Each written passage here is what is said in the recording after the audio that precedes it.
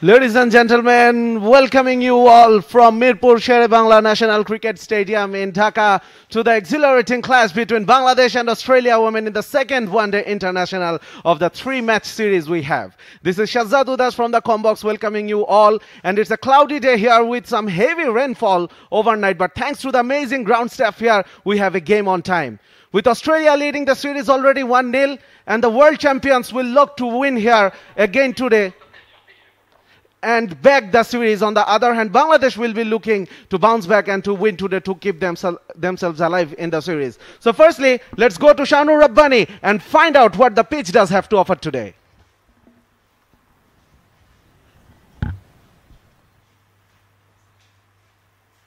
Hello and welcome. It's time for the pitch report of the second one day international between Bangladesh and Australia women. Now, in the first match, we saw a low scoring affair, but Australia still came out big time winners. Australia, they started off slow. It was uh, pretty gloomy conditions, difficult to bat on, but they eventually managed to put up over 200, which is an over par total on this surface. Now, I'm talking about a surface that was used in the first match.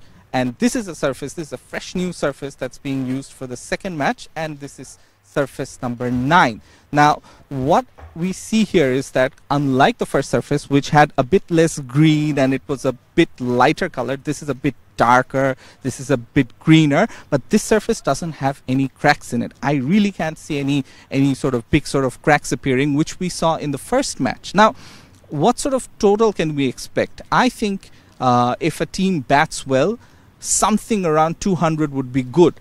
Batting first, teams have won four games. Batting second, teams have won eight games. And if you look at it, if you look at the surface, I think given there was overnight rain and there's still a bit of cloud covering, it might be a surface where you decide to win the toss and bowl first. However, let's see what the captains decide at the toss.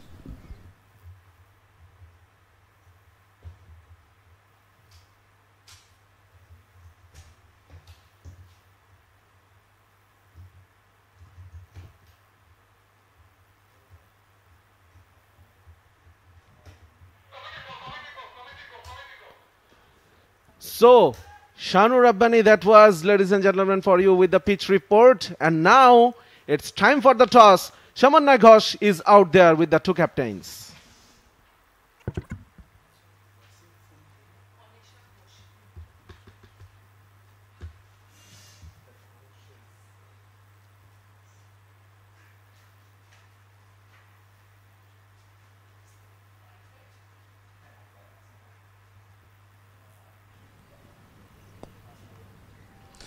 All set for the second ODI here at the Mirpur Sher-e-Bangla National Cricket Stadium. Uh, all set for the toss, of course. Uh, match referee, Niyamur Rashid Rahul, Alyssa Healy, the Australian captain, and Nigar Sultana Jyoti, the Bangladesh captain, who's going to toss the coin.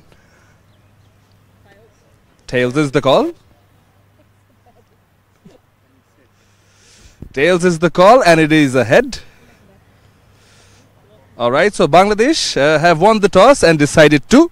Bat first. Reasons being. I think uh, we wanted to give our batting unit a um, little bit luxury that they can take time and uh, do their preparation. hmm So you want to give them a chance, of course. Uh, in terms of the wicket, uh, this is pitch number nine today. Uh, any differences you noticed? I think it's a pretty good wicket. Uh, thing it's hard and. Uh, I think the main reason is I don't want to give our batters to any pressure, so we wanted to put some score in the scoreboard. So, how looking forward for that. And as far as putting some score is concerned, what are you looking at? Obviously, uh, 220 uh, plus or 20 it would be a good score for for us because how our bowler is bowling. I think uh, if we could at least uh, achieve 200 plus runs, it would be a nice score. And uh, any changes to the side? Now we are going with the same 11. Same 11. Wish you all the best. Thank you. Alyssa, firstly, happy birthday. I hope it's a good one for you. Thank you.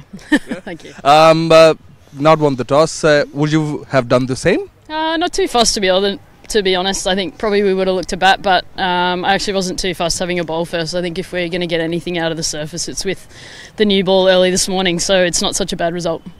And uh, as far as you've looked at it, I know you've looked at that one and played on that one. Uh, do you see make any difference out of it? Pretty similar. I think this one's actually a little bit drier from from my eyesight and, and my looking at it. So it actually, um, I don't think will be. It could play a little bit better. That's my gut feel. I think that one was a little bit tacky the other day and did quite a lot with um, with the hard ball. So we'll wait and see how this one plays.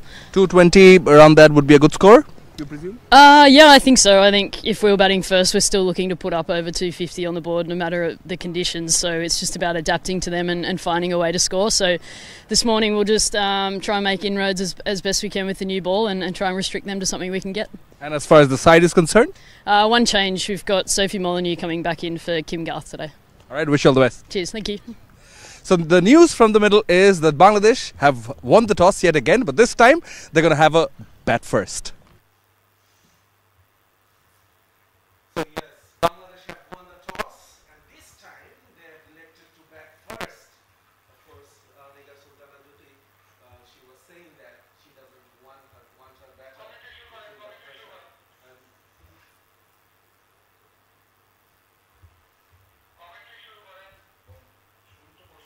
So that's the news from the middle. Bangladesh won the toss and they have elected to bat first.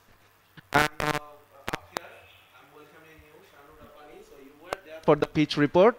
So what do you think? You thought the captain winning the toss would be bowling first, but Nigar has some other ideas. Yeah, I think uh, even in the last match, she did exactly the opposite of what I thought might be the way to go. Uh, we saw that in the result, but uh, perhaps what she wants is her batters to gain a bit of confidence. They were bundled out for less than 100 in the first match. So, with all things considered, perhaps uh, batting first isn't such a bad decision. The sun is out, it's less overcast than it was in the first match. But we had some heavy rainfall overnight. And uh, do you think that would help the bowlers initially at least for the first 5 to 10 overs? What do you think about that? And uh, we have the team 11s. Uh, and as we see that Bangladesh is uh, absolutely unchanged. Nigar Sultana Jyoti, Fahima Khatun, Farjana Haq Marufa Akhtar, Murshida Khatun, Nahida Akhtar, Rabia Khan, Ritu Moni, Shobhana Mustari, Shorna Akhtar and Sultana Khatun. And Australia, uh, we can see there is one change.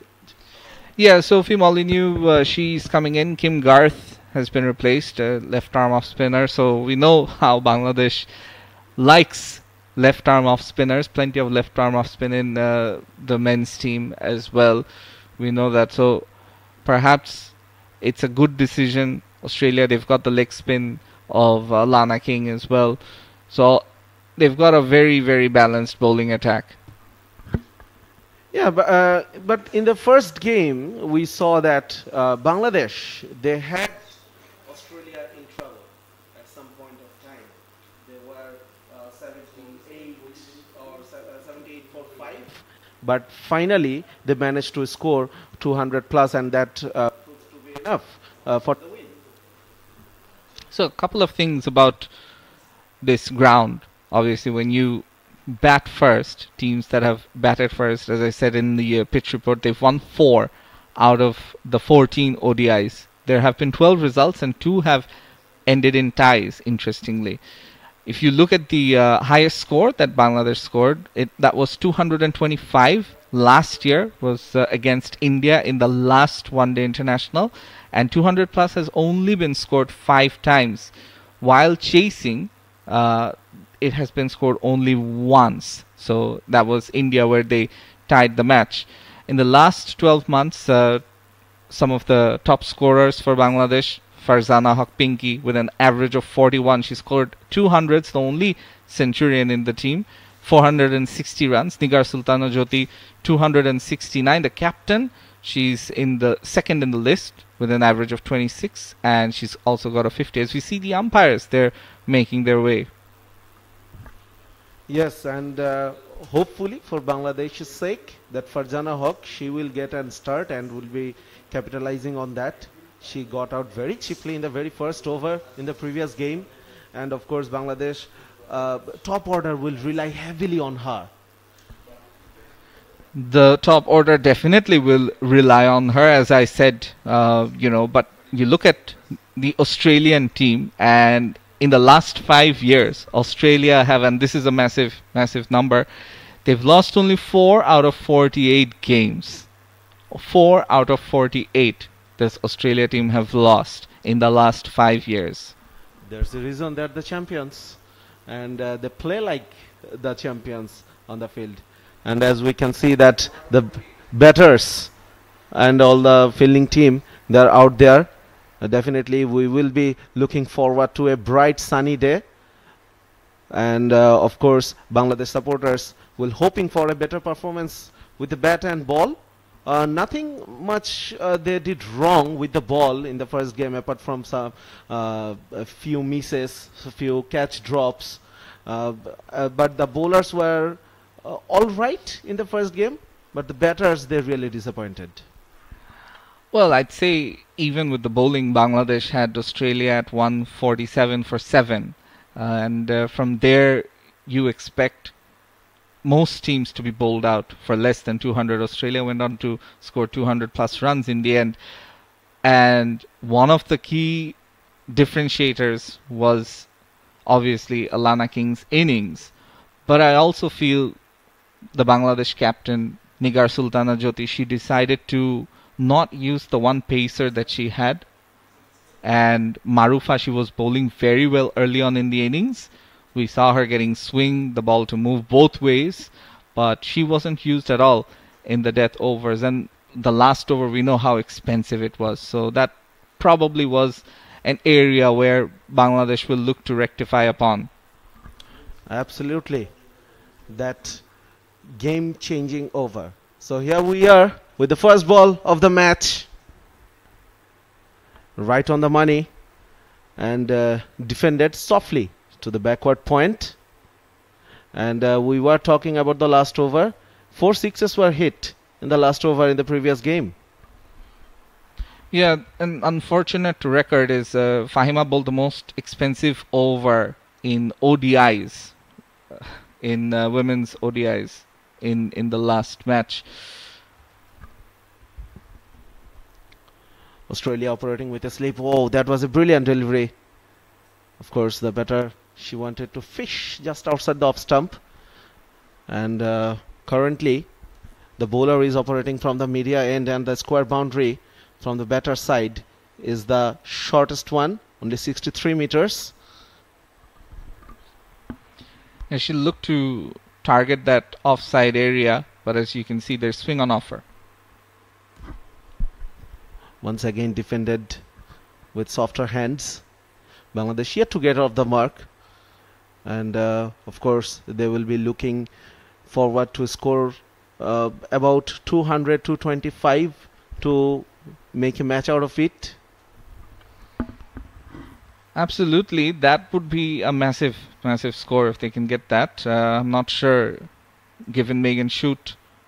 Again, you see what she's good at. She's very good with the in swinger. She's also got a very useful leg cutter. So, for the Bangladesh openers, Farzana and Mustari, they'll need to be wary of the early swing and negotiate it, and then look to play their shots. Farzana Haq Pinkingi yet to get off the mark in this series. She got out without scoring a run. So that's the first runs for Bangladesh in this match. No, of course, they wanted the second one, but wasn't on offer. And wide signaled. So no runs still for Farzana Haq in this series. The last game, uh, the number of wides was uh, pretty high for Australia, over 20 extras they gave. So that's an area that they'll look to improve upon. And one word that uh, the Australians keep using in press conferences, given the pitch and conditions, is extreme. So, yeah, they're uh, new to these conditions, they're having to deal with it. Absolutely. Extreme is the word, especially from the Australians from that part of the world coming to the subcontinent with the hot weather, the humid weather, and uh, they will face the same music today. The last delivery we saw once again a bit of inward movement off the pitch. Oh, there's an appeal, but I don't think the umpire is gonna entertain that. So end of the first over, Bangladesh two for no loss.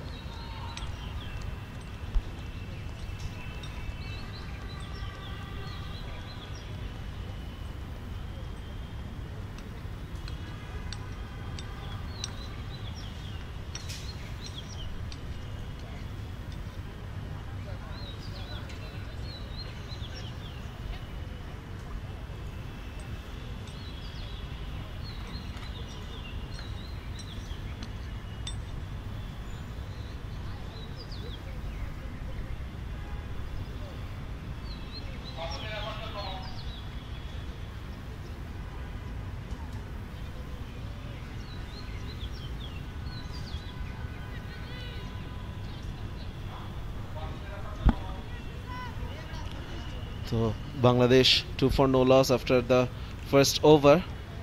Ellyse Perry. She will shot the new ball. And for her we can see a slip and a gully in place. So Australia on the attack. And why not? They know that for Farzana Haq Pinky is a very important wicket for Bangladesh. And they'll want to send him send her back once again another wide down the leg side so that's that will be an interesting contest uh, against uh, between Perry and uh, Farzana the prime batter if we see at the if we look at the Bangladesh lineup and uh, Farzana would love to score some runs against this uh, fantastic all-rounder from Australia Yeah, Ellyse Perry, she became the highest capped ODI player in uh, cricket history. Oh, now is that an opportunity? Just, just over. Still no boundaries, but two more runs added to the total. As I was saying, uh, you know, with Ellyse Perry, you talk about the generational players. I think uh, that is the definition of what Ellyse Perry is, and uh, she's not just good in cricket; she's represented Australian football as well in a World Cup. And you look at her, her numbers with the bat; she's uh, she's got an average of over 60 in Tests, 49 in ODIs, and 31 in T20s, and you know those are some staggering numbers. Absolutely, absolutely, and Bangladesh uh, will try to see her off. Of course, she is opening the bowling today, but that wasn't the case in the first ODI.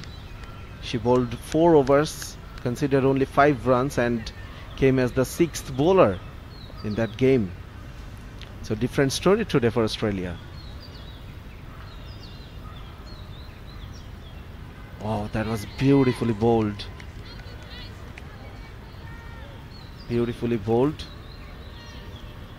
Kim Garth was the other bowler sharing the new ball in the first game. She took two wickets for 26 runs. But she is not part of the 11 today.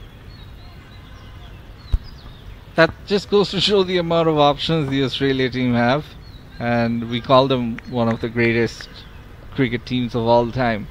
They've got 11 batters and almost 11 bowlers, it seems. That was aged. Of course, the batters will cross for some runs, single on that occasion, but that was played really, really dangerously from the batter. Farzana Haq on that occasion was lucky enough to fetch the gap between the slip and gully. Yeah, they're uh, trying to get the opening batters to drive. We saw in the first over as well, mostly outside the off stump.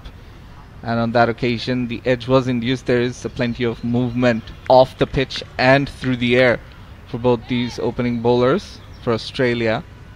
And we were talking about Ellyse Perry's batting numbers or bowling numbers. You know, she's got over 100 wickets in ODIs and T20 internationals and uh, at very good averages in T20s her average is uh, just over 18 in ODIs it's just over 25 again you see some away swing but this time the umpire will signal a wide Good to see Australia on the attack because when Shobana she came on strike, they strengthened the slip quadrant, added one more fielder. Now it's two slip and a gully, and the gully is pretty close to the second slip. So they are trying to induce the batter an outside edge trap outside off stump, and they're trying to bowl with that line. Yeah absolutely. The trap is in place and we've already seen a couple of uh, edges being induced.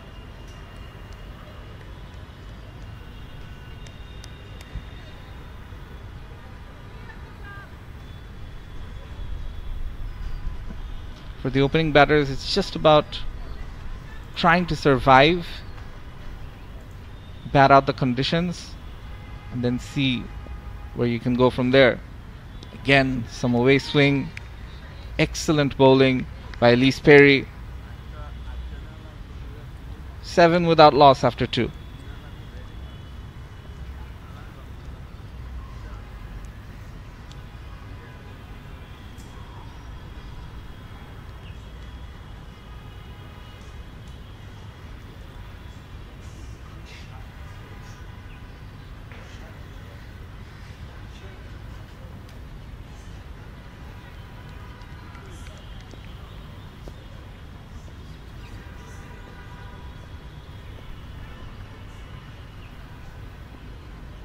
Oh, again, you see that inward movement. Again, another wide. Two very different kind of bowlers on operation here, where we can see Megan Schutt. She is trying to bowl some in swingers early on towards the right handers, where Perry she was moving the ball outwards Again, you see that in swinger from her. He's got a beautiful action. Bangladesh, as I was saying, they'll look to try and uh, survive, see off the uh, new ball, the swing, and then see where they can go from that position. It's certainly not easy for the opening batters. Farzana Pinky, she got out facing Megan Schutt in the first game, in the very first over. And she bowled very miserly in that game, conceding less than run on over. Only five runs from six overs she bowled. And the line he is bowling today we can see why there is only one slip for her. And when Perry is operating from the other end she had two slips and a gully. Yeah, they've gone with a pretty aggressive field early on in the power play overs. Despite just having one slip you can see all these closing field positions on the V. So that tells you that uh, they're trying to get the batters to drive a bit more, especially with the swing.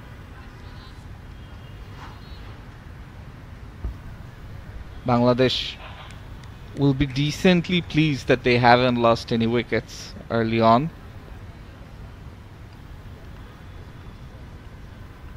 Well, Australia will be looking forward to that, picking up wickets. Still early overs, only the third over in operation. It's a very interesting field setup uh, when Megan Schutt is operating from this media end. Three on the onside, three on the offside within the circle. A typical field placement in terms of ODI games.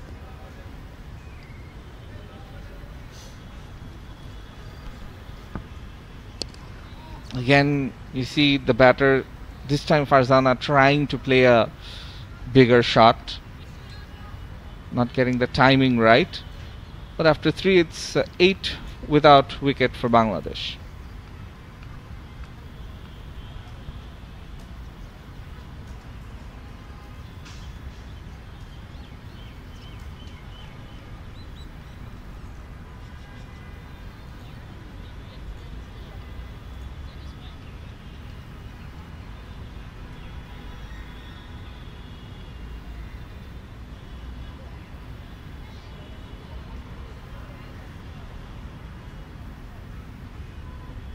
The two pacers in operation early on here in the second ODI. Subhana Mustari on strike, yet to get off the mark. Perry, she continues. Better looking drive. No run on that occasion. I Perry overtook Alex Blackwell, became the highest capped Australia ODI player in the last match well there are tons of experience from her side and of course these Bangladeshi players. They didn't have much opportunities to face this Australian team. Only the third ODI they are playing against the Australians. And before this series they played only one. So they would love to make this opportunity count. They'd love to display some better cricket. Of course better from the first ODI. Absolutely. Uh, and uh, since Australia are bowling right now, it's uh, important to mention that they've got Ash Gardner and uh, Alana King still to come and bowl.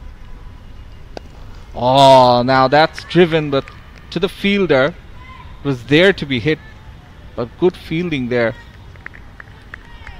And Ash Gardner, she's taken 26 wickets in the last 12 months. Alana King just behind her with 21. And they will be getting an opportunity to bowl at these uh, batters, but that really should have been put away by Subhana Mustari. The last delivery, it was a full toss outside off stump. Unfortunate for her, it went straight to the fielder. Absolutely, should be very disappointed with that not picking the boundary on offer. Once again down the leg side, Ellyse Perry trying to mix things up, bowling on a fuller length, but missing the line on that occasion. Yeah, do you think it's a bit of a, a defensive tactic by the uh, Bangladesh captain to not bat in the first match in the first innings and now trying to bat to just get the batters in form as uh, Perry comes on? Again, good delivery. Well, the statistics say that the batting second team, the team batting second, always have an advantage on this ground. And uh, of course, Bangladesh uh, did start very well with the ball in the first game. Unfortunately, they couldn't capitalize fully on that start and of course their batted batters failed. But today uh, that's a good shot.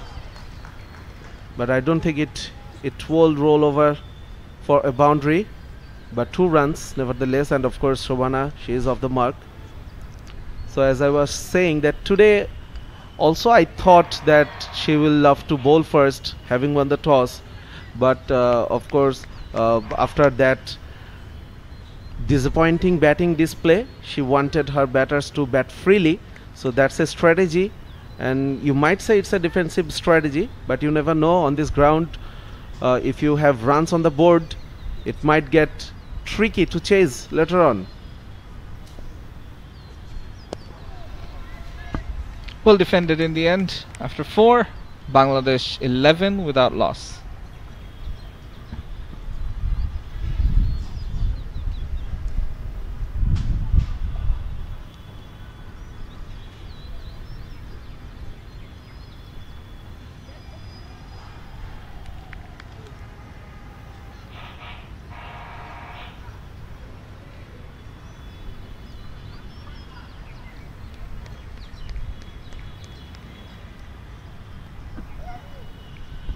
Speaking of uh, Bangladesh and batting first, uh, Bangladesh's highest score in this ground was when they decided to bat first. It happened last year against India.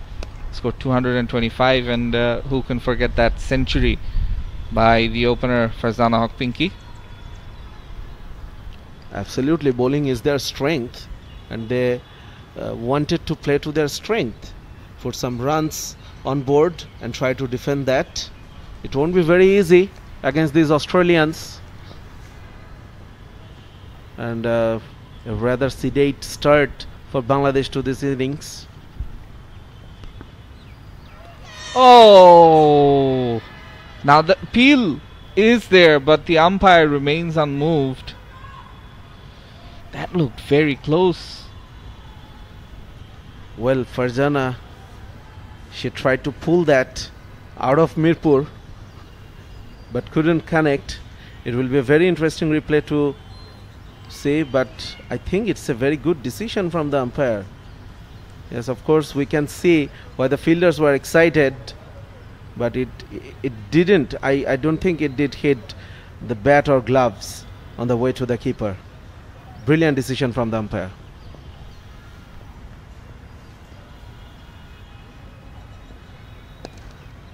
Well negotiated this time by Farzana. You see that uh, in swinging delivery again by Megan Schutt. And that was a surprise delivery, in fact, even for the batter, because uh, she's been getting a lot of in swinging fuller length deliveries or length deliveries, and then all of a sudden the bum- bumper comes up, and uh, you want to be able to put that away. You want to free your arms a bit. Again, you see a very different line, a very different length from Megan Schutt. Not anything short. Vrinda Rathi, the on-field umpire, a former Indian cricketer, a rather small cricket career, but now she is officiating this game. And uh, Megan Schutt, I think with each ball, Bangladeshi openers are surviving, it will add to the frustration of the Australians because they would they would thought that they will have that similar start to the first ODI, pulled away, but couldn't pierce the gap. And uh, five overs gone. Bangladesh Megan Schutt with that maiden. Bangladesh 11 for no loss.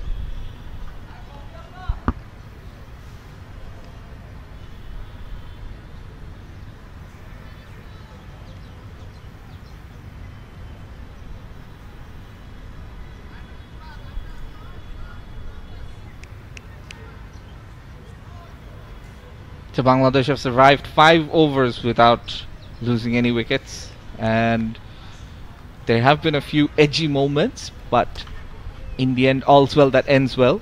So far, it started well for the Tigresses, the hosts. They will look to put up a better show with the bat from the first ODI where they lost by over 100 runs and couldn't score 100 plus themselves. Ellyse Perry in her first two overs, she's conceded eight, continuing with her third. And some swing on offer, well negotiated by Subhana Mustari. They've been uh, solid so far.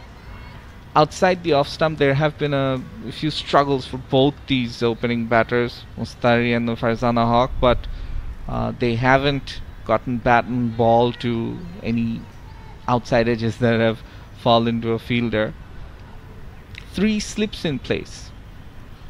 Yeah, they struggled when there was an outswinger on offer. It was driven, but once again couldn't pierce the gap. But with each passing moment, both these batters they are looking comfortable. Of course, uh, both are operating pretty slow at this moment, but they will they will know that there will be uh, some opportunities to score some runs if they get set. Something to take in mind, and I feel from the first one, international, is the outfield. It's a bit slower. Again, the bumper, this time by Ellyse Perry, and it's called another wide. So, probably the top scorer in this innings is the number of extras because seven wides. So, seven out of the 12 runs have been uh, extras. Megan Schutt with uh, two, and Ellyse Perry now with four wides. They look to put a lid on things. Early on, there is some swing, probably a bit more difficult to control the new ball. And in search of wickets, they are trying things. They're trying the one bouncer per over, the rest is more regulation stuff. Oh, that came back sharply onto the body, but a single picked up Will be interesting to see if there's any signal from the umpire. No, it's runs of the bat. So moving on, Farzana. And rotating the strike is very important, Shanur. Uh, you cannot be so defensive uh, that you can play only dot balls, and if you do that, uh, there will be some opportunities and there will be some missed opportunities as well if you go to that defensive frame of mind.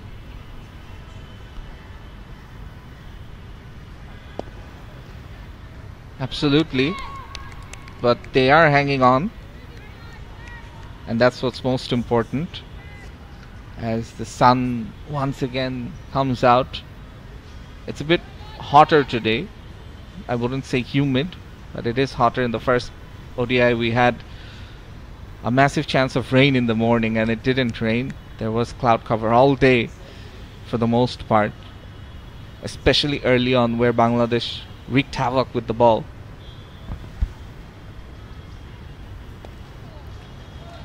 Flicked nicely for a single. Now these batters they are looking good. And of course Ellyse Perry. She's not getting the movement she was earlier. Still they are having three fielders in the slip quadrant. But I think the batters they have figured out if there's any movement on offering of the pitch and of course this is a very good start for Bangladesh not probably in terms of runs but they haven't lost an wicket. End of the sixth Bangladesh 14 for no loss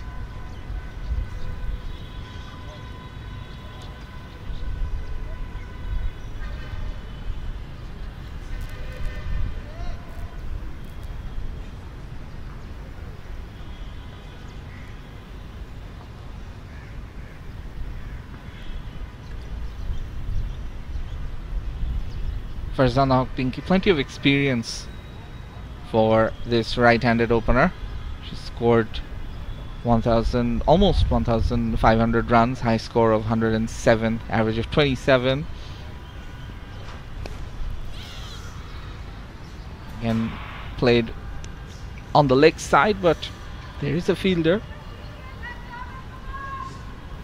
And her partner, Subhana Mostari, younger than her by nine years, 22 years old. She's just playing her 13th match and yet to really establish herself. A high score of just 23. Oh, that looked a bit nasty. That reared off a very foolish length, and the batter she was ready to play off the front foot ended up hitting her arm, it seems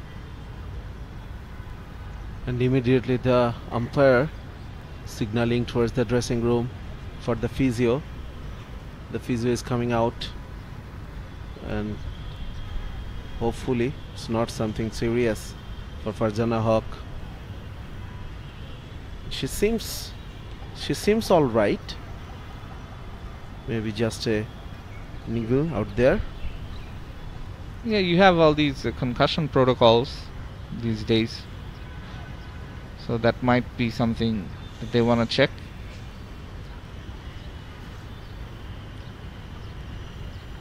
Well no wickets lost for Bangladesh. We are into the seventh over.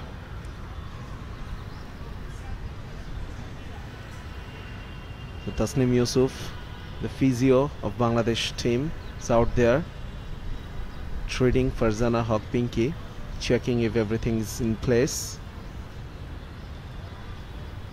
so Bangladesh haven't lost an wicket. We're into the seventh over and they would be rather happy with the start, not in terms of the run rate, but of course, if they have wickets in hand, they know it's not a very high scoring ground. Even they could score 220 to 230, they will have a match in hand and they have a very good bowling lineup with some brilliant spinners as well and of course Maruf Akhtar the pacer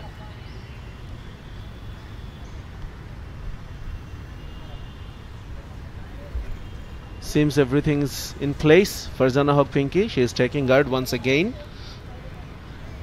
Phase 24 deliveries already, scored only 4 runs. But with each ball she played, she looks more comfortable out there. Megan Schutt once again miserly, conceding only 3 runs. She's into his fourth over. Once again, pulled beautifully. It was a bit uppish, but it falls safe to no man's land. And uh, there will be a single. I thought I thought they would go for the second one, but they didn't take that risk. Good use of her wrists to make sure the ball didn't pop up when she played that shot. Used her and angled her bat accordingly to keep it grounded.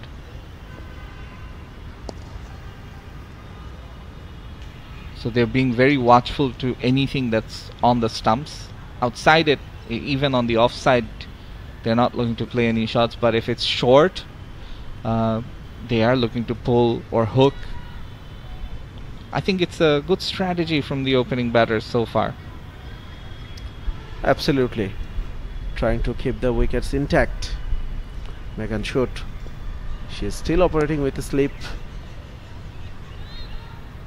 No success in terms of wickets. Bangladesh, of course, they will have Nigar Sultana, Nahida Akhtar, Murshida Khatun to follow. Ritu Moni and Shorna Akhtar can hit some boundaries later on. But they will love to see these two bat for a longer period of time and probably one of them till the end. Will be another wide. Australia have been guilty so far, conceding too many extras, eight on that occasion. Only eight runs of the bat and eight from extras. So split evenly between the uh, runs from bats and the extras.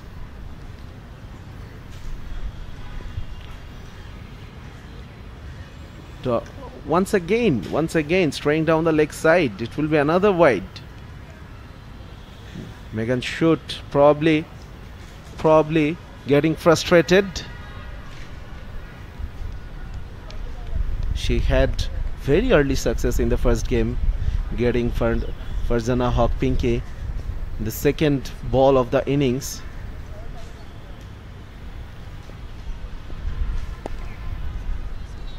dot to end the over after 7 16 for no loss Bangladesh and there will be change up in the com box let's welcome Shamunay Ghosh and Annesha Ghosh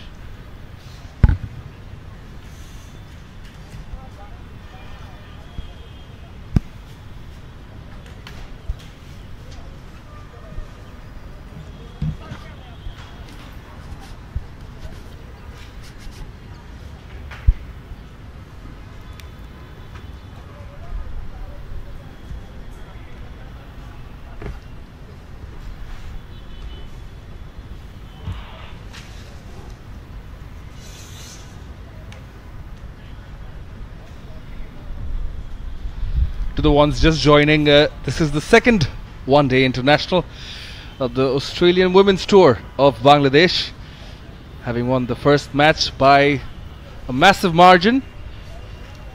Australia women lead the series, one win to nil, of course. So they'll be looking to wrap up the series. First bowling change is uh, going to happen.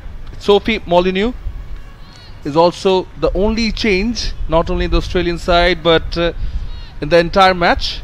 However, we've got a change, we've got an addition in the commentary box also, uh, joined by Annesha Ghosh. Very warm welcome to Bangladesh. Thank you very much, Shamun Nai. And a warm welcome to Sophie Molyneux to the middle as well. Right on the money. First ball. She is in red hot form, mind you. Was the player of the final at the Women's Premier League across the border in India. Bowled a superlative seventh over, a triple wicket over that turned the final on its head. With Smriti Mandhana's Royal Challengers Bangalore going on to lift the title. It's been a great few months for Molyneux, who remember had to sit on the sidelines for over two years and return to the national side earlier this year following a prolonged injury induced layoff. First, with a stress factor, stress fracture in her foot, and then a ruptured ACL.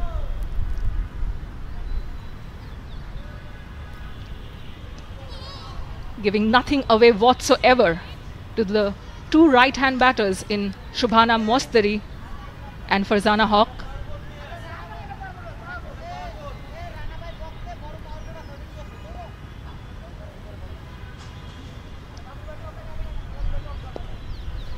Bowling wicket to wicket so far. And Alyssa Healy, the captain, who's turned 34 today, has set just about the right field placements for the left arm spinner Sophie Molyneux.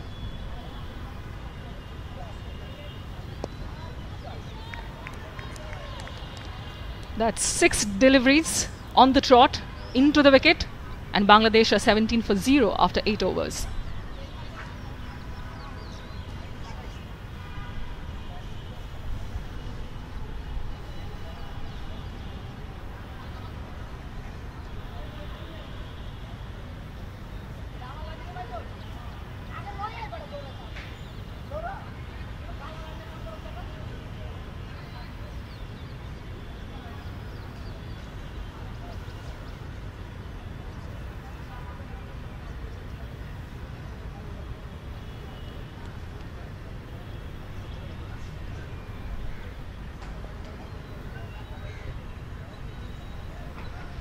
Pace uh, from one end, spin from the other. Slip remains. It's a good looking cut shot square of the wicket. Shubhana Mostari, well, unfortunately for her, could not find the gap, did not seem happy. It's the eighth over. We saw introduction of spin. So that uh, happy to operate with pace. Alyssa Healy angled in delivery. So Bangladesh batters at the moment quite happy to be patient. I think that was the, or one of the targets they set following the epic collapse they suffered in the first ODI. At the pre match press conference ahead of the second ODI, Fahima Khatun went on to mention that staying in the middle is one of the key targets in the second ODI. And that's the first wicket for the Australian side. The finger goes up from Vrinda Rathi, and Bangladesh lose their opener. Shobana Mostari is walking away, but the on field umpire, Ghazi Sohail, asks her to stay put for a bit. A bit of a conversation ensues between Ghazi Sohail and Vrinda Rathi from India. I think perhaps she he just wants to make sure the front leg is uh, spot on, or maybe the catch is uh, taken properly. We'll get to know. No doubt, the cats seem to have uh, gone into the hands pretty visibly. A loud, raucous appeal from the Australian side. And from the initial response of Mostari, it felt like she knew she had nicked it. But is that a front foot no ball? Megan Schutt doesn't quite carry the reputation of being a serial offender with no balls. But can Shobhana Mostari get a little bit of luck in her side early in the innings? Third umpire, Tanveer Ahmed, is hard at work right now.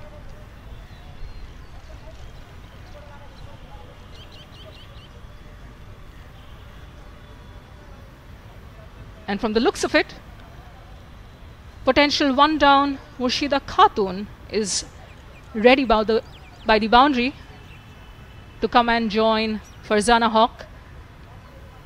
And it has indeed been adjudged out. Shobhana Mostari has to walk away for a 20 ball 3.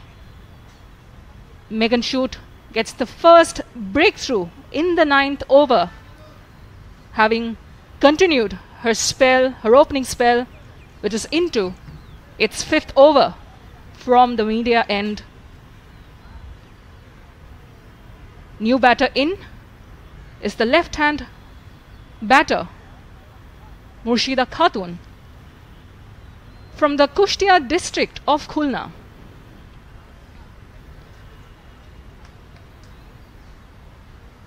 A fair bit of rebuilding has to be done. And remember, Bangladesh are only 17 for 1 in the ninth over. While they are surely taking off one of their targets on the day to bide as much time as possible in the middle, they also need to score runs.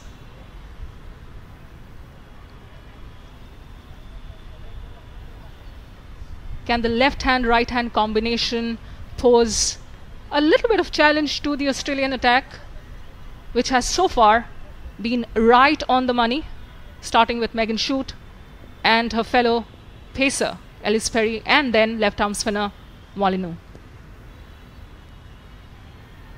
Guided to gully, the first ball, left hander Murshida Khatun modeled the majority of her batting after somebody from right across the border, fellow left hand top order batter Smriti Mandhana, the vice captain of the Indian women's cricket team.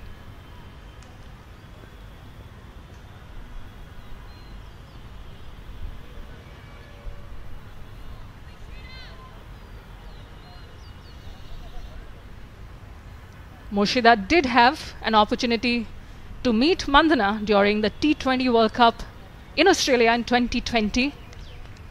Happens to be one of the products of the Bangladesh Krida Shikha Pratishthan or BKSP, one of the only female academies in the country for cricket. Not giving anything away to the left hander is Megan Schutt. Bangladesh are 70 for 1 after 9.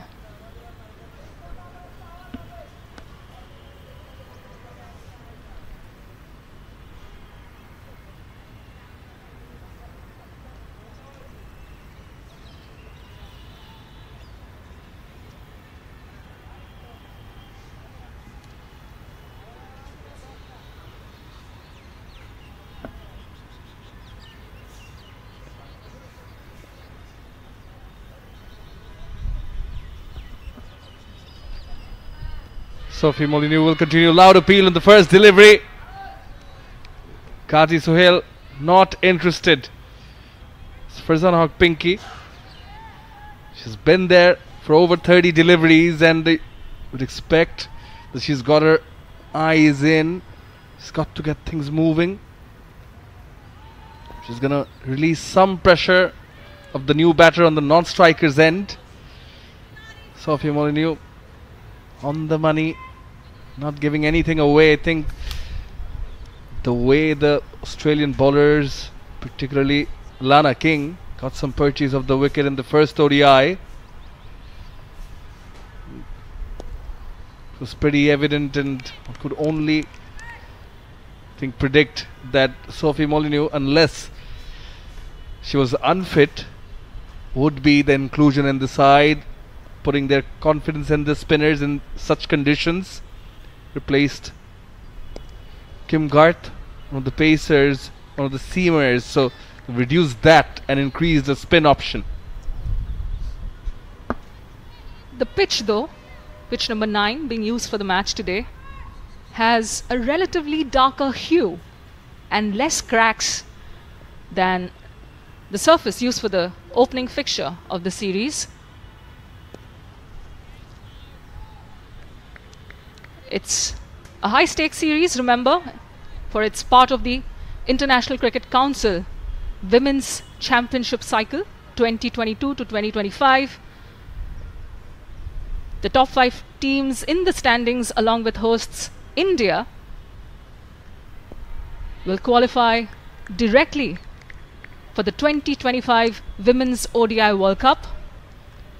Unsurprisingly, limited overs world champions Australia are leading the standings right now with Bangladesh ranked 8th behind India. All to play for. Therefore, Bangladesh batters need to bear in mind they have played about 52 dot balls inside the first 10 overs already, amassing just 17 runs so far. Both the left hander in Murshida Khatun and the right hander Farzana Haq Pinky, the more senior and more experienced campaigner of the two, are finding it difficult to penetrate the gaps because the field placement and the efficacy of the Australian fielders give you a sense that there are barely any. Flashes at a fourth stump line delivery, but misses it. A quiet, sedate start from the Bangladesh team after Nigar Sultana Jyoti, their captain, won the toss and decided to bat, unlike the previous game where her preferred choice was to send Australia in.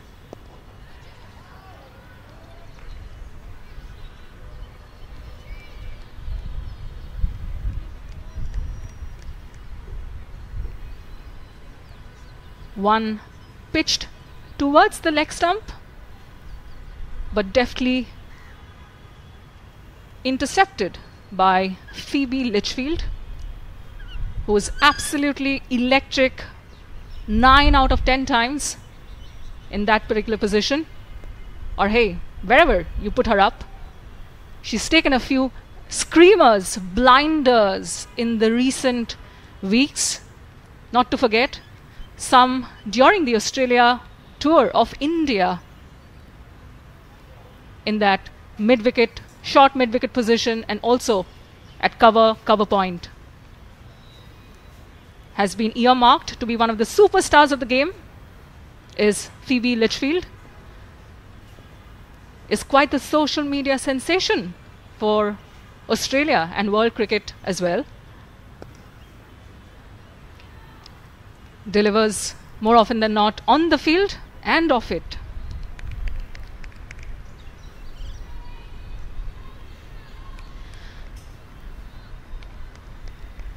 Looks like Megan Schutt's workday with the ball is going to come to an end earlier than expected. She's already into her sixth over.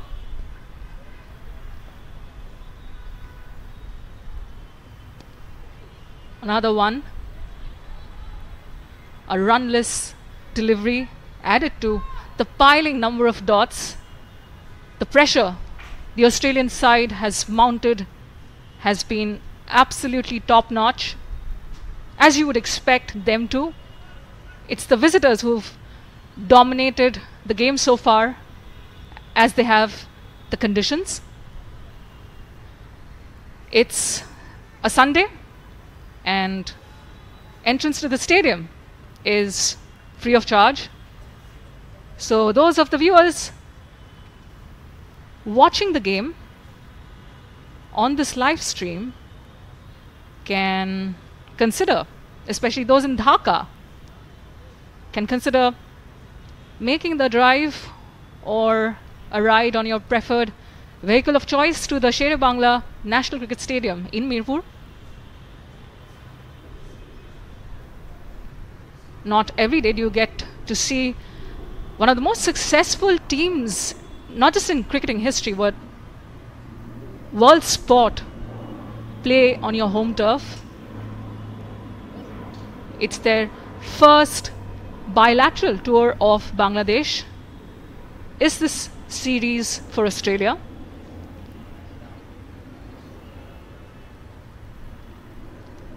Certainly an example, to set an example for your daughters, your sisters, and maybe your better halves also. The ladies who inspire us.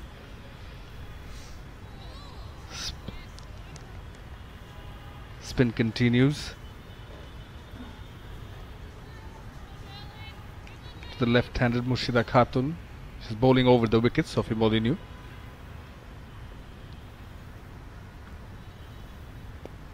As Nigar Sultana Jyoti also mentioned before the tournament commenced, and you know they look up to the Australian side. They've inspired the Bangladesh players also over the years. They look up to them, but by no means, you know, you also want to put your performance ahead, take that opportunity and uh, grab it with both hands, prove yourself in the middle. It also gives you a boost, a huge boost in confidence if you can, if you are able to do that. But then again, you know, it's it's such an inspiration for the likes of Jahanaras. They've done it in the past. The Jyotis are here now. The Pinkies are there, and the Marufas coming through. The Rabias coming through, and plenty of them who are watching them. You know, to come forward. There are examples where uh, it was tough for the Bangladesh captain Nigar Sultana Jyoti to come through to follow this, to play the sport. There there are stories where Marufa was only given support by her brother. But there are also stories, now rush that one in, skid through inside edge, but no trouble, luckily for the Bangladesh batter. But there are also examples of the Nahidas who were actually given support by the family. And they're here at this stage. Murshida also. In today's world, it matters. It really matters. And as you said on Nesha, that not only in the cricketing fraternity, but one of the most successful sides in the whole world. I hear somebody's mother, daughters, of course, sisters, and they lead the way. They wear the national colors, represent the country in the nation and abroad, bring the trophies, regardless if you win or lose. you know, it's a matter of pride when you represent the nation. Continue with that. After 12, Bangladesh are 19 for 1.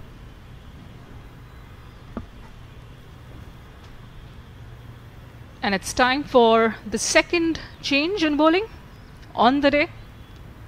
Ashley Gardner, the off spinner, will be in operation soon. And speaking of inspiration, the Bangladesh women's cricket team are one unto themselves. They are no pushovers, mind you, no longer also rans. At this very stadium, last year, they pulled off some of the most incredible wins. Just ask Harmanpreet Kaur and her team. And hey, they'll be visiting Bangladesh very soon, next month. A potential five T20I series between Bangladesh women and India women will be held in this very country.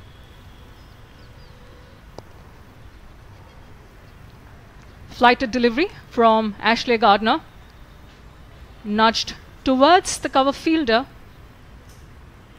Phoebe Litchfield, putting in one of those sprightly dives of hers, but is unable to intercept this one. Should be a good contest between the right arm off spinner in Gardner and left hand batter Murshida Khatun.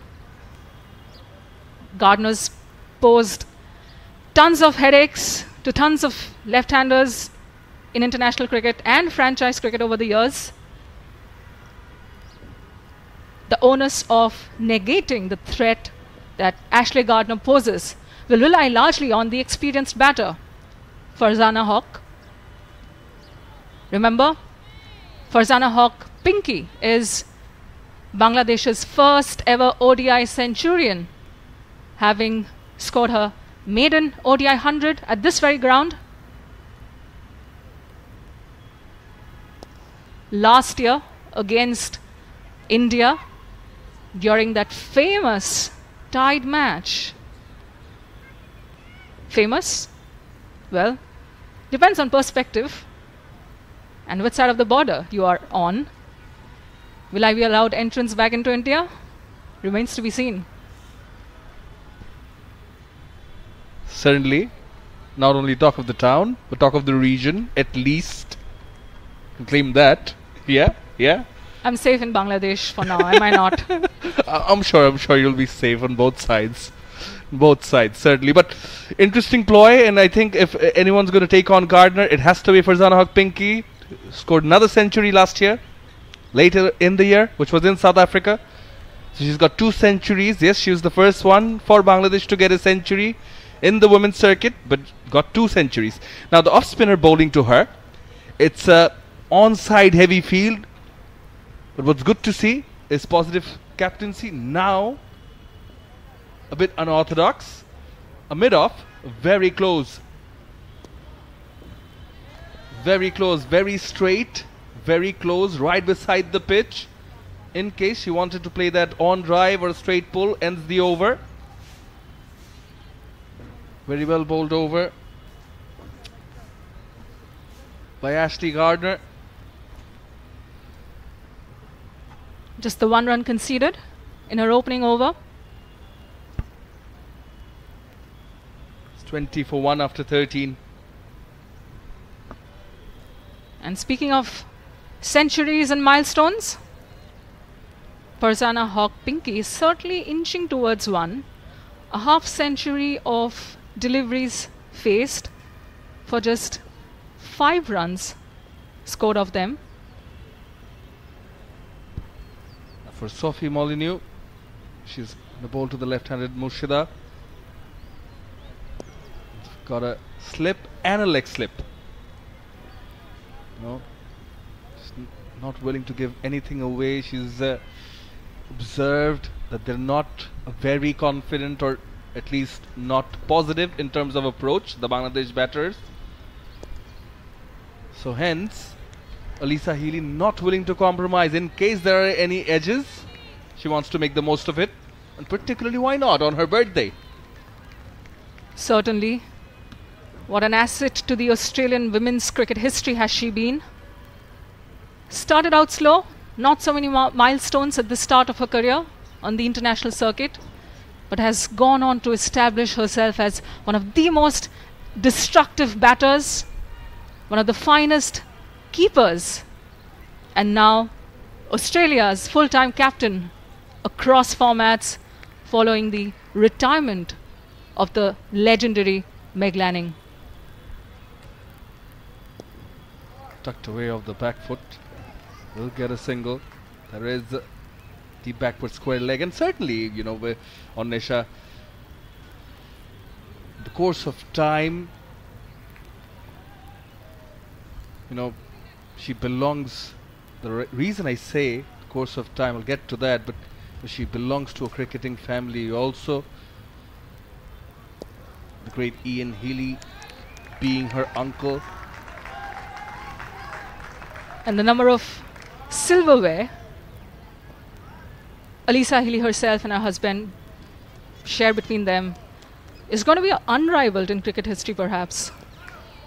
Yes, they, I'm sure they did need a separate room or a couple of rooms. Buy a house, the Starks. Mitchell Stark is playing in the IPL mm-hmm. right now, while Alyssa Healy is on national duties here in Bangladesh. Just a couple of hours flight from either way.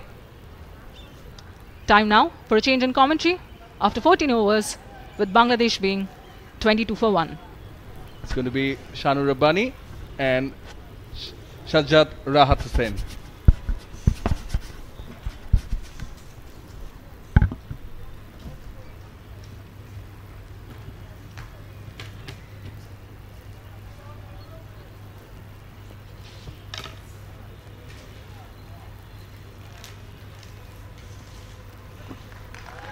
New over starts and immediately a few runs here.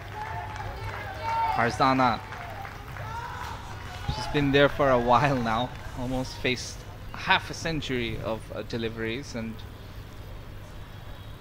it's important that she makes it count.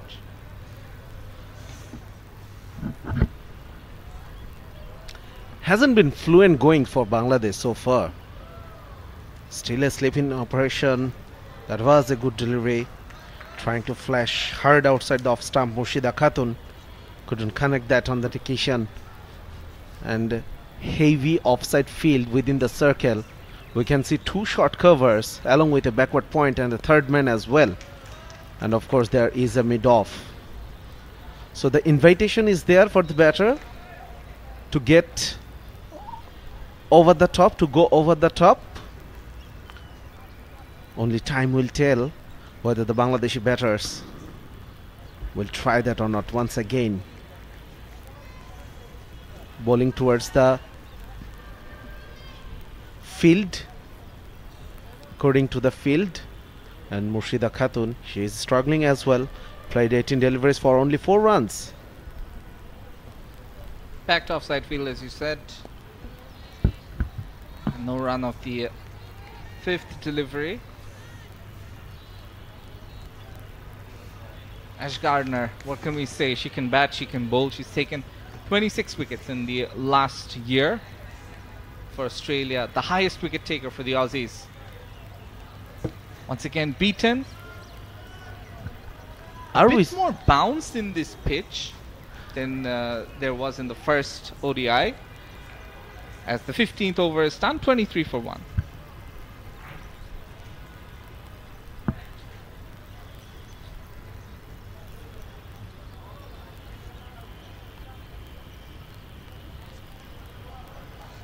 So slowish start for the hosts. They've lost one wicket as well. But that of Murshida, Farzana Haq, she's still there. She's faced exactly 50 deliveries for her seven runs. It's been a hard graft.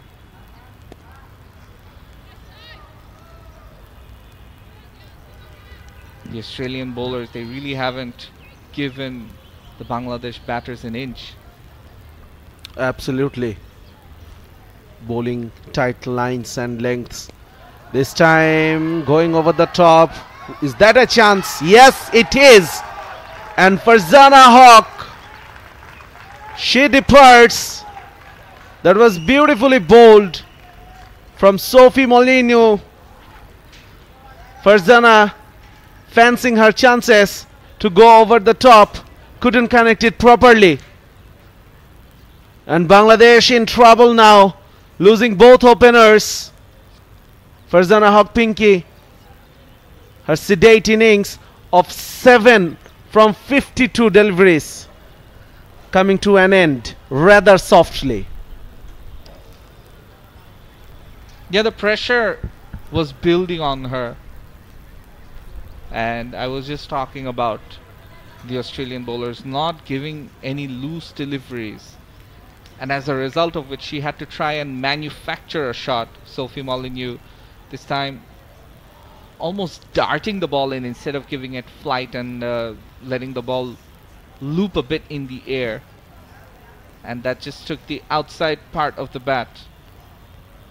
Farzana trying to clear the infield, only managing to find the fielder at mid off. She went to her left and took a very well judged catch because uh, she was running back, and those sort of catches can sometimes be a bit difficult. But she knows that this was a disappointing end to all the hard work that she's done, and you can see that etched on her face and her body language as she leaves the pitch. Absolutely, Farzana Haq Pinky, she never got going. Played 52 deliveries, dot balls after dot balls. Yes, there was sometimes she was looking comfortable playing dots. That was the problem. I think rotating the strike would have been more helpful towards her cause, but that didn't happen today. And uh, the first drinks break of the innings as well, allowing players to remain hydrated conditions are a bit hotter than they were in the first match.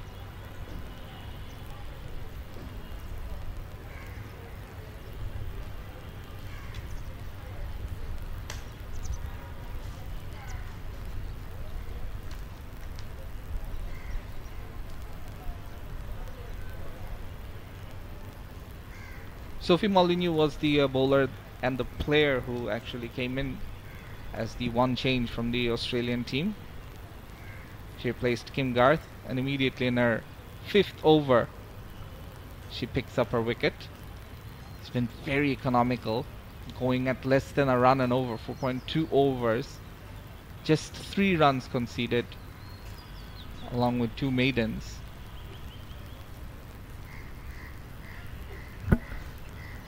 All the bowlers, to be very honest, they bowled according to the field to a very tight line and length. Bangladeshi batters, they couldn't pierce the gap, couldn't rotate the strike on regular basis, and that's why the scorecard wasn't moving. And uh, look at the score now 23 only on the board into the 16th over. Nigar Sultana Jyoti skipper of course one of the most important players for Bangladesh you can probably say she's the backbone of the middle order of Bangladesh and Australians will love to see her back to the dressing room early in the innings plays it nicely, gets off the mark. Shahjad Nigar Sultana Jyoti, she got a start in the last match, but then got bogged down and got run out in a very strange fashion where she didn't plant her bat. And it's been an issue with her. This wasn't the first time she got out like that. This has been an issue that has plagued her previously in her career as well. So that's something she needs to be very wary of and make sure that doesn't happen against the world's best team. It's Murshida. She's now faced 21 deliveries. She's also getting bogged down. Lots of dot balls by the Australian bowlers. They've been on top of things. They've adjusted and acclimatized to the conditions much better in this match. swept away for a single there were two slips in place for Murshida end of the 16th Bangladesh 25 for 2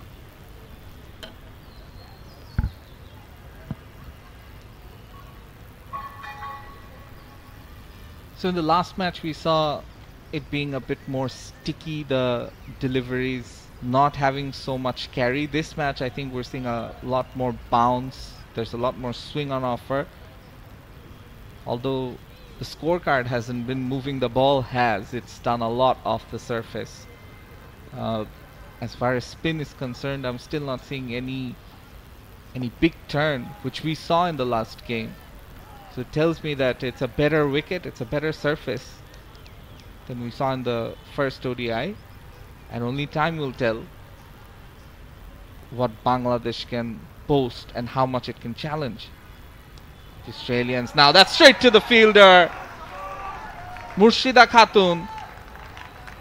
She saw the room, tried to cut it, but straight to the player at cover point and she departs after scoring 5 from 24 Bangladesh's misery only increases here 25 for 3 that was on the Kurds. That really was on the Kurds. Yes, they were trying to keep their wickets intact, but they must, they must had to rotate the strikes, take the singles, take the doubles, but they didn't do that. They failed to do that on regular occasions, and of course, the pressure was piling up on themselves, and as a result, Third wicket down for Bangladesh. The Australians, of course, no freebies from their side. So let's have a look at the replay. Once again, outside the off stump, we saw a few plays and misses in the previous over. This time she connects, but goes straight to the backward point. Murshida Khatun. She won't be very happy with that end to her innings. And Australia currently absolutely on top. 25 for 3 Bangladesh. Sophie Molineux was the fielder so she took a wicket in the last over and now she's taken a catch to ensure the third wicket also falls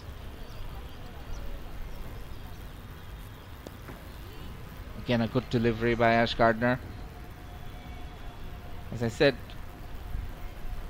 for Australia, she's been fantastic with the ball in the uh, last 12 months. That's now 27 wickets for Ash Gardner. And keep in mind, the player of the match, Alana King in the first ODI, she's yet to come into bowl today. Swept away. Will just be the single. Runs have been hard to come by. The outfield probably a tad slower in this match due to the overnight hailstorm that we had. Yes, agreed with you. It's not a typical Mirpur outfield we are used to see here. And of course, Bangladesh batters they have to plan the innings now how they want to go about it how they want to approach Nigar Sultana. It was a full toss and once again a missed opportunity. Giving dots after dots is no solution to this problem Bangladesh facing at this moment maybe rotating the strike on regular occasions would be the order of the day after 17th Bangladesh 26 for 3 not a great looking batting card here. Farzana Haq 7 from 52 Shobhana Mostari 3 from 20 Murshida Khatun 5 from 24 what it tells us is that the conditions early on was difficult with the fast bowlers bowling in tandem getting plenty of movement off the surface and through the air. But they've lost wickets when it's perhaps looked easier to bat on trying to up the ante.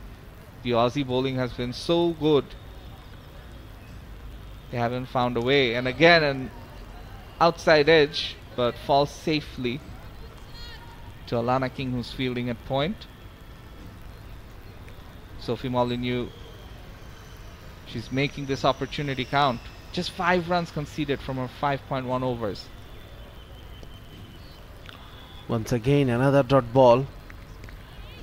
Not helping Bangladesh's progress in this innings. If we look at the field, we are into the 18th over and only one fielder patrolling the boundary. And that's her right on your screen filling in the deep square leg region. And that tells you the story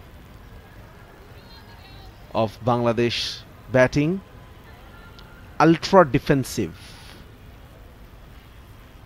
They haven't really found a way against the constant threat. Oh now that looks close. And the finger is raised. So Nigar Sultana Jyoti she has to walk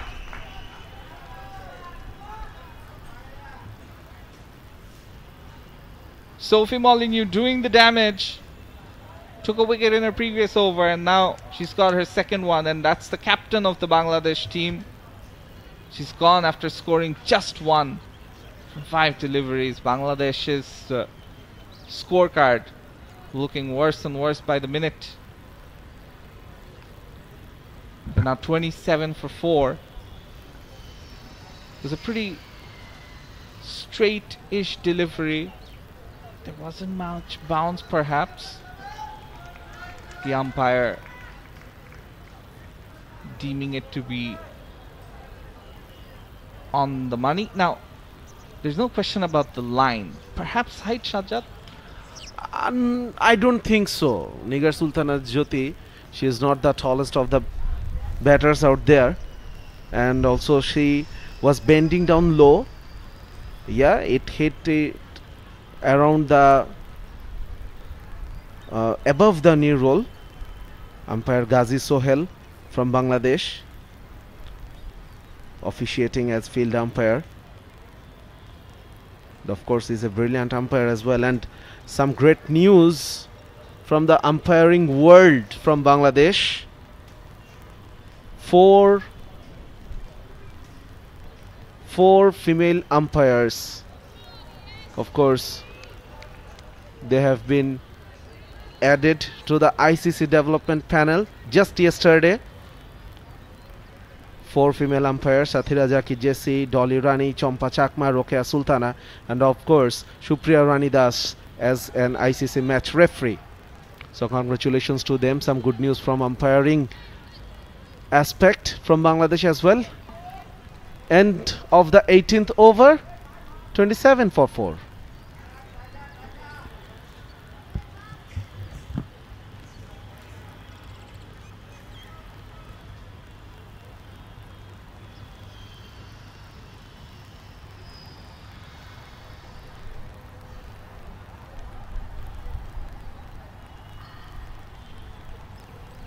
So Bangladesh's captain Nigar Sultana Jyoti at the toss, she decided to bat first to try and get her batters some confidence back. So far, that has backfired. All the batters out for single digits.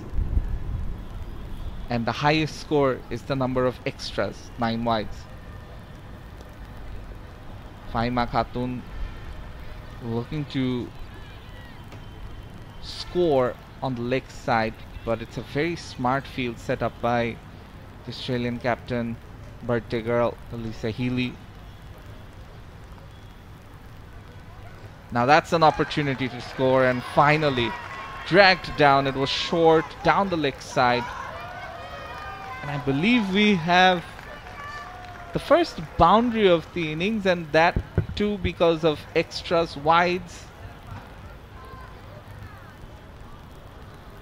So Mr. Extra remains the top scorer in this innings once again.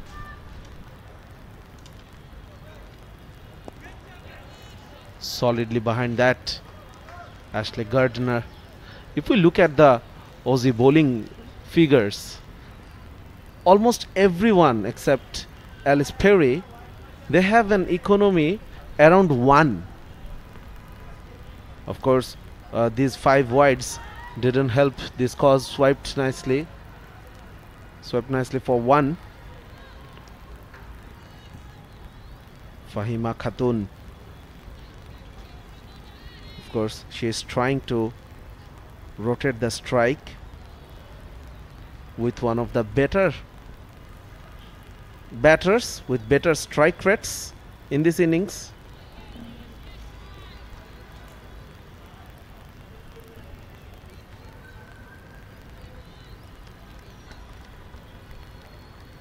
So Sophie Molineux, she's uh, among the wickets coming in, and uh, Ash Gardner as well. She's taken one. The over is completed. In fact, no, we've got one more delivery left because of that wide. 26 year old Ash Gardner playing in her 68th ODI. Has 84 wickets in total. And finally some runs.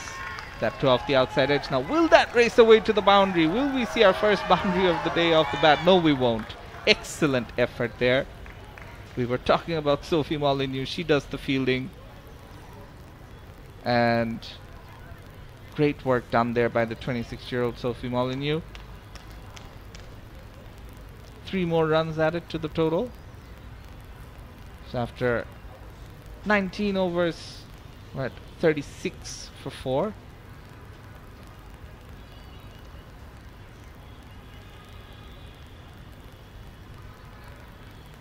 So definitely a good effort there. Seems to have saved a boundary. Yeah, that was that was brilliant filling from Sophie Molineux. Of course, the umpires is having a chat with the TV umpire having a look but uh, I think it's all right. I think it's all right. Yes. So Sophie Molineux she's continuing with the ball. Already picked up two wickets replacing Kim Garth who picked up two wickets herself in the first game. Yeah they're spoiled for options. Again some runs just the one though, seems. Ritumoni and uh, Fahima, you have to try and repair the damage early on that the Bangladesh top order and middle order have faced. Better looking shot, though it won't be for any runs. But what's good to see is that the batters are trying to move their feet, get to the pitch of the ball. I think that's the way to go about things. Now that's played beautifully over the top. That was well connected from Fahima Khatun and that was a convincing boundary from her bat. Finally, Bangladesh getting a move on. First boundary of the bat. Yes, we have seen a boundary in the previous over, but that was a wide. Going down the pitch. Going down the pitch and going with the full flow of the bat. That's a good shot from Fahima. So what we're seeing is uh, the batter is now trying to, especially Fahima Khatun, she's trying to use her feet. And as I was saying that it's a good sign, the very next delivery she hits it for a boundary. Now, I'm not sure if that's the best option against the, a foolish delivery to try and sweep. And anyways, she remains. After 20, it's 41 for 4. You see four bowlers Australia have used. Megan Schutt with six. She's taken a wicket. Only Ellyse Perry hasn't managed a wicket. She's bowled the least amount of overs as well, just the three overs. Uh, Sophie Molineux, for me has been the pick of the bowlers. Seven overs, ten, two maidens, and the two wickets as well. Ash Gardner, another one. As soon as the spinners have come on, and we still have Alana King left, who was the player of the match in the last game, bring on her leg spin, and it seems like it will be time for Alana King to have a bowl. Yes, you ordered it, and Alana King is here. Well, they say uh, commentators curse when what we say the exact opposite happens. So far in the last few overs, what I'm saying exactly that's what's been happening. Well, uh, you been can calling it before time. You can say it commentators curse as well for the fielding team because you were saying that what Bangladesh should do and they are taking up your suggestions especially Fahima Khatun. Now it will be very interesting to see how they negotiate Alana King's leg spins. She was the pick of the bowler in the first game conceding only 12 from her 10 overs and started by breaking the partnership between uh, Nigar and Murshida. It was probably a 49 run stand and started the downfall of Bangladesh innings. Slightly misfielded, allowing the batters to cross over for a single.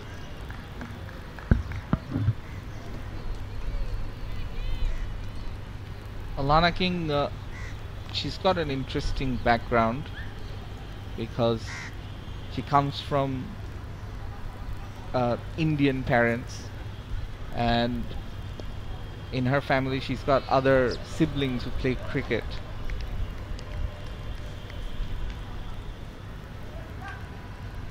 For Alana King, she is adept at other sports as well along with cricket.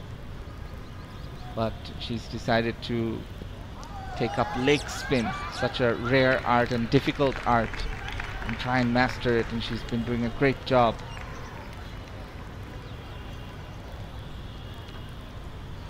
Missed out once again. Fahima.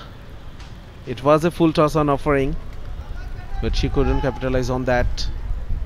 Of course, it was well fielded. Short fine leg. Still operating with a slip. Australia once again. Flighted delivery. End of the 21st over. Three of the Alana King's first over, and after 21, Bangladesh 44 for 4. And there is a time to change in the com box. Shamannoy Ghosh and Anwesha will be joining you.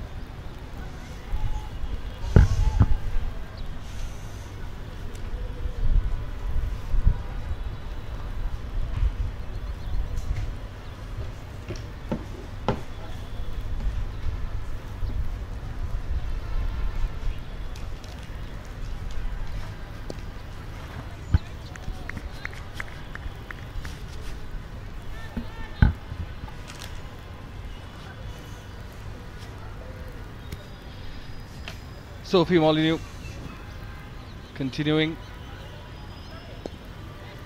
Give it a bounce. Um, these this pair, they've got a partnership going on. I think the key has been at least uh, between Ritu Muni and Fahima that they're rotating the strike. This in the previous over where Sophie Molineux bowled. Uh, they did few boundaries. First one of the bat also came during this partnership. These they're looking positive Anwesha. And positivity is what they need right now if they are to up their scoring rate. Not much to write home about that so far. 44 for 4 in the 22nd over are the hosts. Sophie Molineux continues to be economical and effective, having got those two key wickets. And from the looks of it, she'll likely finish her full quota of 10 overs sooner than expected. A wide heave of sorts, but doesn't connect. Probably for the good of the batter. Bangladesh remain on 44 for 4 after 22.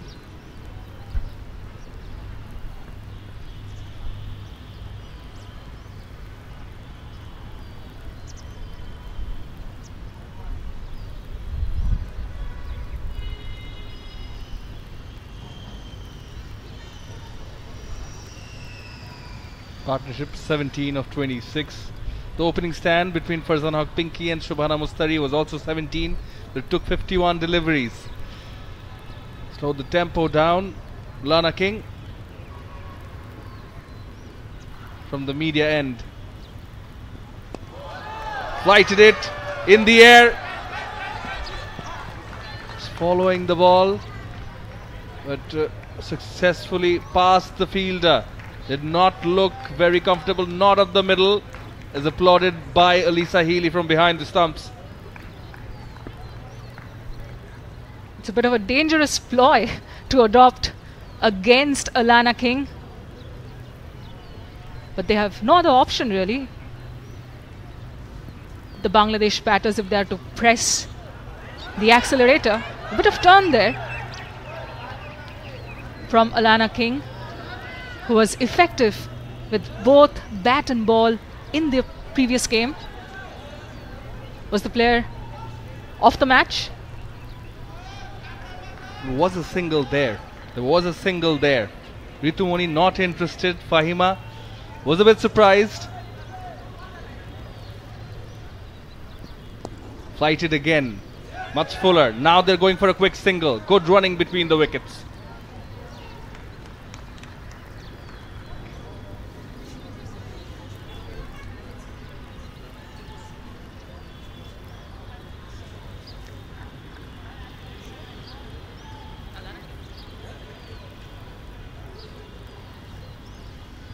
Lana King, player of the match in the first ODI. Beth Mooney is in the slip cordon. Oh, and that is exactly why. Sharp, sharp turn and bounce. Good take from Alyssa Healy. Something pointed out by uh. I just hope it wasn't a no ball. She did stretch out her right hand, didn't she, Vrinda Rathi?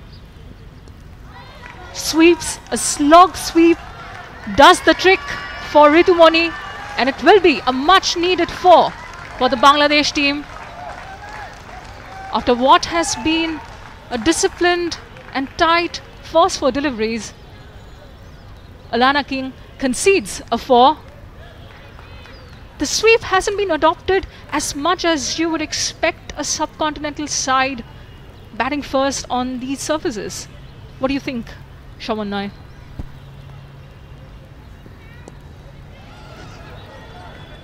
They were not very optimistic initially, but I think uh, it's a very good over for Bangladesh. This one, eight runs off it.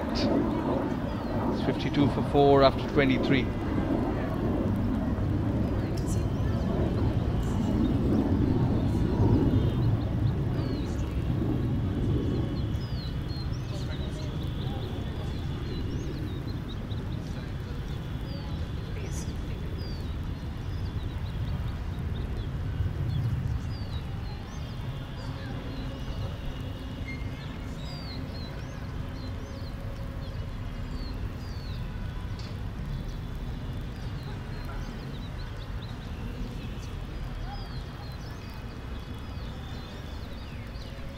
Yeah, Sophie Molineux will continue. It's her last over. It's been ninth over. Beg your pardon, it's her ninth over. But only given away 10 runs and picked up two wickets has been the peak pick of the bowlers so far.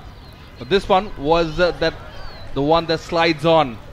Bit of a confusion, yes and no. Having suffered those three odd runouts in the opening fixture, Bangladesh would be mindful of not losing wickets through that mode of dismissal in this game. Yeah, much slower. She slowed it down. Slowed it down. And that's where they'll have to be smart and cautious.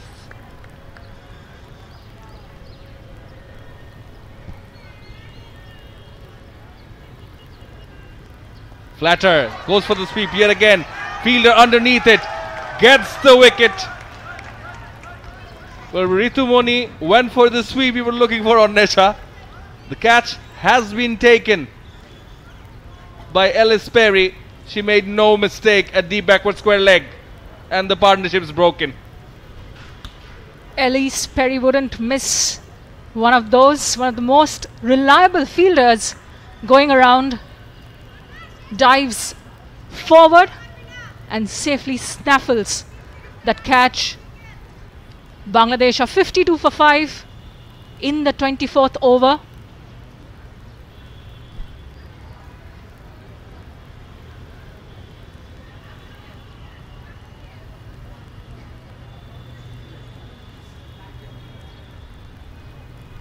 How good has Sophie Molineux been? Playing her first match of the series and has already gotten three wickets to her name.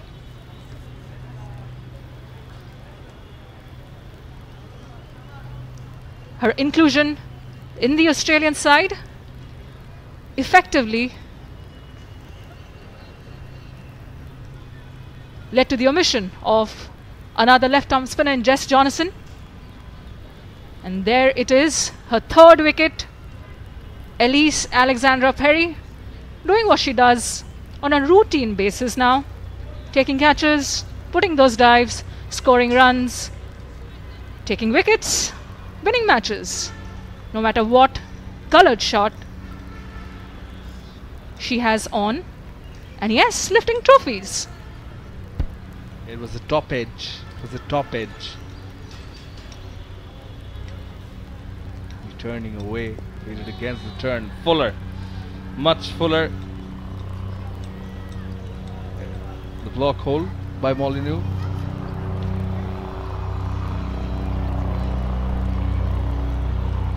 Been a great comeback for Sophie Molineux into the national side so far.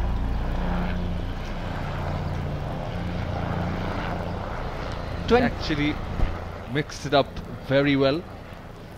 Mixed it up very well. Slowed it down at times, darted one in. Favorite of turn. It's a wicked maiden from Molineux. She's done with her ninth. Three wickets for 10 of her nine overs. Bangladesh, after 24, are 52 for 5.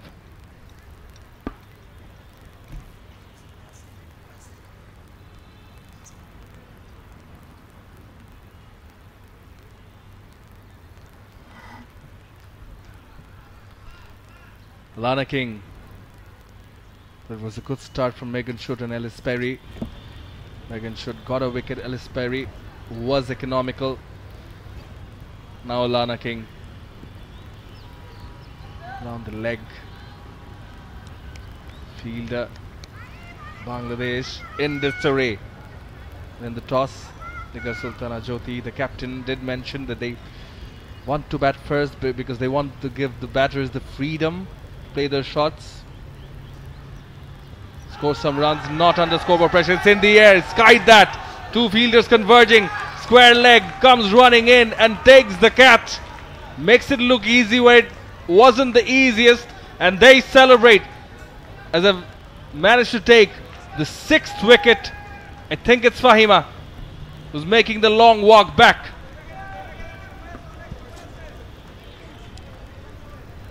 and the unraveling continues for the Bangladesh women's cricket team here at the Sher-e-Bangla Stadium in Mirpur. The need of the hour, partnerships, are hard to come by as it's proven on the slightly overcast morning in Dhaka.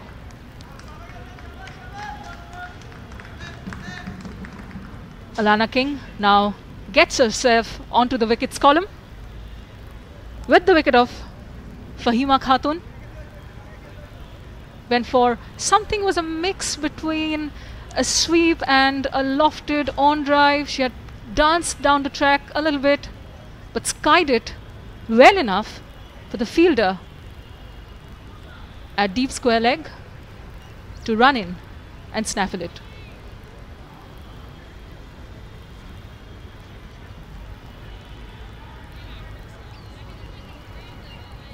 Georgia Wareham.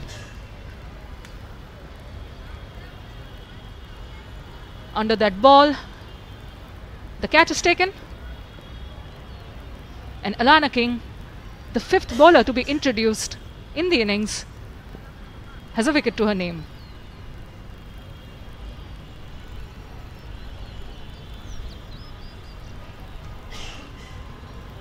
Is a first generation Australian of Indian descent. King's parents come from the southern Indian city of Chennai and they moved to Australia in the 1980s. King herself was born in the Melbourne suburb of Clarinda and grew up, as has been the case with most female cricketers around the globe, playing cricket, mostly with boys.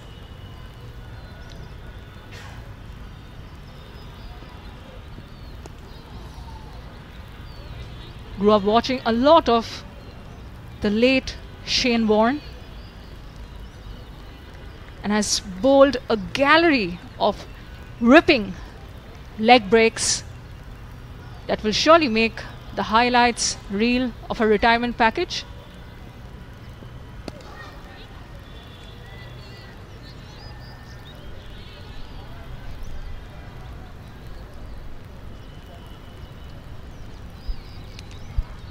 Fifty-two for six. Still very early days to think of her retirement. Still a young career in comparison. 27 ODIs, 22 T20s. I think she's got a fair bit left to do, and uh, the action also resembles that of the great leg spin legend Shane Warne, of course, from Australia. Only two batters in double figures, and both of them have come late and are already back in the hut. The two in the crease are yet to open the mark. First delivery of this over, there was an appeal. Molineux bowling at a stretch onto her last of the quota. Ghazi Sohail on-field umpire perhaps thought it was going down the leg.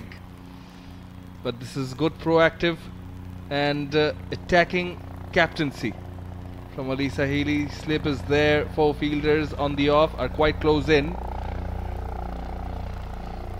Sharp, quite sharp and steep bounce. Reared up on the batter, Sorna Akter. Bowled well, and I think at times she's uh, darted the ones in, and just like this previous one, how it rose up on the batter. Are the ones that make the batter skeptical whether to go for the strokes or not. They've gone for the sweeps rather late, and also been victims of the sweep the last few batters. That's one of the things she does immensely well, Sophie Molineux. Mixing up the pace, there was a more flighted delivery on view. That fourth ball off the over. And alters the point of release fairly well as well. Yeah, Fahima Khatun and Ritu Moni, when they were in, they wanted to take, they looked to take at least Alana King on. At least the intent was there just to get her off the radar.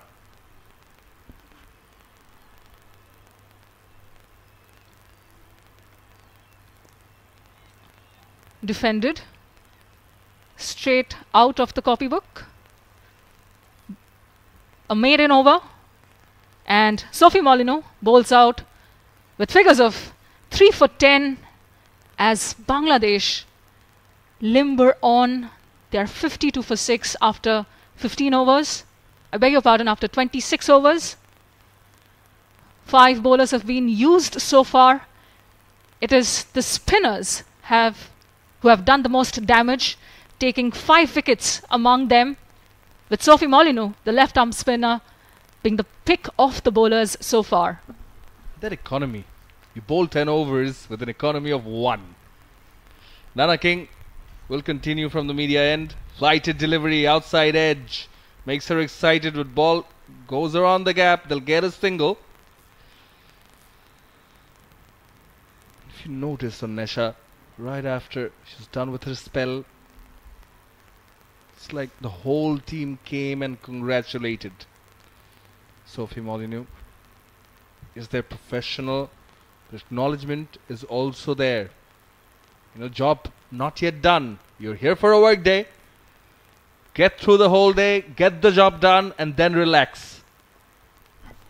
And it's also an acknowledgement, I believe, of the return of Molineux into the national scheme of things after what had been a testing 27 month period. She was included in the team, in the squad for the home series against South Africa. Did spectacularly well at the Women's Premier League. And here she is, steering the ship, so to speak, for the Australians with the ball, taking a three wicket haul in her miserly performance today. A stress fracture in the foot, followed by an ACL rupture, can be very, very difficult, mentally especially. Lost her central contact as well. But here she is, staking a claim to not just the T20 World Cup side for Australia for the world event to be played here in this very country in September, October, but also perhaps for the ODI World Cup to be played across the border in India in September, October again in 2025. End of the over. Single from it. 53 for 6 after 27.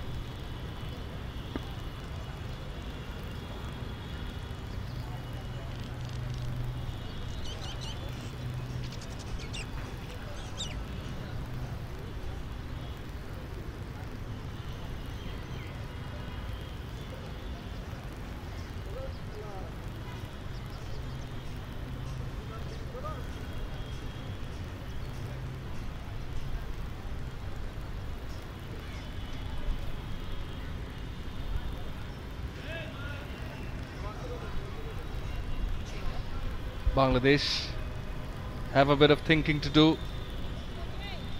Of course, in terms of this match, you mentioned the World Cup knocking on the door, being the home side, expectations would be there. Bangladesh known to be quite a bit of a challenge at their backyard.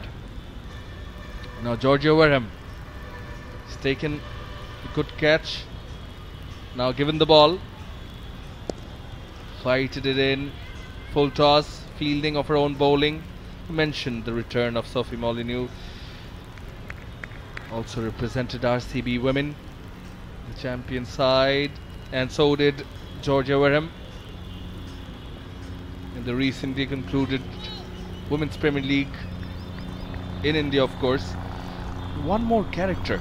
You know, you speak of returns and you know when when expect characters because you make it to the side, the first change bowler, and you make the most of it. And she did, Sophie Molineux. One more character that I want to bring up is Taylor Vlaeminck, right arm fast bowler. Also has been out for some time due to injuries, has been troubled by that. But also back in the squad. You know, and both these days I've had the privilege of speaking to the captains during the toss and the post match. You know, these characters, that base of the cricketing system that gives the confidence to the captains. Stand there with you know with a lot of lot of pride but also confidence no matter what the situation completely different circumstances and conditions here in Bangladesh opposing to Australia but because of the resources she has Alyssa Healy can be confident say okay I'll bring on my spinners. Wareham starts off with a maiden. Score remains the same 53 for 6 and it's, time for change in commentary. Sajad Rahat Hussain and Shanu Rabbani coming on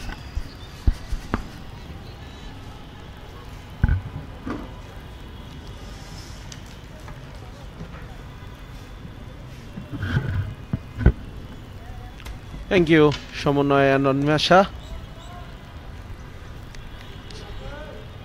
Wareham is continuing. No, sorry. Alana King. She is continuing and standing on the same figures she had in the first ODI 12 for 1 except that she bowled only 4 overs today and she had these figures after the end of his 10 over uh, her 10 over spell Sorna Akter finally off the mark in her 15th delivery. only finding some room on the leg side to maneuver it. And we talk about Alana King being adept at other sports. She was, uh, in fact, very good at tennis. Again, the sweep and an appeal, but probably missing off stump. And Alana King, she picked up tennis when she was five. She was competing for the Tennis Victoria Pennant, which is the largest tennis interclub representative competition in Australia. She was also a ball kid in the women's singles final in the 2011 Australian Open. But then she moved and took up cricket and leg spin, and because of that LBW appeal, the batter Rabia Khan will need a bit of uh, treatment.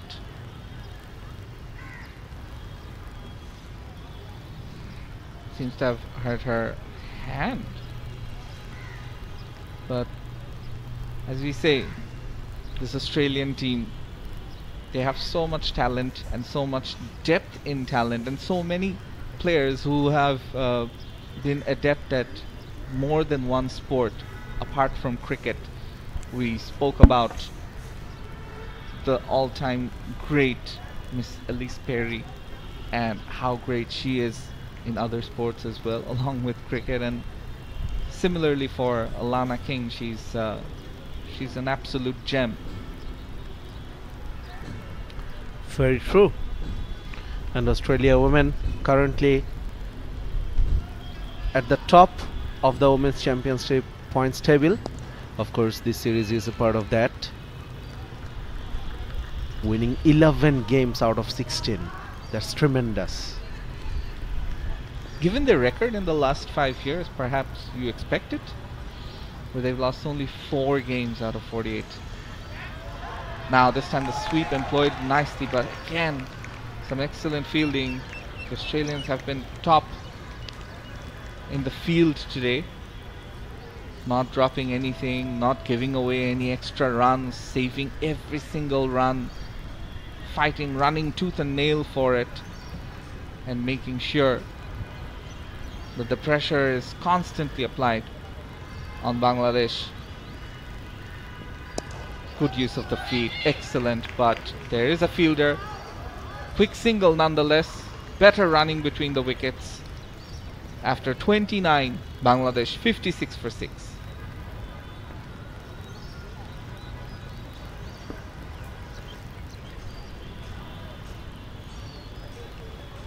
It's a sorry looking scorecard for Bangladesh. Farzana Haq once again failed to impress. Departing for only 7, played 52 deliveries. Almost every one of them. Shobhana Mostari played 20 deliveries for just 3 runs. Murshida Khatun 5 of 24. Fahima Khatun tried to accelerate but she got out as well. Still Australia operating with a slip. We were talking about the Women's Championship, Shanur. Australia is currently topping the table and Bangladesh is at 7 and every game is important. Even though Bangladesh loses this game still long way to go. But considering Bangladesh's position at this point of time Australia seems favorite. But it will be a very important game for Bangladesh the next match as well. On the track. Now that's not been timed at all and could be another catch. And it is. Sorna departs 2 of 19 simple catch Georgia Wareham gets in amongst the wickets. It's her first one in her second over yet to concede a single run. And Bangladesh's scorecard going from bad to worse. 56 for 7 now.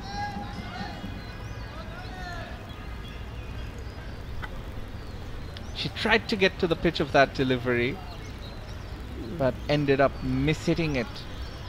Difficult batting conditions, perhaps, but nonetheless, young Sorna, the under 19 product, she took a fifer against South Africa in their T20 international win, the only one Bangladesh have ever won against uh, the South Africa women's outfit, and she'll have to do something with the ball, with the bat, unfortunately. It's not been a good day for the Tigresses. They played across the line, of course, coming down the pitch, wanting to go over the top, picked the wrong delivery, and also played through the wrong line. That's why top edging it, and it was an easy catch for the fielder. Seven down for Bangladesh. So they are not, things are not looking good for them and the lower, lower order batting has already been exposed. Australia on top once again. Nahida is the new batter. So as I was saying about the Women's Championship, of course, this is very important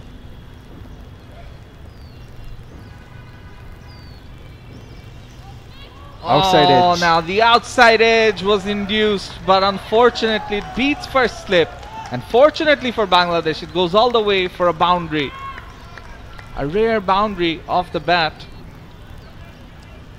And as I was saying, that Bangladesh have been trying to use their feet, the Bangladesh players, they've been trying to get to the pitch of the ball.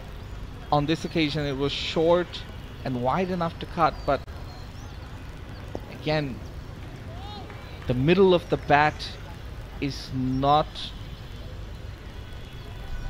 al always hit, and another edge was induced.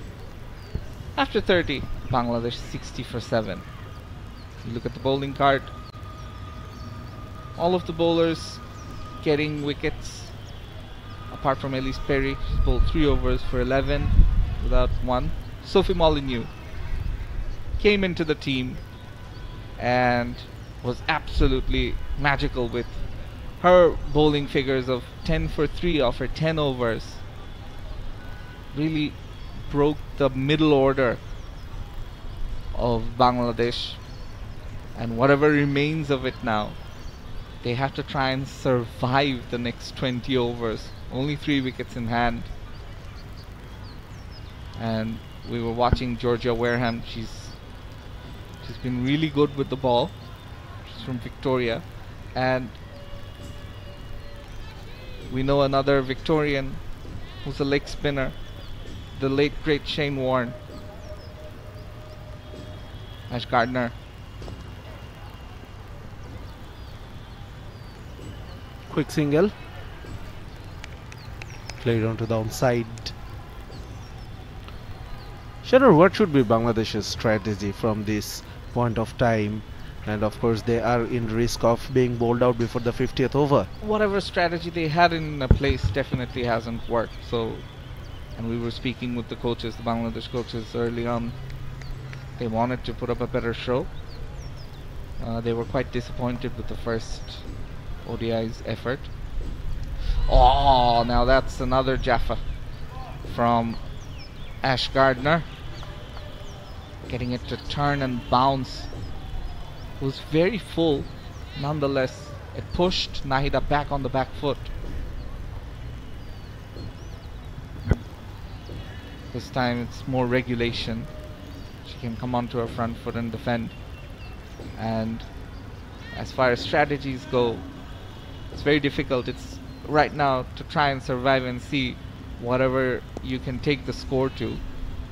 Given the conditions, I think it's better to bat on than it was in the first match. The sun is out. Oh, sharp turn. Again, we see very sharp turn. And Gardner's been trying something here. She's trying to pitch the ball into those rough patches that we can see in front of the batter. There are some gray patches. And over there, she's getting sharp turn. So really good over, just a single after 31, 61 for 7.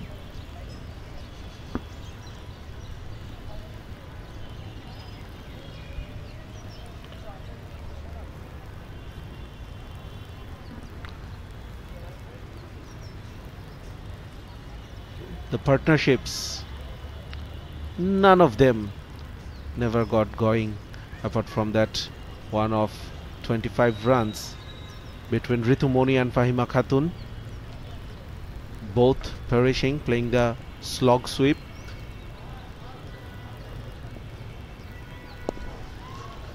Straight to the midfielder. And Bangladesh they are in risk of being bowled out before the 50th over under 100 as well for the second consecutive time Oh, now that looks close, and the finger goes up. Rabia trying to sweep something very full and played all around it. Georgia Wareham gets her second wicket. She's been uh, fantastic with the ball. Rabia, unfortunately for her, it's another tale of a batter trying to get in, struggling, and failing to really score much. Just the three from 17 deliveries.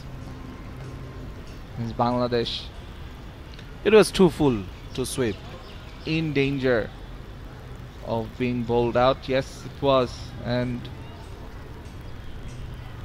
what we noticed is the Bangladesh batters have uh, tried to sweep against the spinners and it hasn't bared fruit. Sometimes when you're a batter and you're not really sure of the spin, the amount of spin, that's when you start playing the sweep and that can sometimes result in a wicket which it has on multiple occasions today Wareham got that last delivery to turn sharply, which is why the batter missed it. There could be a question whether it would have even missed the stumps, but nonetheless, the umpire Vrinda Rathi gave that out. Sultana Khatun, the new batter in, and mostly known for her bowling. She has to try and salvage some pride for the hosts in their batting. flighted once again played with softer hands into the leg side for a single Sultana Khatun getting off the mark in Australia they have two boundary riders one boundary riders in the deep square leg region and everyone else is within the circle Beautifully bowled by Georgia Wareham. Lovely to see such such a great action. And as we were talking about, hailing from the same place as uh, the late great Shane Warne from Victoria. Dot to end the ball. over. After 32, 62 for 8.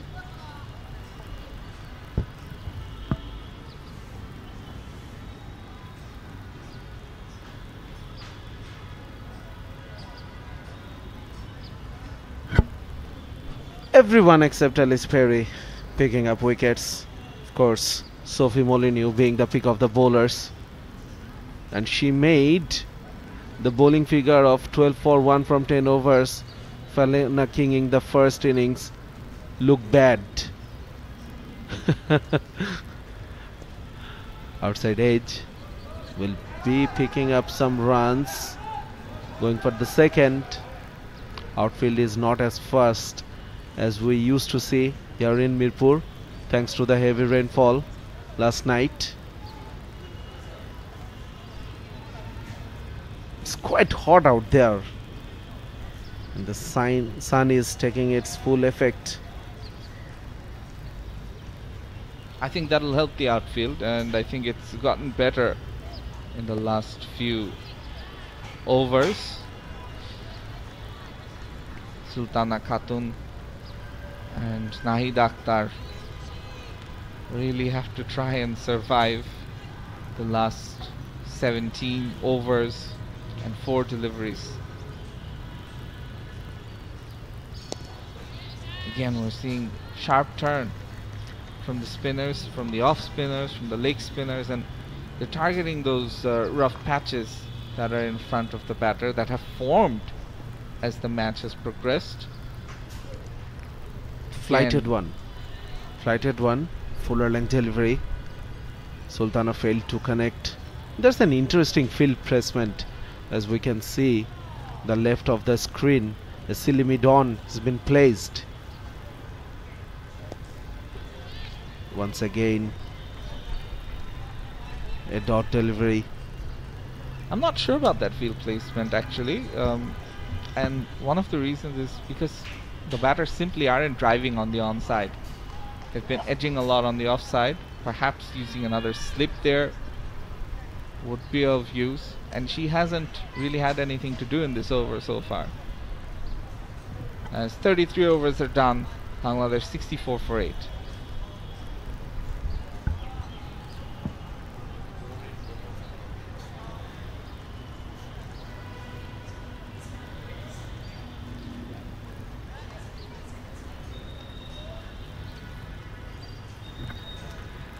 Sixty-four for eight. Bangladesh after 33. Still 17 more overs to go. The question is, can they survive? Gardner continuing into her seventh over. Interestingly, Shanur, in the first power play we saw two fielders out in the boundary line and after that power play ended we saw only one fielder and Australia opting to continue with that all through the innings. Georgia Wareham, um, look at her bowling figures as well. They've been impressive, much like Sophie Molineux's. Two for five into her fourth over. What she's done very well is hit stumps. Almost every other delivery is aimed towards the stump, so the batters haven't found any room to really maneuver any shots. Oh, almost went through. Nahid Akhtar. She survives, put her bat down at the very last moment.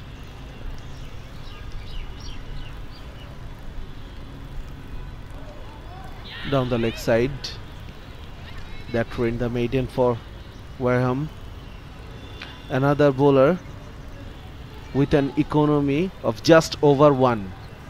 And that's been the feature of the Australian bowling today. And she also finishes her overs very quickly. Now down the track, finally using her feet, but now that could be very tight. It went straight to the fielder at mid on, but it seems like They won't be going upstairs.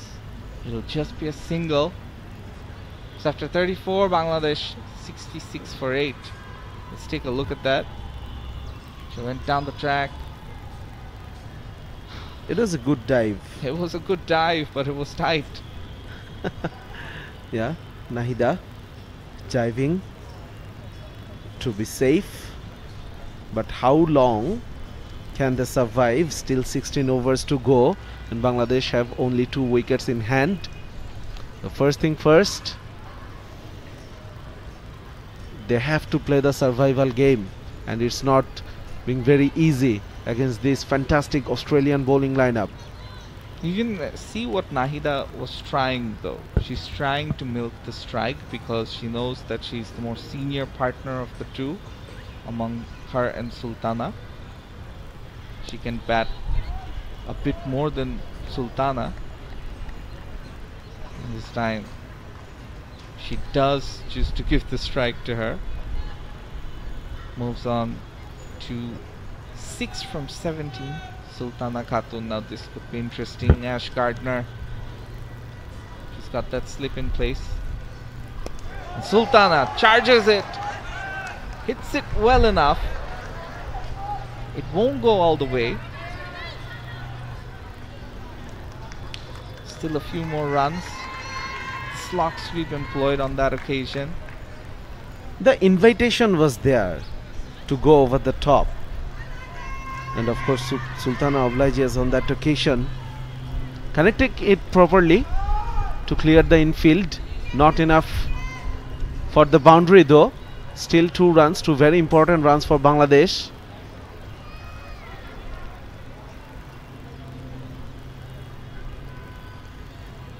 Now that's a wide, and you can see the change in the field immediately. The silly mid on, she moves slightly towards her right, more like a silly mid wicket, short mid wicket. Still don't agree with that field position. Phoebe Litchfield. Oh, now that was tight. That was just over the top of leg stump. I'm not sure why Sultana Khatun decided to shuffle so far across.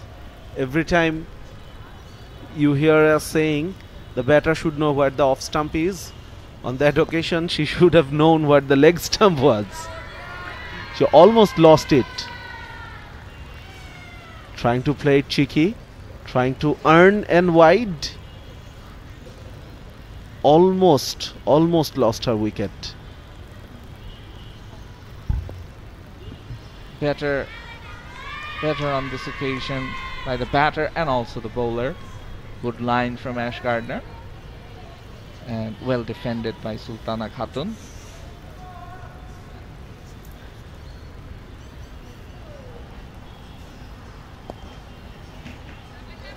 Another over is done. Ash Gardner finishes her seventh. 35 overs done. And we'll have another change in the com box with the coaches, Anwesha and Shamannoy, joining us.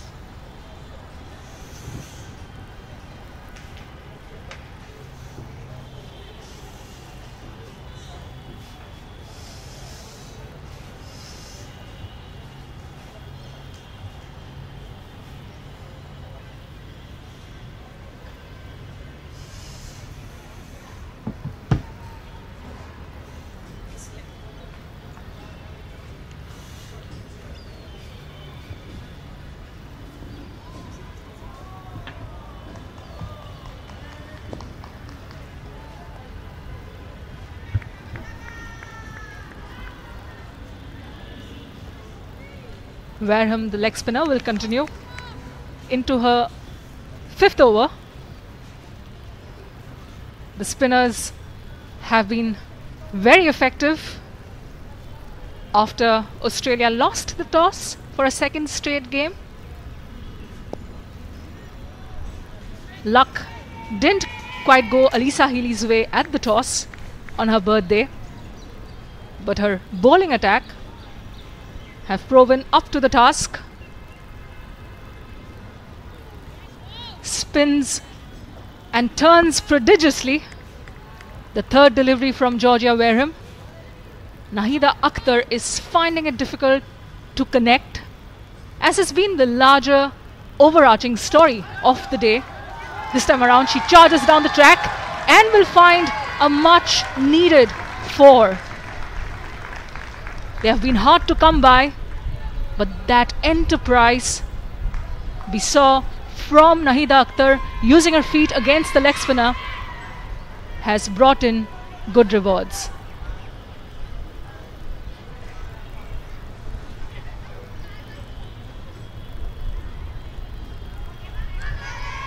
Bangladesh have well gone past their lowest ODI total,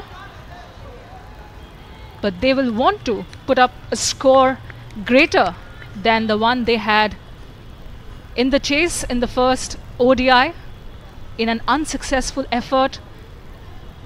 95 is what they were bowled out for, and here too they run the risk of another low total unless there is some late sort of a blitzkrieg played by Sultana Khatun and Nahida Akhtar.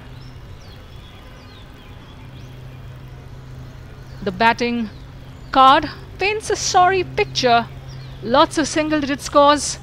The highest tally coming off the bat of leg bowling all rounder Fahima Khatun at number 5, who scored 11 of 19 balls. Just three batters so far into the double digits and none in the 20s. After Captain Nigar, Sultana Jyoti won the toss and opted to bowl under what was overcast conditions at the time. But right now, we see the sun having made a big bit of a bit of an appearance as the teams take a bit of a drinks break after the end of the 36th over, with Bangladesh being 74 for 8. Six bowlers used by Alyssa Healy, her spinners doing the heavy lifting, having taken eight wickets amongst them. Ellyse Perry, who bowled only one spell, taking the new ball with Megan Schutt, is the only bowler who remains wicketless. Will we see Ellyse Perry come back for a second shy with the ball? Perhaps yes, perhaps right after the drinks break, or maybe not. Should Alyssa really want to continue with her super effective spin attack?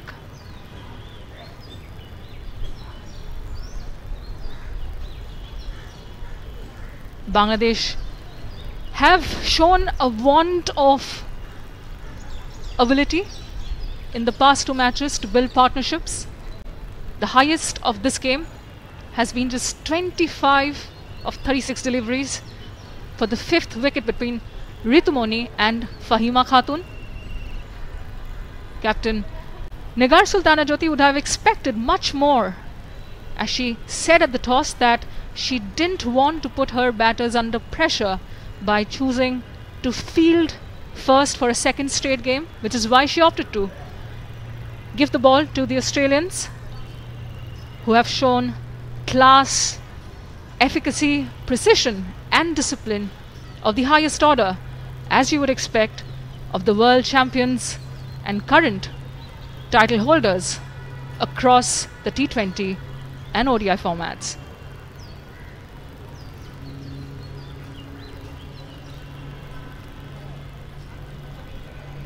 Spin for the win seems to remain the mantra for success in this innings as off spinner Ashleigh Gardner comes into bowl her eighth wicket, her eighth over. I beg your pardon.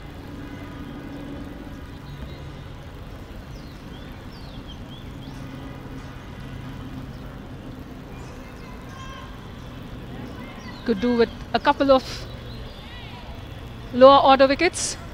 Ashleigh Gardner starts one with a wide.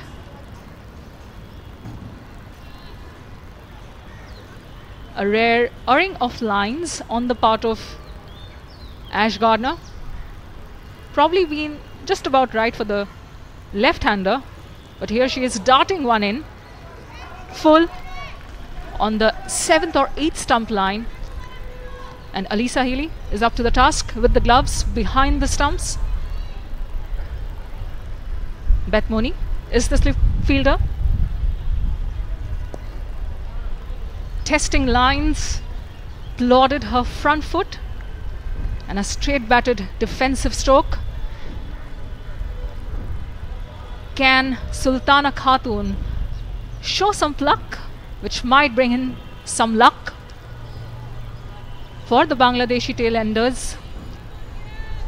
75 for 8 in the 37th over are the hosts, and the current partnership is just worth 14 runs. Flighted on middle and leg, nudged straight to Phoebe Litchfield at short mid wicket.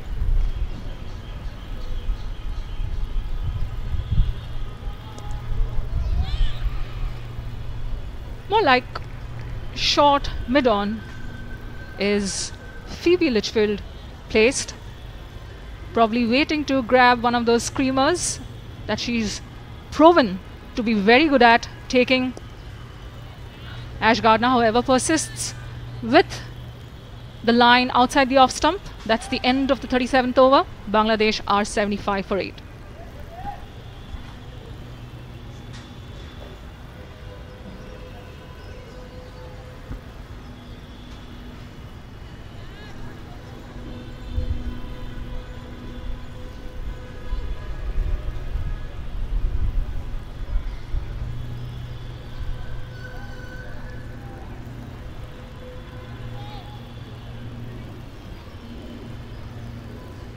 Georgia Wareham. The leg spinner will continue from the Thana end or the police station end at the Sher-e-Bangla National Cricket Stadium in Mirpur, Dhaka. Starts with a foolish delivery on the middle and leg stump. Interesting field placement that from Ali Healy. Lots of yellow inside the circle. Alana King cutting that one off. The story of the day, however, has been the return of left arm spinner Sophie Molineux to the ODI side after 2021. And she's delivered big time with three wickets from her 10 overs for just 10 runs, 53 dots thrown in there. Spectacular figures for the left arm spinner who just a few days ago lifted the Women's Premier League trophy for and with the Smriti Mandhana led Royal Challengers Bangalore in New Delhi at the Arun Jaitley Stadium. She's delivered with the ball as successfully she has delivered on the Australian women's cricket team's social media, belting out Lady Gaga's Bad Romance do give it a listen, though parental discretion may be advised.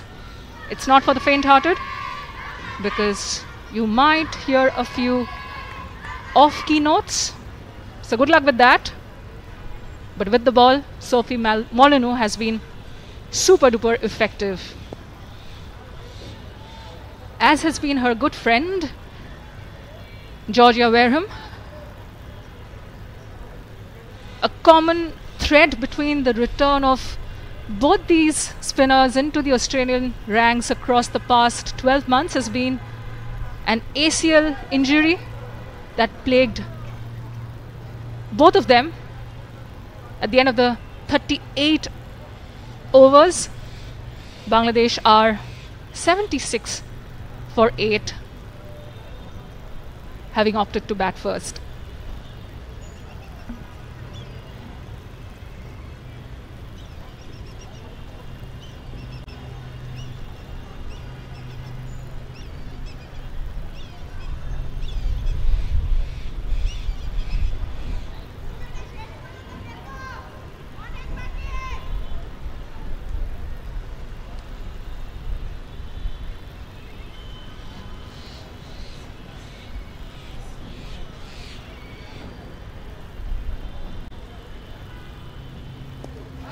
It's in the air. Another opportunity. Went for the spectacular one-handed effort. Lucky on that regard was Nahida Akhtar.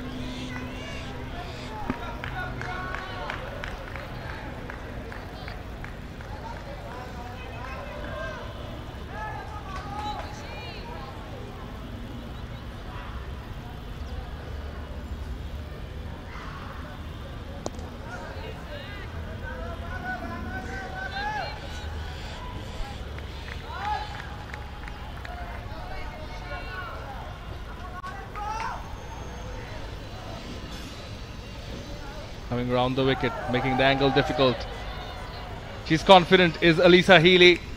Sultana Khatun was her back foot lifted up in the air. Ga- by Ghazi Sohail, square leg umpire.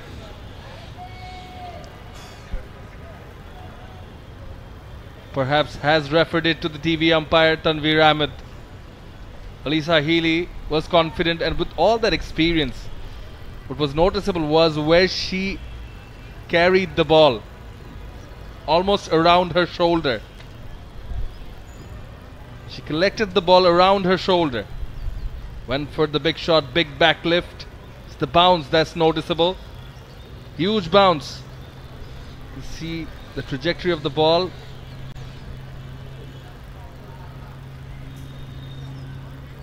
The ninth wicket is at stake for Bangladesh.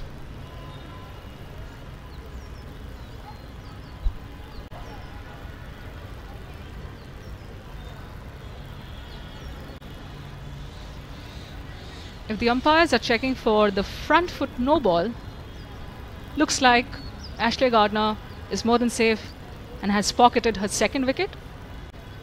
And going by the body language of the two batters, looks like Bangladesh have lost one more. In fact, the body language, the confidence of the Aussies, I think, goes on to show that perhaps they have got the wicket. Alyssa Healy, out of all the players, was uh, particularly very, very sure. This will tell us, yes, the back foot crosses the line. Nothing behind, nothing behind, not placed. Yes, definitely, definitely. Casual, careless from the batter Sultana Khatun. Alyssa Healy, she makes the most of it. She doesn't make those mistakes. Good awareness and fast hands. And above all, the collection. The collection, don't take it for granted. It's not easy when a spinner is bowling and you're collecting it around your helmet. Does bear testimony to the variable bounce on the surface and something akin to what we saw in the first ODI as well. This, however, is a new surface, pitch number 9, and the verdict is Bangladesh have lost their ninth wicket for the total of just 77 runs in the 39th over.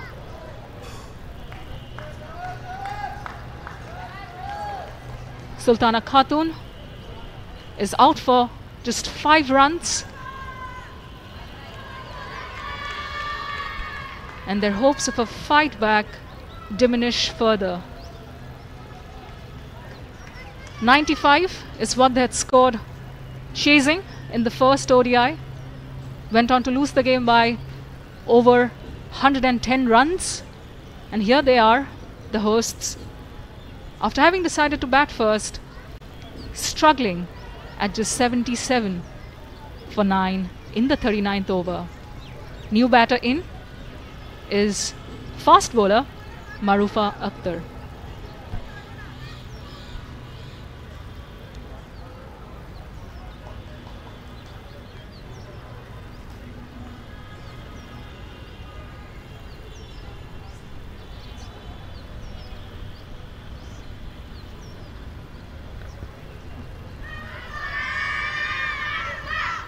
Is the last pair in the middle for Bangladesh.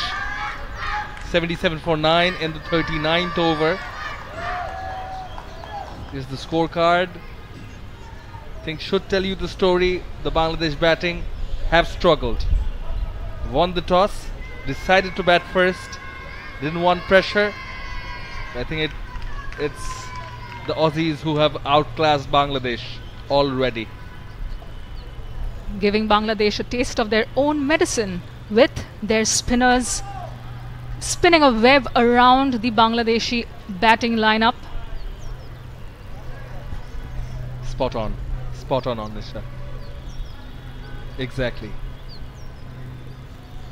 Coming round the wicket. Yeah, giving Bangladesh a taste of their own medicine. Spin trick. Speaking of medicine, we do have a doctor on the commentary panel for this series.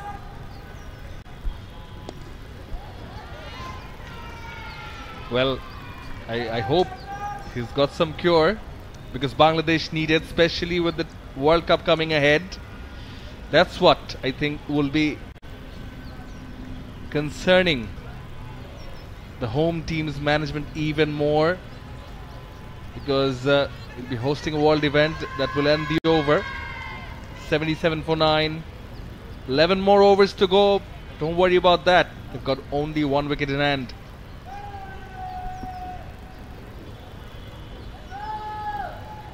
Sophie Molineux definitely, definitely tops the list. Bowled in first change, 3 for 10. Couple of wickets. Among Ash Gardner and Georgia Wareham, who's bowling now. Is Ash Gardner in for her 10th over. Outside edge will allow a couple of runs, will not worry the Aussies. Not at all. I think now, what according to you didn't the Bangladesh batters do right? Yep, maybe early on with the new ball, you want to be cautious, don't want to you know, give away your wickets. Is it the lack of stroke play then, or the rotation of strike, the lack of rotation of strike in the top order? I think Jyoti was not there for long. The five deliveries above all is the spinners who were on top and taking nothing away from Megan Schutt either. Down the leg, rare wide. A semblance of over defensiveness on the part of the top order after they opted to bat first has certainly contributed to the low score we see on the board. Steps down the pitch but will nudge one straight to the fielder at mid wicket. Another factor which could be possibly playing on the back of the mind of the Bangladeshis is perhaps the stature, the reputation of their opposition world champions. Nigar Sultana Jyoti did concede that the team looks up to several members of the Australian side and the Australian team at large and has done so conventionally as idols are they falling prey to the reputation of the Australian team? Is the question. Yeah, well, once the results are as such, such questions will arise. I think, you know, when it comes to looking up as, you know, players you look up to, characters, ones with skills, I think a lot of them even look up to players from India. But they didn't hesitate to give them a run for their money. Inside out, played it well, dug it well. Will be a rare boundary from the youngster. Yes, it will win the race. Finally, Marwa off the mark with a boundary that ends the 40th over. A good boundary against adversity. If your tail ender can play a shot like that, it should give you a sense of what the batting lineup can do if they if they put their skills to good use. I feel they have underplayed themselves mentally a little bit.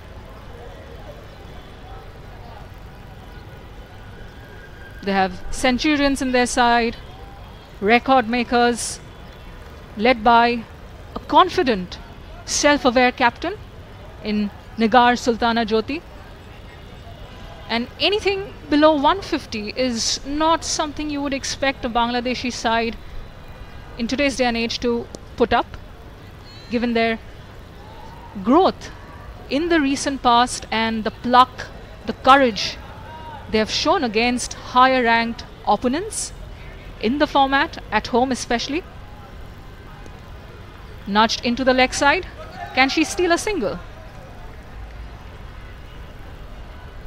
She does. Bangladesh inching closer to the three digit score, which they haven't been able to so far. Were bowled out for 95 in the first ODI. Gardner to Akhtar.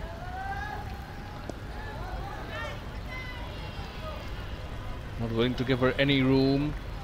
Coming around the wicket, the tight angle, the mid wicket, which now comes much squarer, much straighter. You can see it. Oh, just past the outside edge. Living dangerously, Marufa. I believe she's got the guts. Young blood. And she can take her on. If you go to the pitch of the ball, you know it's the last wicket. Much flatter. One much flatter from Gardner. Bowling a 10th over, got two wickets. the inability of the Bangladeshi batters to get the ball over the circle has been a key theme of their batting innings. Gardner finishes her allocation of 10 overs for just 22 runs, uh, which have brought her two wickets.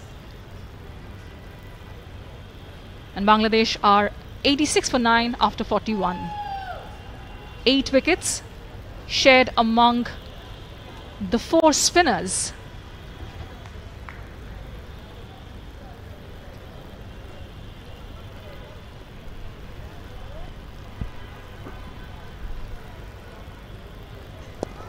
Comes down the wicket to the pitch of the ball and hits it straight. Takes the attack on.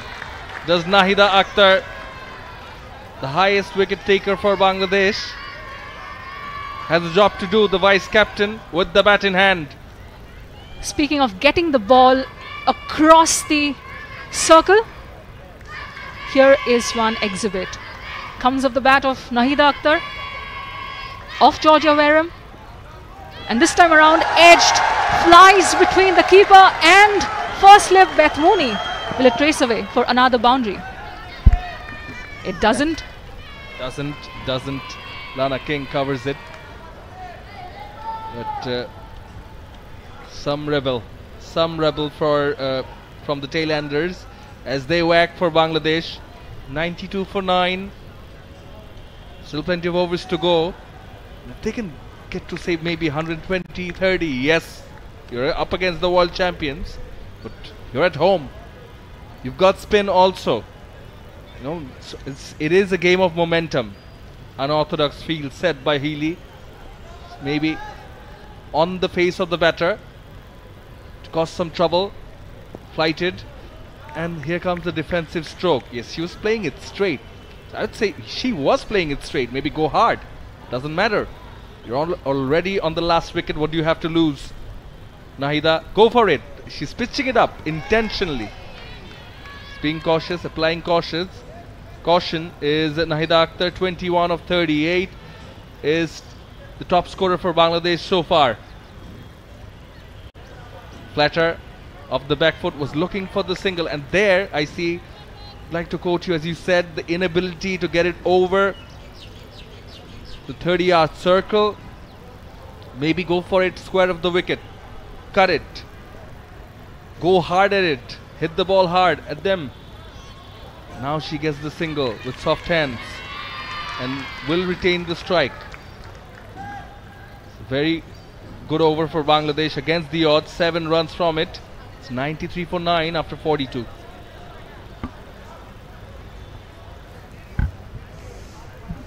And uh, time for change in commentary. It's going to be Shanur and Sacha.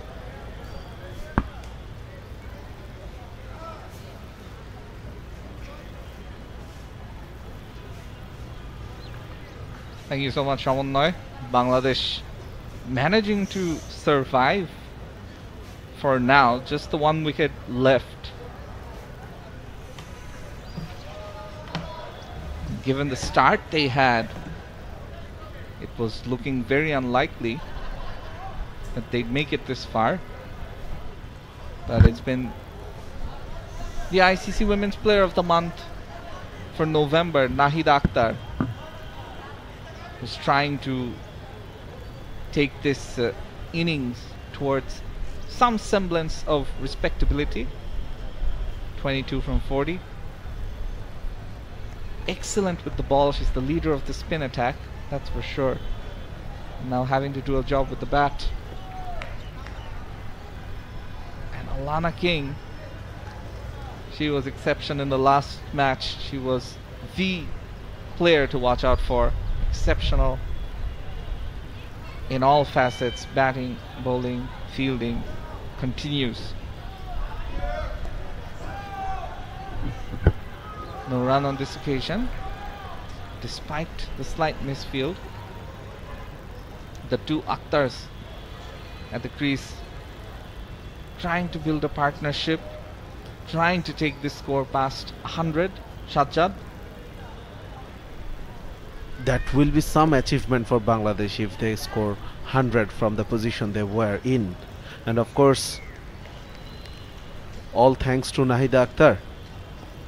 She has been the highest scorer of this innings so far. 22 of 42 deliveries. Australia is still operating with a slip in place. Pushed with softer hands. And for a change, Australia currently are having two fielders out in the boundary line. One in deep square leg and one at mid on. Uh, long on, I beg your pardon. Here's the important thing. Nahida, she's played 40 plus deliveries, but she's tried to score the other batters in comparison. Farzana, 7 from 52. Shobhana, 3 from 20. Murshida, 5 from 24. They played a lot of uh, deliveries, but never really made use of it in the end. Naida once again using her feet, getting to the line of the delivery. There is turn on offer, but it's not vicious. Yes, long on, brought back into the circle. So back to one fielder patrolling the boundary line. And Alana, she is fine tuning that fielder more towards her left. Flighted delivery, enticing the batter to go over the top. Once again, a maiden over from the King, Alana King, after 43 93 for 9, Bangladesh.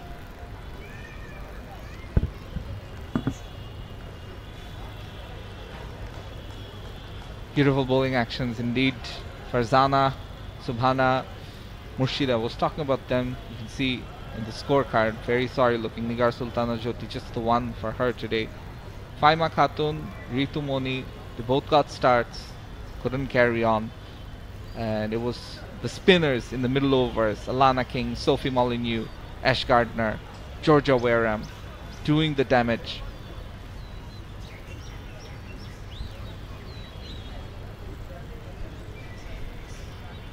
So Marufa Akhtar now has to face the music. If I'm the captain, if I'm the Aussie captain, Alyssa Healy, I'm looking at Ellyse Perry, 3 overs, 11, no wickets, and Megan Schutt, 6 overs, 7 runs, 1 wicket. Bring one of them up, bring them into the attack, let them face Marufa. Let them bowl to Marufa because against the tailenders, you want your express bowlers bowling at the stumps, bouncers, yorkers. Try and take that final wicket. Marufa, she's survived 11 deliveries, scored 4. A decent partnership of 16 for the final wicket. Let's see how far they can take it. So far, 8 dot balls on the trot. Make it 9. So Bangladesh they have only one wicket in hand, so they are not in the luxury of uh, taking some risks, maybe using their feet. Now that's a shot. That's a brilliant shot. Through the covers, Maruf Akhtar wheels her willow, gets four. We were all bigging up the bowlers, and then Marufa displays she can play the proper cricketing shots. Got to the pitch of that delivery, used her front foot, and a lovely drive to get to eight. Her first boundary. Georgia Wareham continues. A breath of fresh air for Bangladesh. Watching that shot from the number 11 batter, Marufa. Of course. And she survives another over. Four from this Wareham over for Bangladesh after 44, 97 for 9.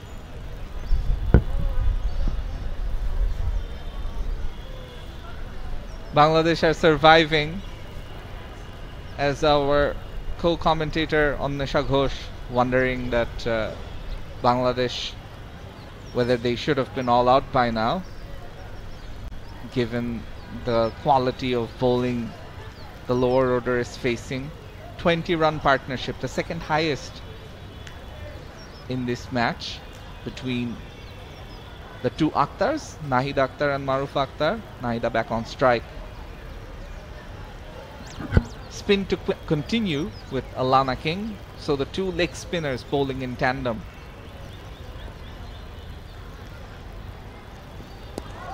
Shot, but straight to the fielder. And there we see it. Sutherland makes no mistake. An easy catch for her. Neither looking to play over the top, but there was a fielder set exactly for that shot. Absolutely, the fielder was neither at mid on nor long on. She was standing somewhere between those areas and she was placed perfectly for that catch. So, Bangladesh being bowled out for 97, they managed to score two more from their previous score. The wicket of Nahida eventually, the top scorer in this uh, first innings. She goes caught by Annabelle Sutherland, and uh, there you see it. Another wicket for King. Nahida gone for 22 from 47. She had three boundaries in that innings. So Bangladesh all out in the 45th over. Not much to write home about in terms of batting. Australia will be very pleased with this bowling attack. Megan Schutt, six overs, two maidens, seven runs, one wicket. And you look at that scorecard, pretty sorry looking for the hosts. But Sophie Molineux, she's been the pick of the bowlers, three wickets in her 10, giving away just 10 runs. Ash Gardner with two for 22. Alana King, two for 15. Cleaned up the final wicket. And Georgia Wareham, the other leg spinner, with two for 30. We'll take a short break. We'll be back with the second innings. As we see the partnerships. Nothing really to speak of Ritu Moni and Fahima Khatun. For that fifth wicket, they formed a 25 run partnership, but none of them carrying on. And wickets falling at regular intervals. And that Australia well and truly dominated proceedings. The only thing Bangladesh have won so far in this match has been the toss. Other than that, it's been a sorry state of affairs.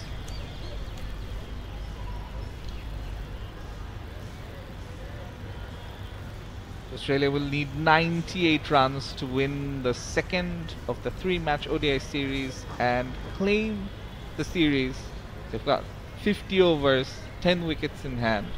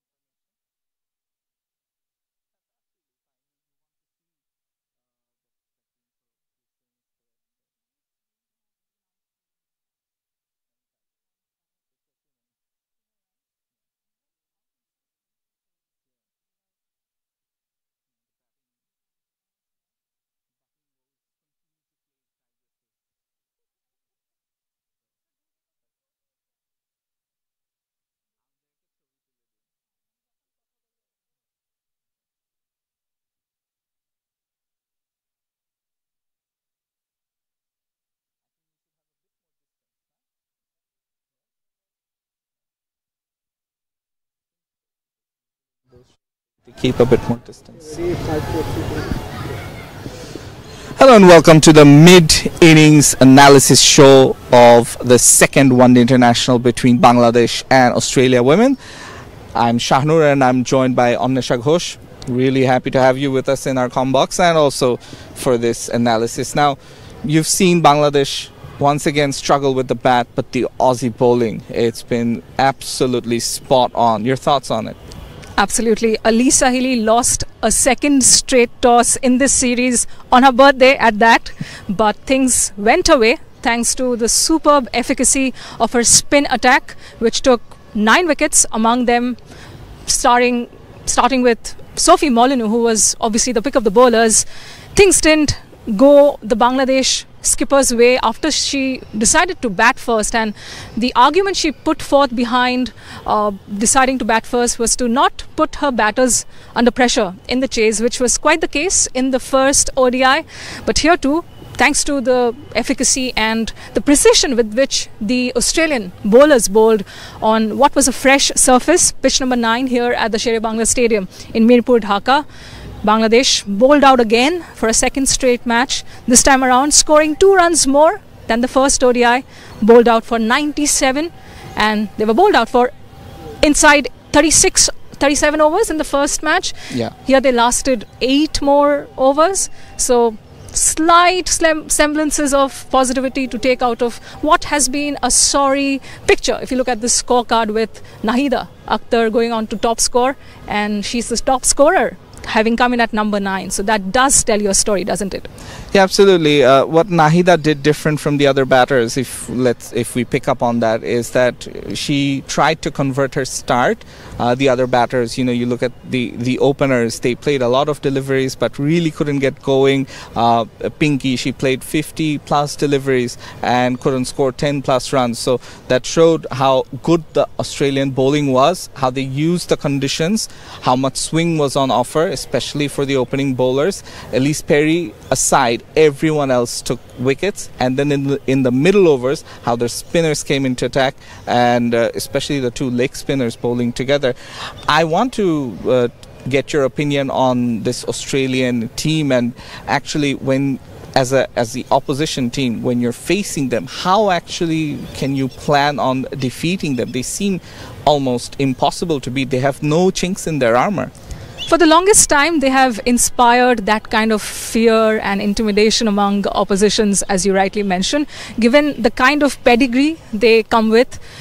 Meg Lanning is no longer their captain, but this is very much a part of that champion side that has gone on to win titles after titles under Meg Lanning. We have the new skipper, full time skipper for Australia in Alyssa Healy, and she too has shown as she did in the tour of uh, during the tour of India in December January.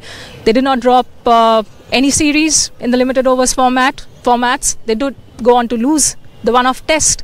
But after that, even at home against South Africa, this Australian side was right on the money, and it just shows you no matter what the situation, who the skipper, so strong is their pipeline, and such is the inbuilt confidence and a sense of resilience that is ingrained in the in the players that when you have players like Sophie Molineux coming back into the ODI side after 20 a 27 month layoff um, the last time she played an ODI was back in 2021 thanks to two big injuries a stress fracture in the foot followed by an ACL rupture and with Georgia Wareham as well who was superb today with the ball. She too had an ACL rupture and came back into the side last year during the T20 World Cup. It goes on to show that no matter how adverse the circumstances, these players are different ga- gravy altogether. They are made of something different that the other lower ranked nations want to find and incorporate into their uh, scheme of things.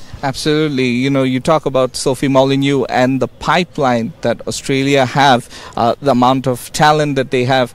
Uh, in terms of bowling for Bangladesh, that is their strength. We know the spinners, especially Marufa Akhtar as well. She scored a few runs with the bat, but with the ball, we know what she can do early on. She gets it to swing both ways. Uh, not much to defend.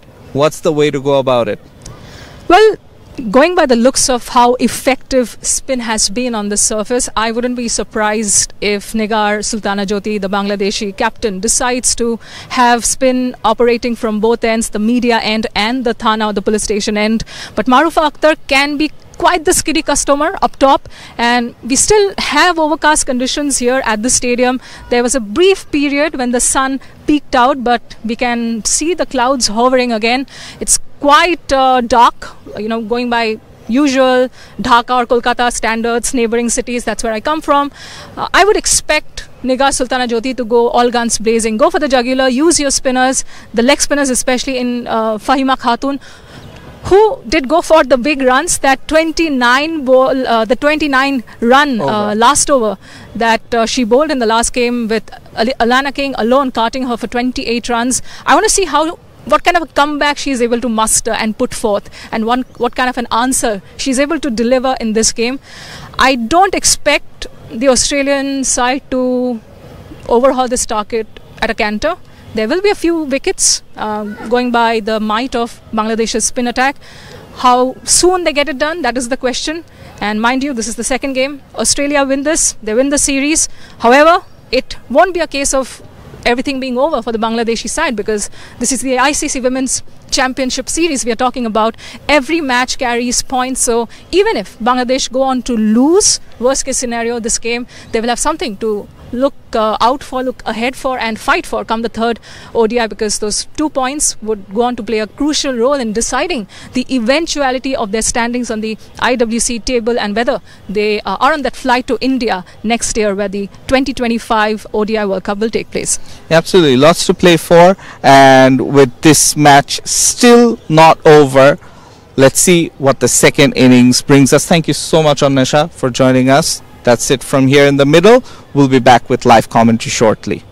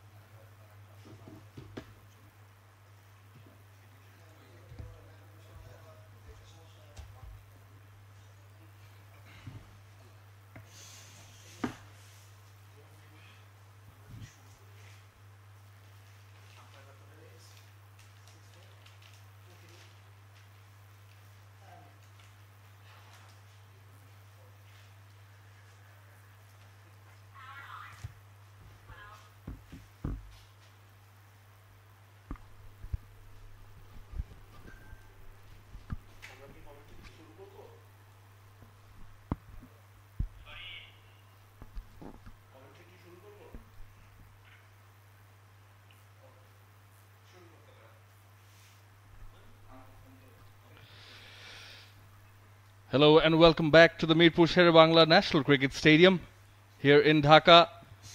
The second ODI between Bangladesh and Australia. Part of ICC Women's Championship. Australia lead the series 1-0. Won the first ODI by 118 runs. Australia. Nigar Sultana Jyoti, Bangladesh skipper, winning the toss different decision earlier in the morning today. Might have surprised some that she decided to bat first.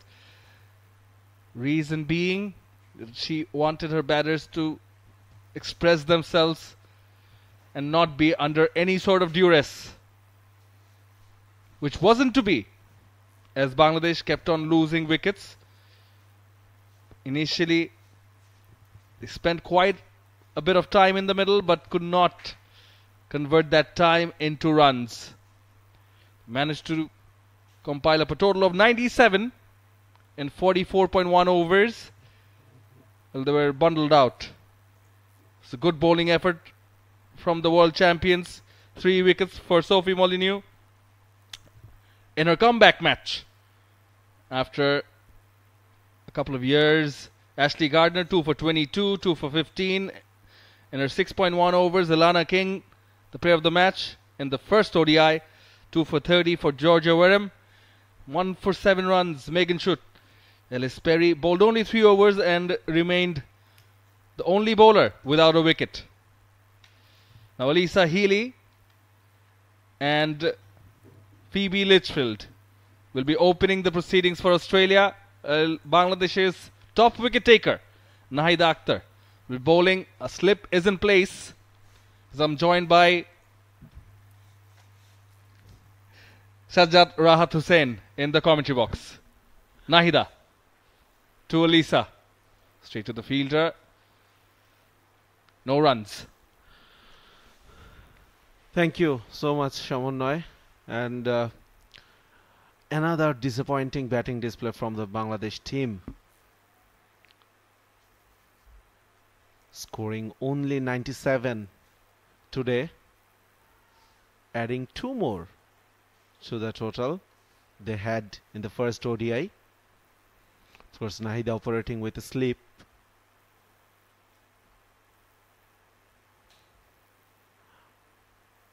Bowling on the off stump channel. Three dot balls, but Bangladesh, they need to pick up wickets. Nahida did well with the bat in hand, top scorer 22 of 47. She has a job in her hand to get early wickets. Slight bounce on offer. The fourth delivery of the over, fourth dot ball. Of course, Bangladesh would love to pile up these dot balls to put pressure on the Aussie batting lineup.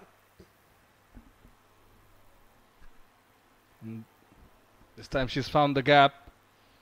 Will be coming back for a couple as the Australian skipper. She gets off the mark and opens the score for Australia. Now it was Sultana, Sultana Khatun in the first ODI who got the initial breakthrough for Bangladesh. The initial damage was done through her. Full toss, missed out, Healy. Dot ball to end the over. After the end of first over, Australia 2 without a loss.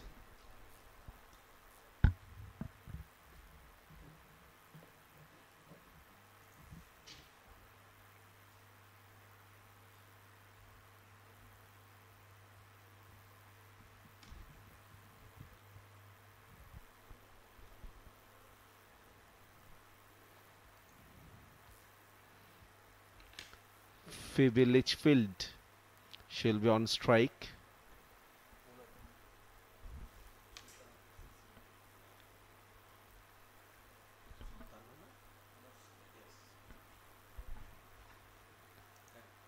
And Sultana Khatun.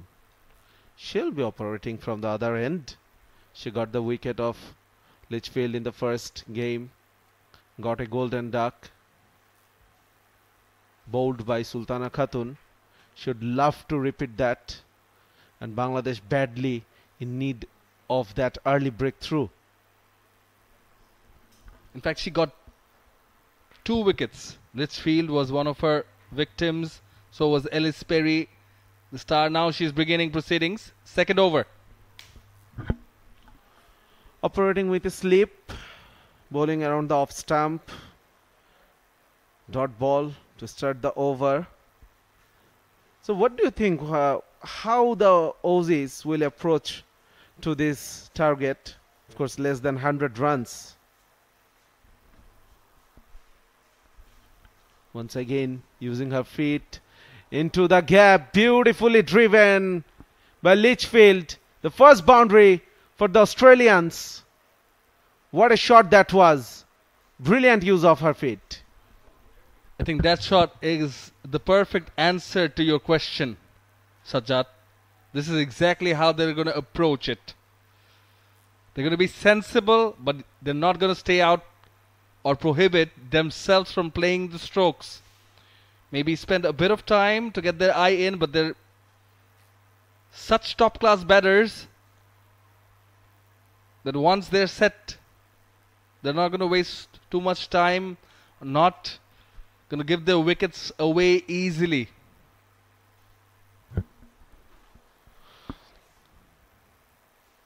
Down the leg side, should be a wide. Will it go for a boundary? No. Wow, brilliant running between the wicket. They ran three.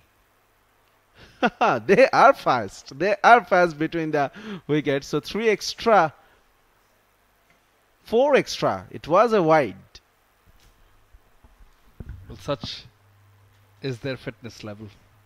They raise the bar high.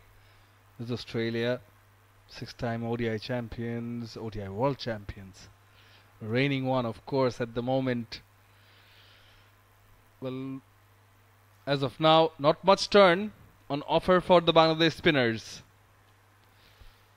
Sultana Khatun having bowled three deliveries so far. Now she'll be bowling to the right-handed Alyssa Healy, deep mid-wicket and deep backward square like the two fielders, guarding the boundary on the onside. It was stump to stump from Sultana. So, Shamannoy, uh, one interesting thing. I thought it was a surprising decision from Nigar Sultana Jyoti winning the toss and bat first. Once again, that's brilliantly fielded. Certainly saved a boundary. Definitely saved three runs. Shobhana Mostari, the fielder at cover point, diving. Certainly saving three runs. That will end the over. Good over for Australia. 10 runs from the first Sultana over. It's 12 without loss.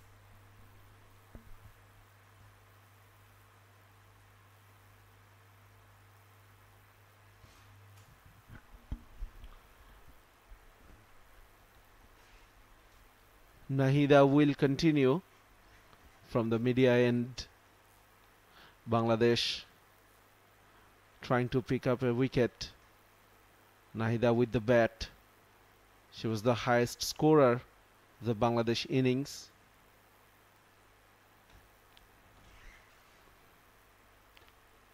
Flighted, fielded in the covers. So Shamannoy, we were talking about the decision from Nigar Sultana Jyoti batting first on this wicket after that heavy rainfall last night. See, I, I understand this being questioned. Okay, yes, Bangladesh's strength being Bangladesh's bowling, slightly maybe overcast conditions, bit of moisture on the wicket.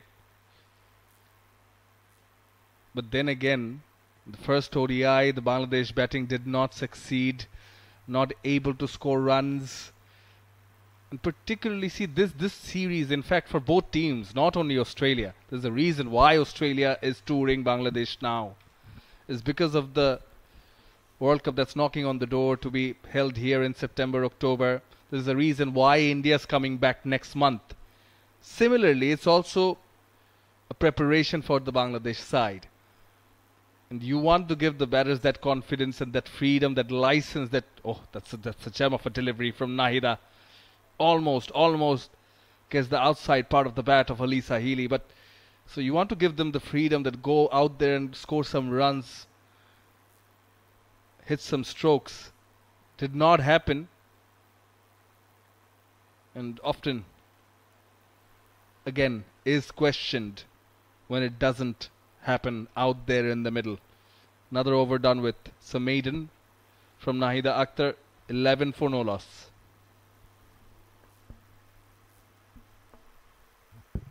Mm-hmm.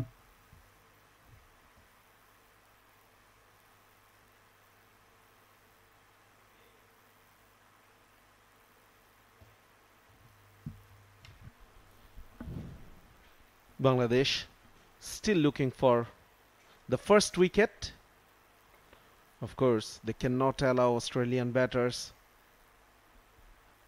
to continue for longer. Don't have much on the board. Once again, using her feet, Phoebe Litchfield. Phoebe Litch- Litchfield, that uh, tour of India 23-24, the recent one, was the highest scorer for the Aussies, scoring 260 runs at an average of 86.6. She was uh, immensely successful in that tour for the Australia women's side. She is certainly a batter in form. Sultana managed to take her wicket in the previous ODI, as mentioned earlier. cramped for space but guided onto the leg side for a single. It will be very interesting to see whether Nigar Sultana she will be continuing with her spinners on operation or bring her pacer Marufa. Interesting point, Sajjad, because usually Maruf has given the new ball. And what Jyoti does is uh, operate pace from one end and spin from the other. Comes down the wicket, does Alyssa Healy to the pitch of the ball, makes it into a half volley, and wings deployed. I think it has gone. Nope, Ghazi Sohail says it's a boundary. I thought it's a six. What a hit that was. Using her feet to perfection. Getting to the pitch of the delivery and lifted over the mid of fielder. One bounce four.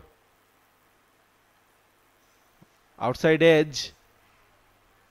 The slip was interested for a brief moment, but it was out of her reach. Fielded by Nahida, but not before the batters crossed the wicket for two runs. It's the lack of bounce that surprised Alyssa Healy on this occasion. And lack of turn, beg your pardon, lack of turn and bit extra bounce that induced the outside edge, but away from the fielder at slip. Once again, going down the wicket. Oh, just out of reach. It was Marufa. She is a brilliant fielder. And she was interested for a moment. Lisa Healy on that occasion couldn't connect the ball. So single to end the over after four. Australia 19 for no loss.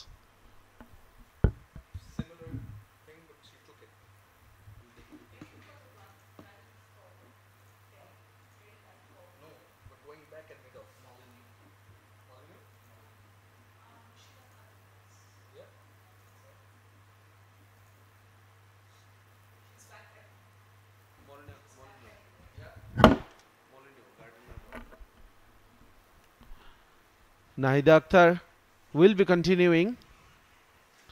She had a maiden over that was played upishly, didn't carry. See, in the previous over, the last delivery, there was an opportunity. The ball was there in the air for some time. Marufa pedaling backwards. We saw a similar catch being taken during the Bangladesh innings. I think it was Molineux as confirmed by our fellow comment. Bit of a confusion. Yes or no? Direct hit. It is a direct hit. Appeal! Umpire not entirely sure. Is he going to refer? Square leg umpire Ghazi Sohail. He does refer it to the TV umpire Tanveer Ahmed. This Direct hit was required. There was one. Now have they got it in time, Bangladesh? Absolutely, Shamannoy. And direct hits are always very interesting. So, what was that? Was that out or not out? Bangladesh fielders waiting eagerly in anticipation of the first Australian wicket. And we are waiting for the replay. Well, it seems very interesting and looks like she's gone. She lost her bat. Seems like her bat was stuck onto the ground, Shamannoy. Yeah. Yeah. She. It seems as if she'd lost her bat. It got stuck. The bottom part got stuck in the ground. She carried on with the momentum, and there was a direct hit, importantly. It is. It is out. I think the batter's walking already. The batter's walking already. She had lost her bat. Phoebe Litchfield. She has to go. She's already making that long walk. And she has to go for five. She went for naught in the first ODI. And she goes for five in this one. This is good work. They need such kind of work in the field. They've managed to take the first wicket, Bangladesh. Ah, what an unfortunate way to go. Phoebe Litchfield. She'll be frustrated with that dismissal. She did it, she did the right thing, trying to drag the bat from outside the crease to get into the crease. But unfortunately, it stuck onto the ground. And Bangladesh did their part well. A direct hit was required, and it was one. So the first wicket fall for Australia.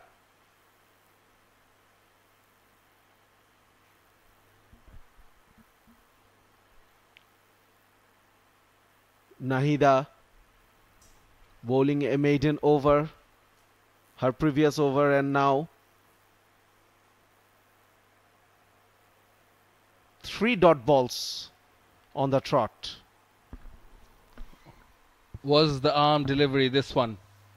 The new batter, Ellyse Perry, on strike. Ample amount of experience. One of the stars in that yellow jersey.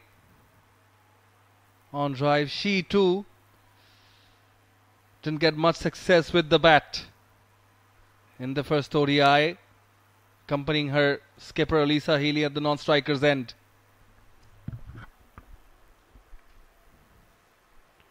Once again trying to use her feet. Alyssa Healy. But the room wasn't there, there to free her arms. Nahida bowling beautifully. Once again on the verge of another maiden over. And it is a maiden over. Beautifully bowled by Nahida. After 5 it's 19 for 1 Australia.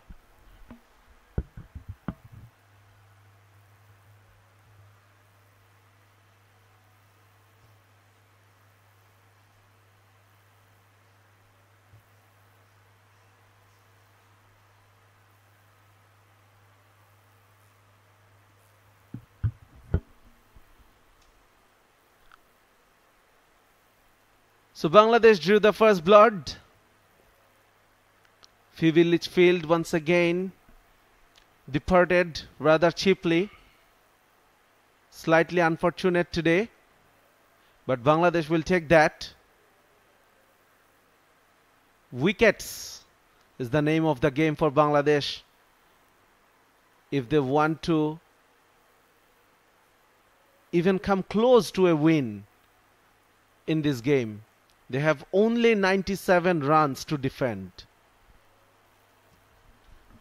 And out of which Australia only needs 79 more to get. Should be a piece of cake for Australia. The question is, how difficult can Bangladesh make it for them? Now it's going to be Rabia, the leg spinner, being introduced from the Thana end. Operating with a slip. Dot ball to start the over. Straighter one.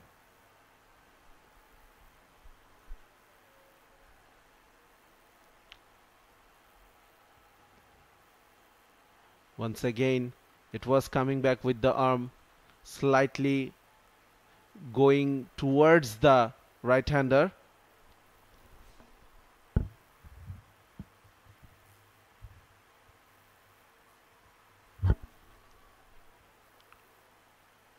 Using her feet into the gap, there is protection. The long off region. It was the wrong one again, and as you noted, Sajjad, in the previous over, that the Australian batters they're looking to use their feet far more. They're looking to come down the track to the pitch of the ball because there's not much turn on offer, but they're looking to get to the pitch of the ball and then play it, of course. Once again, defended well. Alyssa Healy, she's looking good. Was the googly again from Rabia. Not sure if she's getting much turn of the conventional one. And, and again, came back into the right-handed batter. There is a slip in position. So it's, it's like the other way around. Not the conventional orthodox delivery is turning it away from the right-handed batter and then the googly that which surprises the batter. She also does not use her wrists to full effect like typical leg spinners. And the ball really skids on to the batter.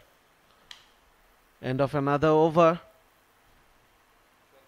After six, Australia 24 1.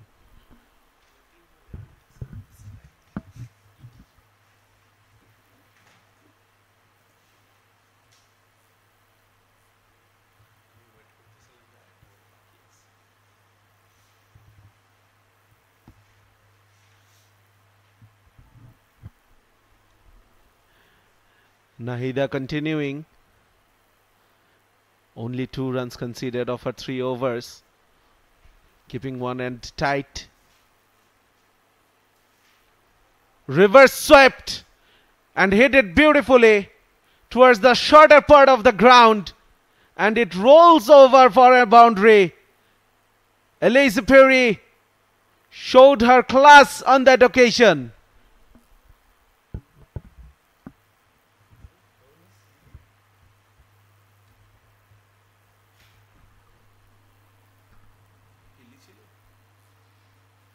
Yes, it was uh, Alyssa Healy, the captain, who's reversed it.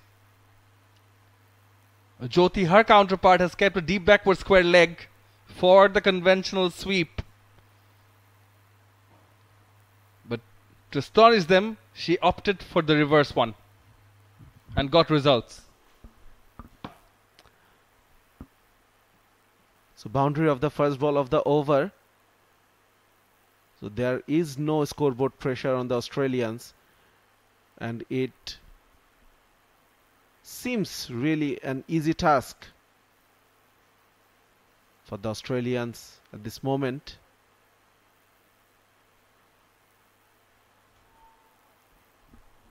Certainly, in comparison to the first ODI, looks like a better surface to bat on. Oh, and just as I say it, just as I say it, there is a massive purchase. Slowed it down, length delivery, ideal one from a left arm spinner to the right hander. Massive turn and bounce. Beautifully bowled. That would put a lot of doubt into the mind of the batter. Dot ball to end the over. After conceding boundary on the first ball, coming back brilliantly, Nahida. After seven, Australia 24 for one and a change in the com box up here. Let's welcome Shanu Rabbani and Anisha Ghosh. Thank you, Sajjad. Thank you, Shamannoy. Australia off to a good start in chase of 98. Spinners into the attack early for Bangladesh and Rabea to continue with her leg spin. Down the track comes Ellyse Perry. And it will be a quick single that she takes. Bangladesh, as you rightfully mentioned during the mid innings break Anisha, that they might opt with spin from the beginning from both ends, and that's exactly what we're seeing. Very much so. It is Bangladesh's strength after all. Again, now this time it's not timed properly. There is a fielder underneath it, and what a catch! Nahida makes no mistake. Ellyse Perry, she has to depart. Alyssa. In fact, it's Alyssa Healy who's going, the Australian captain, talking about the extra bounce that did her in as she's walking past Ellyse Perry. And Rabea Khan, she has her first wicket. Bangladesh strike early. Australia 25 for 2. There was a hailstorm last night in Dhaka, but there won't be any Healy storm today on her 34th birthday. For she top edges one as she dances down the track. Nahida Akhtar is having a memorable day on the field. She was Bangladesh's top scorer with the bat, and here she is ensuring there are no slip ups with the catching, which was a moot point in Bangladesh's 118 run loss in the first ODI. Two batters, both openers back in the hut. Massive wicket for the Tigresses.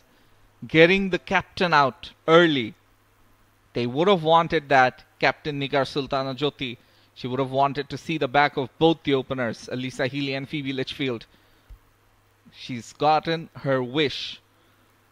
Still, we know how long this Australian batting order is. Beth Mooney, the next batter in, uh, joins Ellyse Perry. Still to come Tahlia McGrath, Ash Gardner, Annabelle Sutherland, Georgia Wareham, Sophie Molineux, Alana King. They can all bat. Beth Mooney, Australia's serious performer under crisis. In danger, dial Beth Mooney. Such is the reputation that she's built over the years. And with the left hand right hand combination, the efficacy of the spinners might diminish, will it? Driven nicely, but straight to the fielder.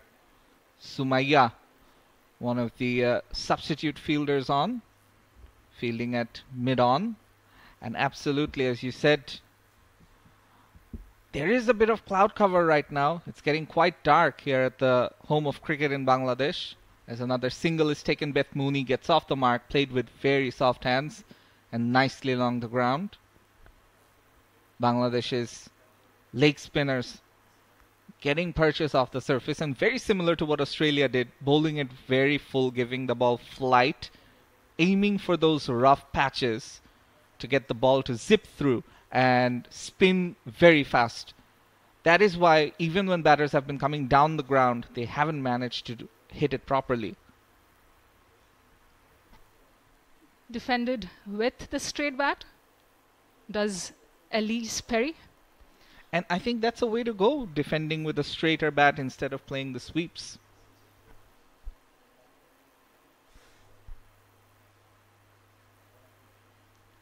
Watchfully played. A successful over for the Tigresses. They get the wicket. Australia after 8, 26 for 2.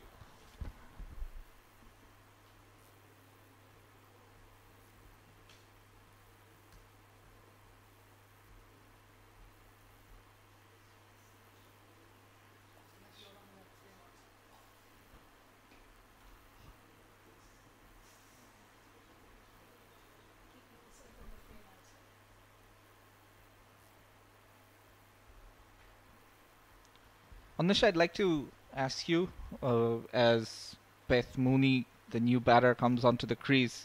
You were talking about the left-right combination.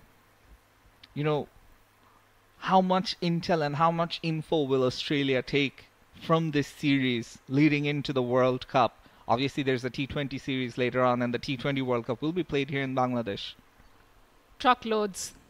There's no doubt about that, Shahanur. And one of the reasons you see the timing of this IWC series followed by the three leg T20I assignment that Australia have, it comes at an opportune time because their first bilateral tour has taken so long as to happen in 2024 in this country. Sultana comes into the attack, and Beth Mooney plays it along the ground through the leg side. One more run added. Australia requires 71 now. The required run rate and all of that is not really going to cause any concern. But it also tells you it's perhaps, given the start that Bangladesh have had, perhaps a bit of a missed opportunity for their batters to score 50 60 more runs. And we've seen Bangladesh being able to defend totals around those mid 150s, 160s against Pakistan.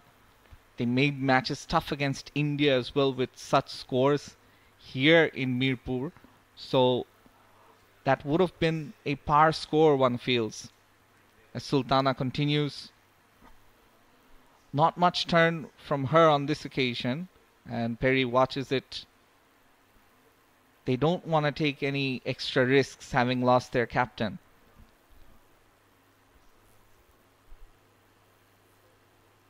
Oh, now that looks close, but the umpire on that occasion unmoved Vrinda Rathi.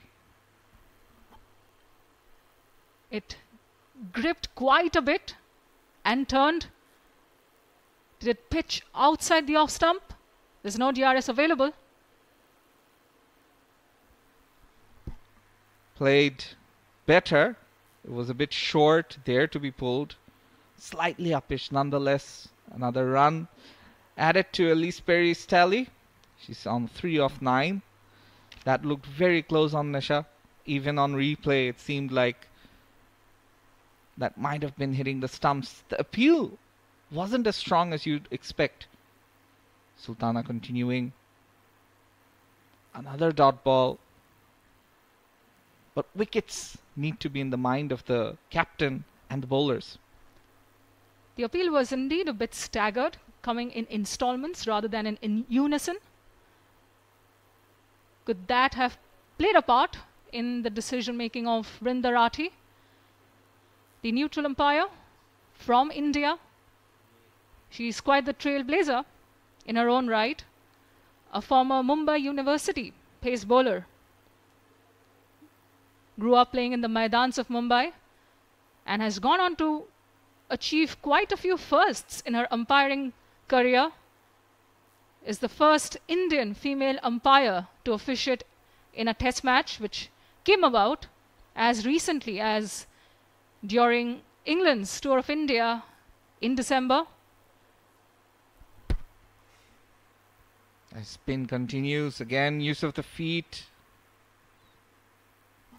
Ellyse Perry, you get the sense she's living a bit dangerously. She is using her feet, but the bowling has been very good against her. And if she can't get bat on ball after using her feet, there is an opportunity for a stumping. Another good delivery. What I like about what Rabia Khan is doing, especially, is how she's altering the lens, forcing Perry to go back at times, and also eliciting that copybook front foot plodded forward defensive stroke with a straight face of the bat.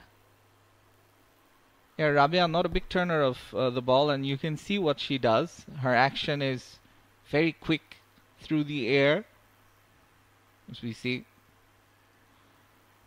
And not much turn again. So what she's trying to do is get a few of those deliveries to skid through, go a bit straighter onto the stumps. We see a lot of that with uh, the Bangladesh bowlers, the uh, uh, left arm off spinners. Shakib Al Hasan has mastered that undercutter. This is leg spin, obviously a different art, but again you see the ball being straight and aimed towards the top of off. Excellent bowling by Rabia. She's already got a wicket into her third over and five dot balls in a row. She's trying to build some pressure. Not to be the one to inject commentators' curse in the run of play. But Bangladesh's fielding has been quite good so far. They have intercepted runs in the 30 yard circle and I've taken their catches. On this occasion, though, they don't intercept it. A single is taken off the final delivery. So 10 overs done. Australia 29 for 2. Which you have uh, done on Nasha. Yes, the commentator's curse successfully injected. Um, but yeah, you think back to this umpire and uh, how she's uh, trailblazed her way.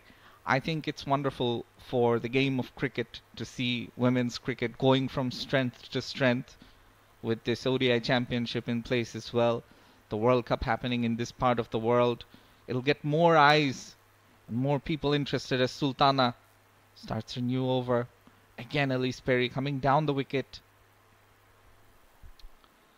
Vrinda Rathi also happens to be part of the troika of umpires, female umpires, who made their Ranji Trophy debut in India, the domestic first class men's tournament.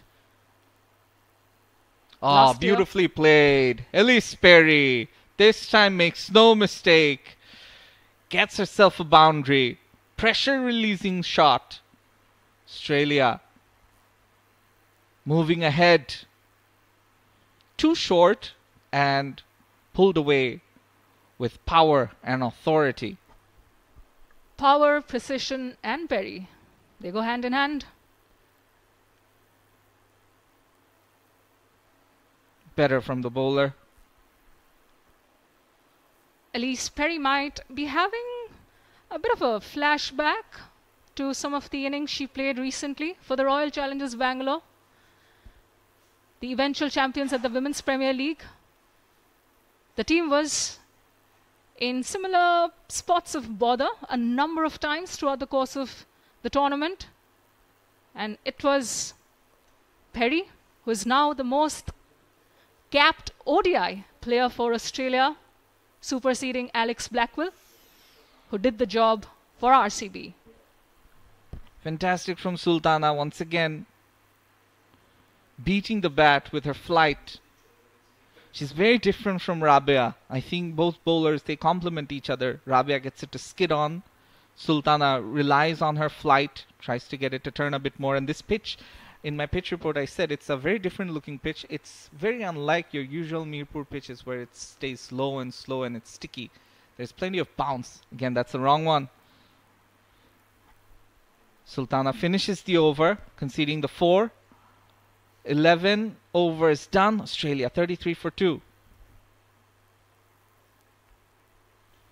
You were talking about uh, female umpires, and five female umpires and match referees have been uh, added to ICC's panel from Bangladesh. Shatira Zakir Jessi, Rokeya Sultana, Dolly Rani Sarkar, Champa Chakma have been added to ICC's development panel of umpires as the members from Bangladesh. In addition, Supriya Rani Dash will be added to ICC international panel of match referees. So this is uh, big strides being made in women's cricket for Bangladesh as well.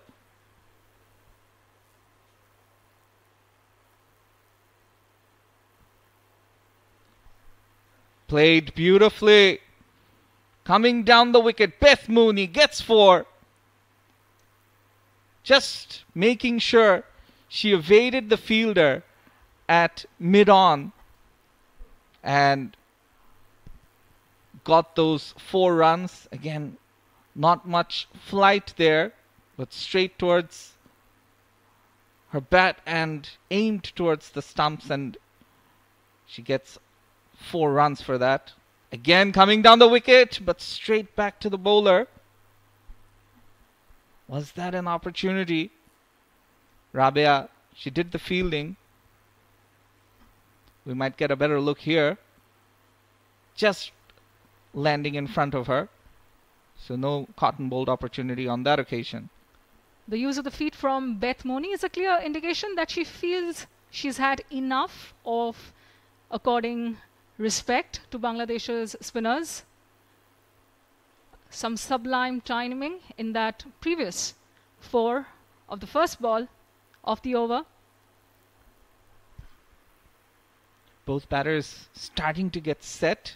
Beth Mooney, 6 from 8. Ellyse Perry, 8 from 21. We saw Perry getting a boundary in the last over, punishing the short delivery. Rabia now coming around the wicket. Again, there might be an opportunity and it's dropped. Marufa, generally a good fielder. That's a second drop in this match. And the fielder was pushed back from mid on to long on after the first boundary. Good captaincy from Nigar Sultana Jyoti, but unfortunately for Bangladesh, the fielding letting them down. And you were talking about the fielding being good so far for Bangladesh. Well, not so much on that occasion. Nigar Sultana Jyoti was on her haunches when that catch went down. Probably memories from that nightmare of a match that proved to be the first game where there were a slew of drop chances, dollies, sitters being shelled Beth Mooney survives when she should have been well back in the hut by now. More often than not, Mooney ensures that she capitalizes on such reprieves. Bangladesh need to do better in this one aspect. It's been a nagging issue for them across the two matches slip in place for Ellyse Perry. Rabia once again gets her to come down the wicket, but driven very nicely. One more run added to the total. And Mooney dropped on six by Marufa off the bowling of Rabia. How costly will that be? Because both these batters are looking good and looking dangerous. Chasing a very small total, you cannot make those mistakes. You cannot drop these chances catches win matches, as the saying goes. This could have been an opportunity for Bangladesh to get back in this game. One more run added Beth Mooney. She's looking very comfortable against the spin of Rabia now. And an expensive over. What should have been an over ending in a wicket ends with seven runs being conceded. And Beth Mooney surviving. Australia 40 for 2 after 12.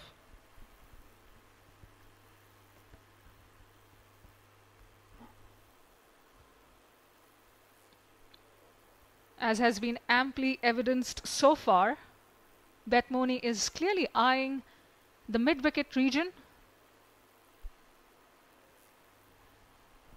Nigar Sultana Jyoti had kind of enough reinforcements there in the form of fielders stationed and the ploy almost came off. But you don't win matches with almosts and what ifs. Yes, you need a lot more cutthroat killer instinct, something that we resonate with when we talk about Australian cricket, the men's and women's teams. Sultana continues. Oh, now that's an opportunity, and she's stumped. Beth Mooney does not survive long. She's out for eight. Coming down the wicket trying to get to the pitch of the delivery. Sultana, excellent bowling from her. She gave it flight, but also pitched it short enough so that she had to reach for it, couldn't get bat on ball, and the captain Nigar Sultana Jyoti doing the rest, getting her stumped. Beth Mooney gone for 8 from 12. Australia finally losing their third wicket, so the drop catch by Marufa Akhtar not proving to be too costly they're 39 for 2 now. 3. The use of the feet from Beth Mooney, perhaps one time too many for the left hand batter. It does backfire eventually. Australia suddenly find themselves in a bit of uh, a spot of bother, though they don't have a mountain to climb in terms of the target they have to overall to seal this ICC Women's ODI Championship Series against hosts Bangladesh.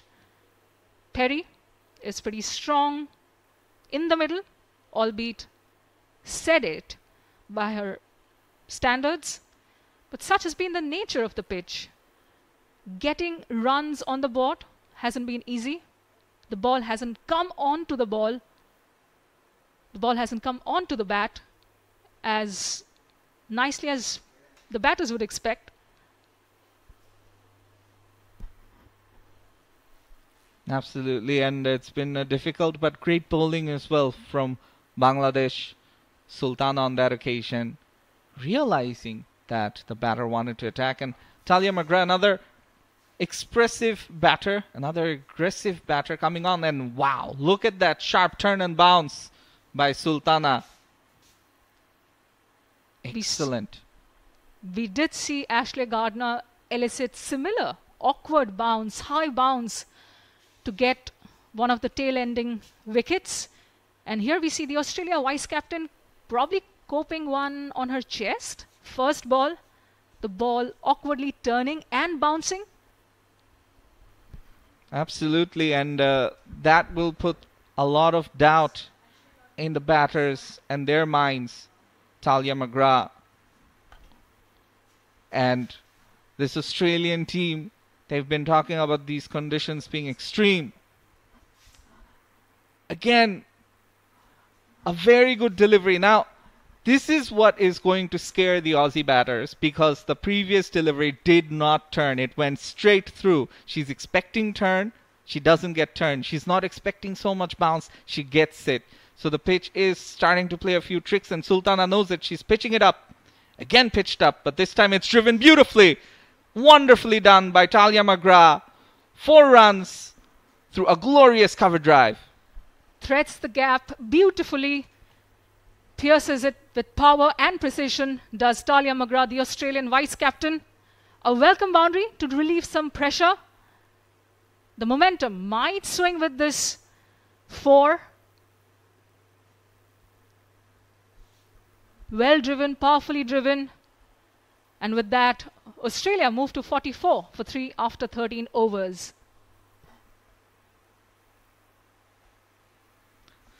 The difference so far between the two teams, if you look at the scorecard, Alyssa Healy, she scored 15 from 29, Phoebe Litchfield 5 from 7, Ellyse Perry currently on 8 from 26, Beth Mooney 8 from 12. Yes, the Australian batters really haven't scored big, but they haven't taken up as many deliveries as the opening or the top order of Bangladesh did. Again, using her feet, Ellyse Perry against Rabia Khan and a quick single taken. Perry moving on and moves on to double figures, in fact. 50 more runs in this total, and it would have been very difficult for Australia from here. And what you see the Australians doing very different to how the Bangladeshi batters approached their first 15 to 20 overs was the rotation of strikes. Despite the fall of wickets, the Australians are not chewing up dot balls after dot balls.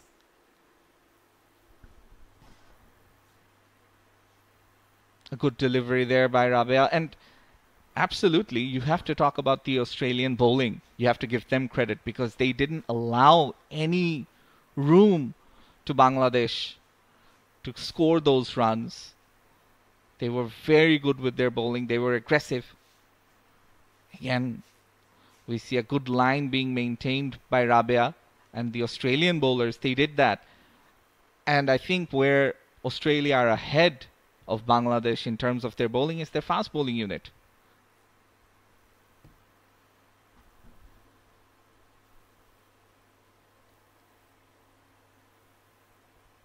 Nigar Sultana Jyoti has instead opted to rely largely on a spin attack.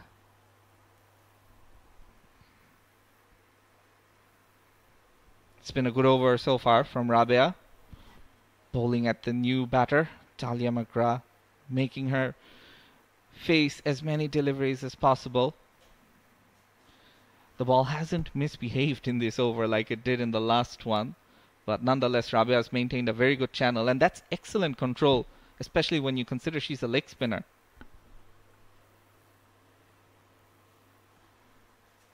Is there a case for Nigar Sultana Jyoti to consider having a second slip or a slightly wideish gully? After 14, it's 45 for 3.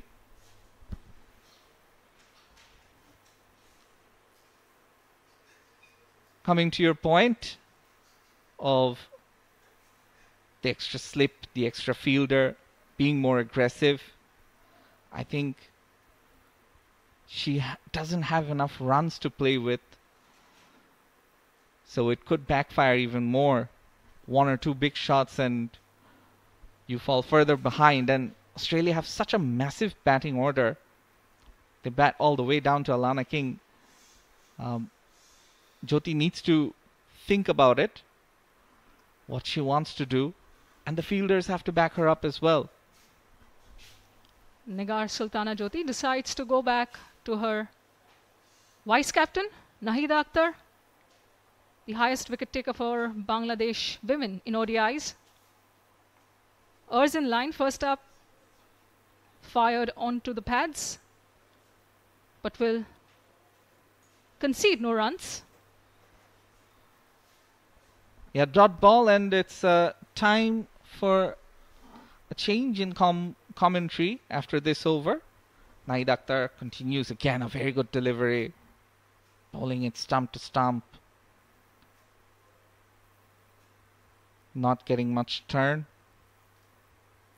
Australia just 53 runs away. Bangladesh really need a few more wickets to be back in this match. The dot balls might build a bit pressure or might have built up pressure if uh, Bangladesh had scored something around 160, 170. Finally, Ellyse Perry gets another single. Honestly, I'd love to see more players breathing down the necks of both batters. So have them in their eye line, more in the infield. Bangladesh already have their backs to the wall.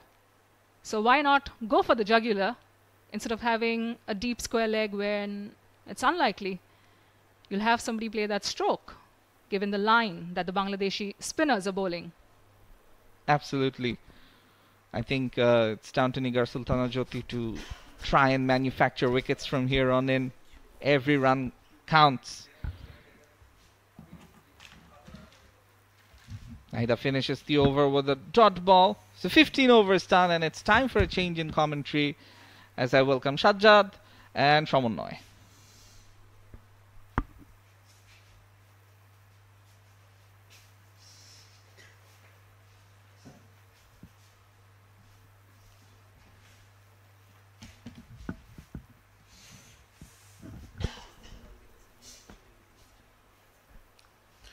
Thank you so much, Shanur and Anwesha. So Bangladesh picking up three wickets. But Australia, they are looking very comfortable.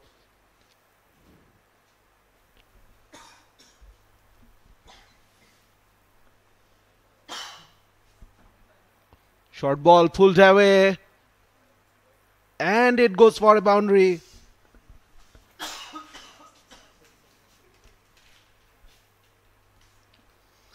You cannot bowl short to Ellyse Perry.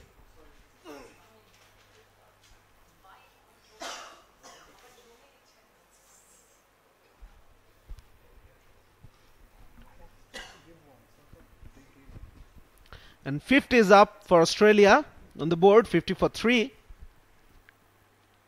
Rabia Khan once again using her feet, Ellyse Perry. This time it has been cut off. So Shoman one thing our fellow commentators were mentioning about the slowness of the Bangladeshi batters. Yes, they were losing wickets, but they failed to rotate the strikes on a regular basis. Where Australia, they are doing that thing in spite of losing some early wickets. Pierced the gap. Played it off the back foot. Crunched it. Square of the wicket on the offside. The key to that shot was that she waited for the ball to come onto the bat. She played it late. The Tahlia McGrath. There it is. Not much footwork. It's just a bit of transfer of the weight onto the back foot and timed it magnificently. Flatter from Rabia, driven, good fielding, single not there, good understanding between the batters. It's about the intensity. Just saw the boundary in the previous delivery and somehow that whenever you ask me a question, I think the Aussie batters answer with actions. They don't wait for our words to come in, but speaking of the intensity, also our fellow commentators in their stint also mentioned how they were rotating the strike. Looking to score runs, that positive intent, I think that itself, that can be questioned. That what happened there? Were there no? Oh, that's a beautiful delivery appeal. Nothing on it, says Ghazi Sohail. That beat everything. We'll continue this conversation. What a gem of a delivery this was from Rabia. Wow, wow. Brilliantly bowled, brilliantly bowled. It was flighted, it was drifted to the right handed batter, and she missed it. Such was the turn. Such was the turn that the wicketkeeper, the captain, with such experience, was not. She was not the only one who was deceived. The batter was deceived. The fielder at slip cotton had to take the ball, had to collect the ball. Such was the turn. Now Nahida, the vice captain, starts off with the arm delivery, driven straight. The fielder at mid on, she tried, applauded by the bowler, trying to take advantage. Now, if Nahida can take, can get the ball to turn it away from the right-handed batter, one delivery is coming in. She gets, if she extracts a bit of turn also from the surface, that's going to confuse the batters. Went on with the arm. No fielder inside the circle. Square on the onside. Allows the single. Will not, this will not bother the Aussie batters. And again, now the name of the game for Australia is patience. Pick the right deliveries, pick up boundaries, go for the singles. Not much left. Below 50 to get. They require 42. And they are doing it smoothly once again. Single on offering for Australia. And we were talking about the partnerships. If we look at the Bangladeshi batters, they had an opening partnership of 17 runs, but they played 51 deliveries. And then a partnership between Farzana and Murshida, a partnership of 6 runs, but they played 41 deliveries. And from then, they always had to chase the game.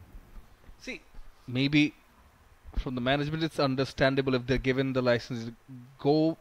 See, often in both formats, men's and women's both, we tend to criticize the batters if they are not giving themselves time to get their eyes in, to get set.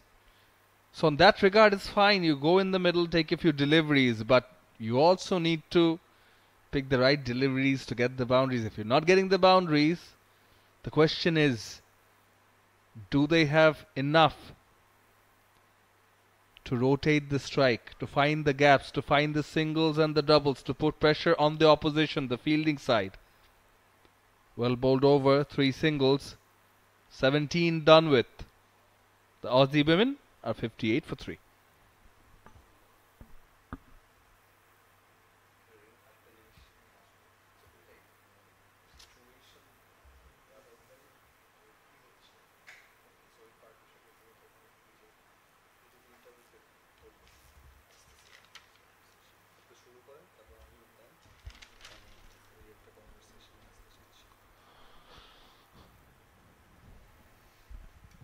Australia requiring 41 more to win the match, win the series. Still no pace from Bangladesh. Change in the bowling. Sorna. Sorna Akter is into the attack. She will have a slip as well. Quite a number of leg spinners in Bangladesh team. We've seen Rabia, now Sorna, Fahima is there as well, but no pacers. So there is Marufa, who's, who's yet to be given the ball today. If you might argue that with overcast conditions, the hailstorm last night, Lapson field allows the single, direct hit, will not bother Ellyse Perry, who made it to the non-striker's end, of course, in time. So again, that question arises that okay, but this side, their strength is the spin bowling. Yes, Marufa is the gem. They rely on her for early wickets. She has got early swing, but they rely heavily on spin. This Bangladesh side. Again, to get back to that discussion we were having, Sajjad, in the previous over. If you bat for 44 or if you go on to the 45th over and the run rate of your entire innings is 2.2, then it's about the approach. Because you were there in the middle. To be honest, I think I saw some proactivity, some optimism from Fahima Khatun and Ritu Moni. But what were their scores? 11 and 10 respectively.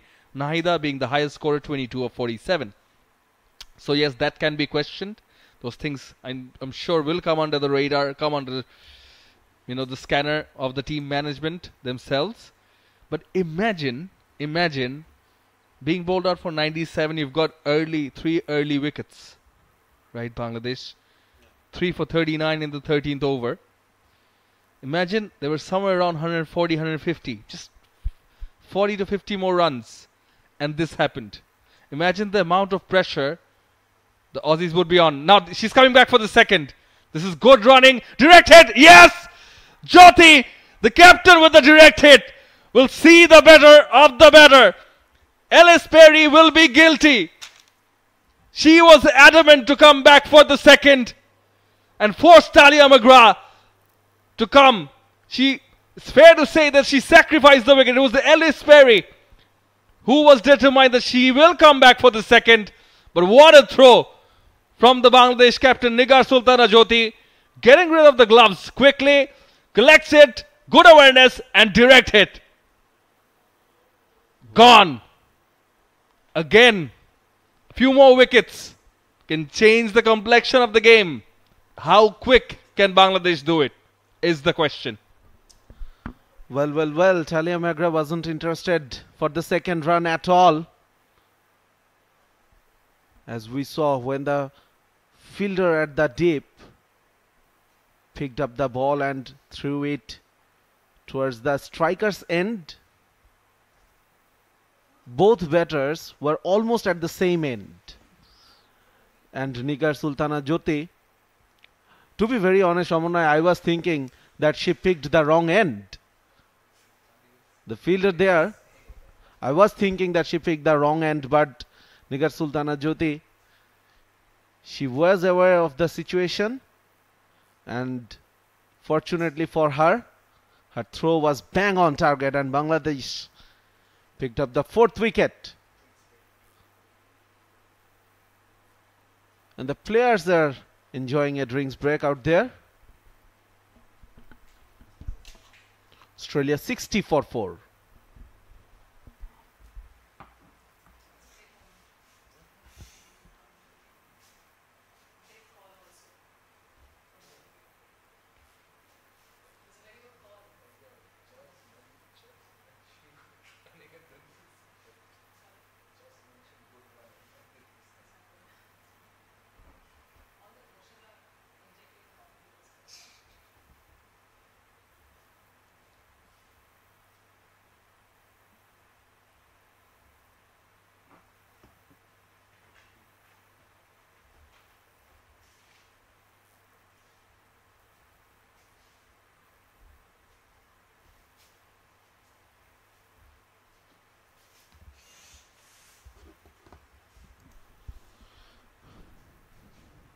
Just before the drinks break, Bangladesh picked up the fourth wicket.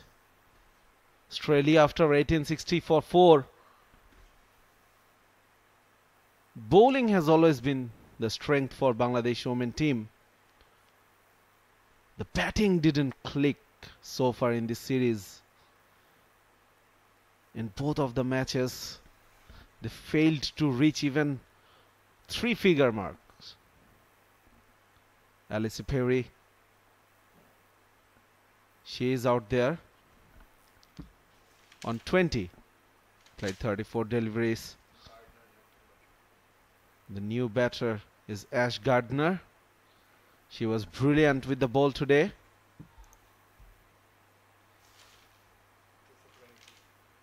Two for 22. Now it's time to contribute with the bat. Australia is still in a rather comfortable position. They require only 38 runs, but that really brings me back to your question, Shamannoy, that if, what if Bangladesh could score 40 more runs? Ifs and buts always remain. We'll continue to do so.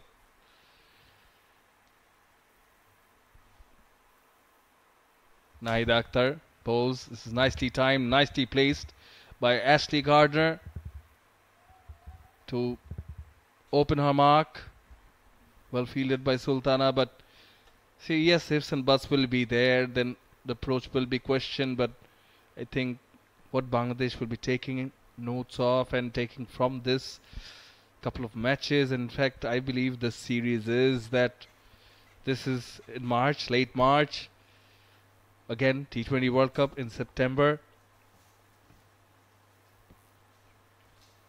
Five more months to go. What can you work on in the coming five months? What can you tweak? What can you improve on? What sort of resources do you have at your disposal? A couple of batters, maybe injured, not fit. Maybe you would have preferred them at the top of the order. What's your lineup like? What's your expectations? What's your target? I think the real think tanks will be concerned about that. Yes, short term targets will be there, short term victories are important to boost your energy, to give you confidence. But I'm sure the goal is the bigger goal. Absolutely. Bangladesh will be hosting the World Cup, T20 World Cup later this year. And all these big teams coming to this part of the world. Of course, part of Women Championship as well. But back in my back of mind, they have the preparation as well. See, it's a privilege to wear the national colors, to represent your nations, and it's an honor to play a World Cup. But let let aside, I think if you're playing the World Cup, representing your home, your country, and that too, you're playing it in your home nation, in your motherland. It's a once in a lifetime opportunity, and I'm sure the players themselves want to prove a point. They've dreamt of it all their lives. Another single to end the over. Three runs off this Nahid Akhtar over. She's bowled well, but without a wicket. They needed something special. The total on the board being low.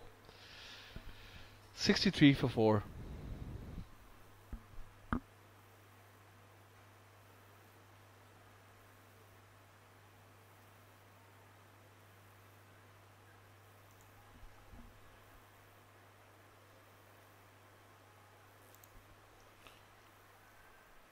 Australia required 35 more runs to win.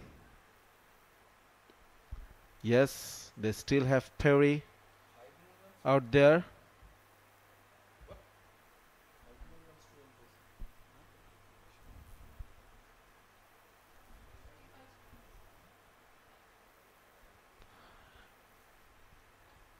Shorna will be continuing.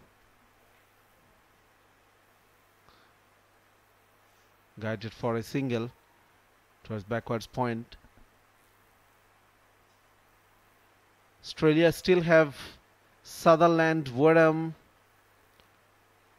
in their batting lineup, and of course, how can you forget about Alana King, especially the innings she played in the first ODI, single-handedly took the game away from Bangladesh. Hitting five sixes, four of them coming from the last over of Fahima Khatun. Yeah. Annabel Sutherland with the 50, 58 of 76, as you mentioned. Flighted was in the air for a bit. And will get a boundary, I believe. She does. Ash Gardner, well played and above all, well placed. The outfield gets better with time. The sun is brighter at this moment than the morning. The outfield is dry. So it the ball is traveling towards the boundary. Better. Shorna operating with a slip. Bangladesh had Australia in trouble in the first game 78 for 5 but then Annabel Sutherland Georgia Wareham they had that partnership and Alana King finishing the game off Another topic of ifs and buts.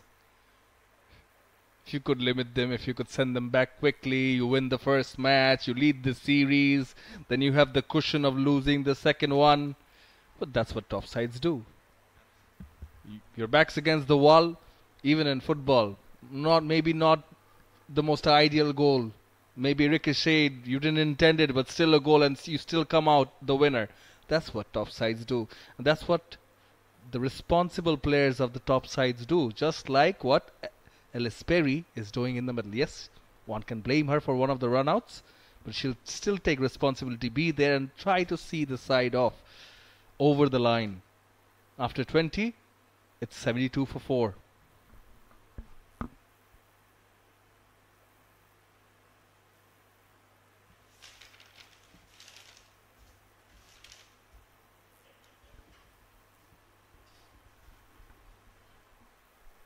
It's about the margin of errors, number of mistakes.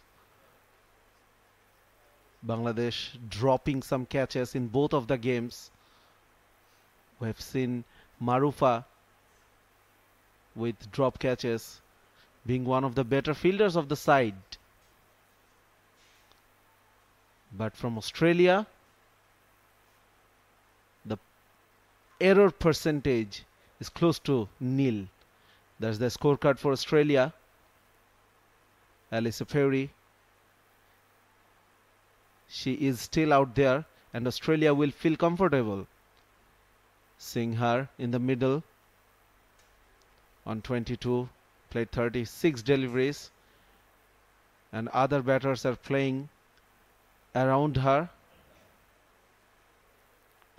Alyssa Healy started off well couldn't make it big. But Australia, they're comfortably placed. See, after 20 overs, right at this stage of the game, Australia when they're 72 for 4, Bangladesh were 37 for 4.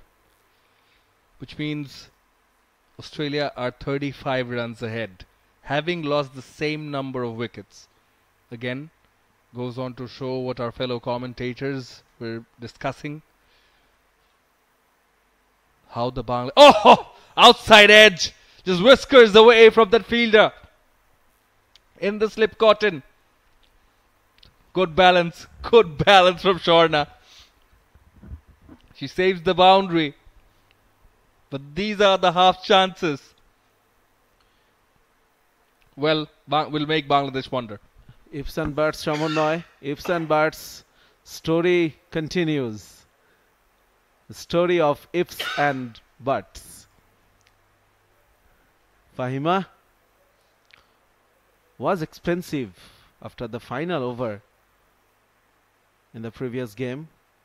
She is bowling her first in this game.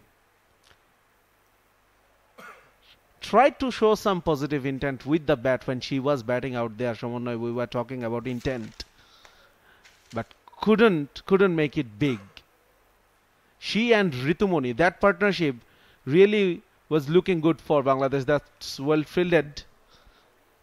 Certainly saved some runs there. At least there was some intent. But does it make you wonder? You know, this is the 21st over, less than 20 runs, just about 20, 21, more than just about 20 runs to get. So, you know, why get Fahima to bowl now? That's because the more wickets they get, that's the confidence, that's the positives you take out of this game. The ifs and buts we've been talking about, okay, then what did we need to do? We need to score 50 more.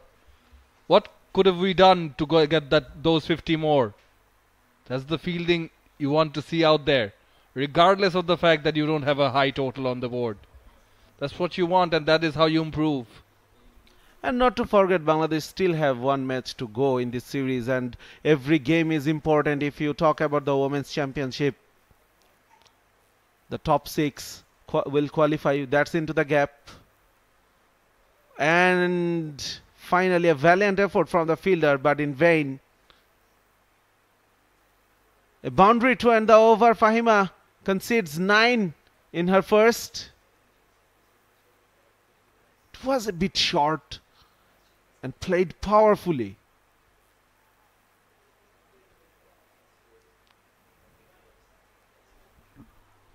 Sultana, the fielder, a deep extra cover.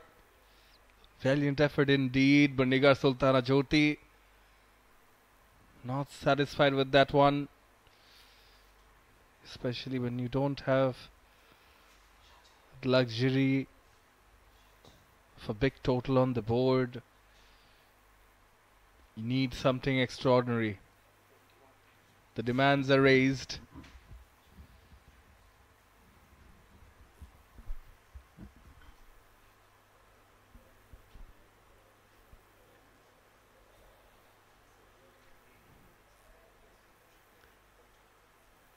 Eighty-one for four. Australia.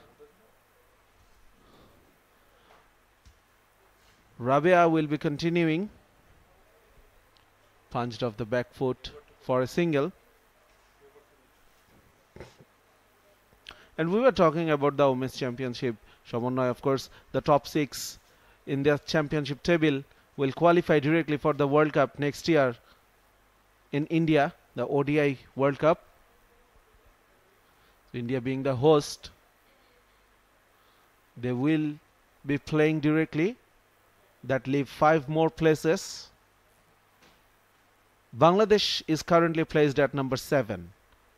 So the bottom four of that table they will play the qualifier round, but if Bangladesh can manage a win, that will help them immensely.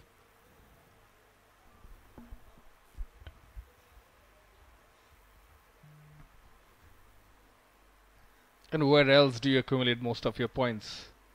You you get them at home in familiar conditions.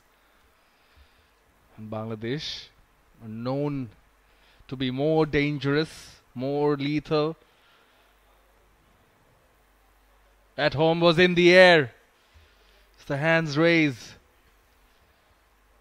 Again, these are not the easiest of conditions, and the reason they are the world champions, the ladies in yellow, is you they go around the world and they dominate. They make it look easy, regardless of the situation. The mighty Australians, they say. Both in men's and women's cricket. Current world champions in all the formats. Won the T20 World Cup as well, defeating South Africa in the final. Dot ball to end the 22nd. Australia 85 for 4 and there will be a change in the com box. Anisha Ghosh and Shanu Rabbani will be joining you.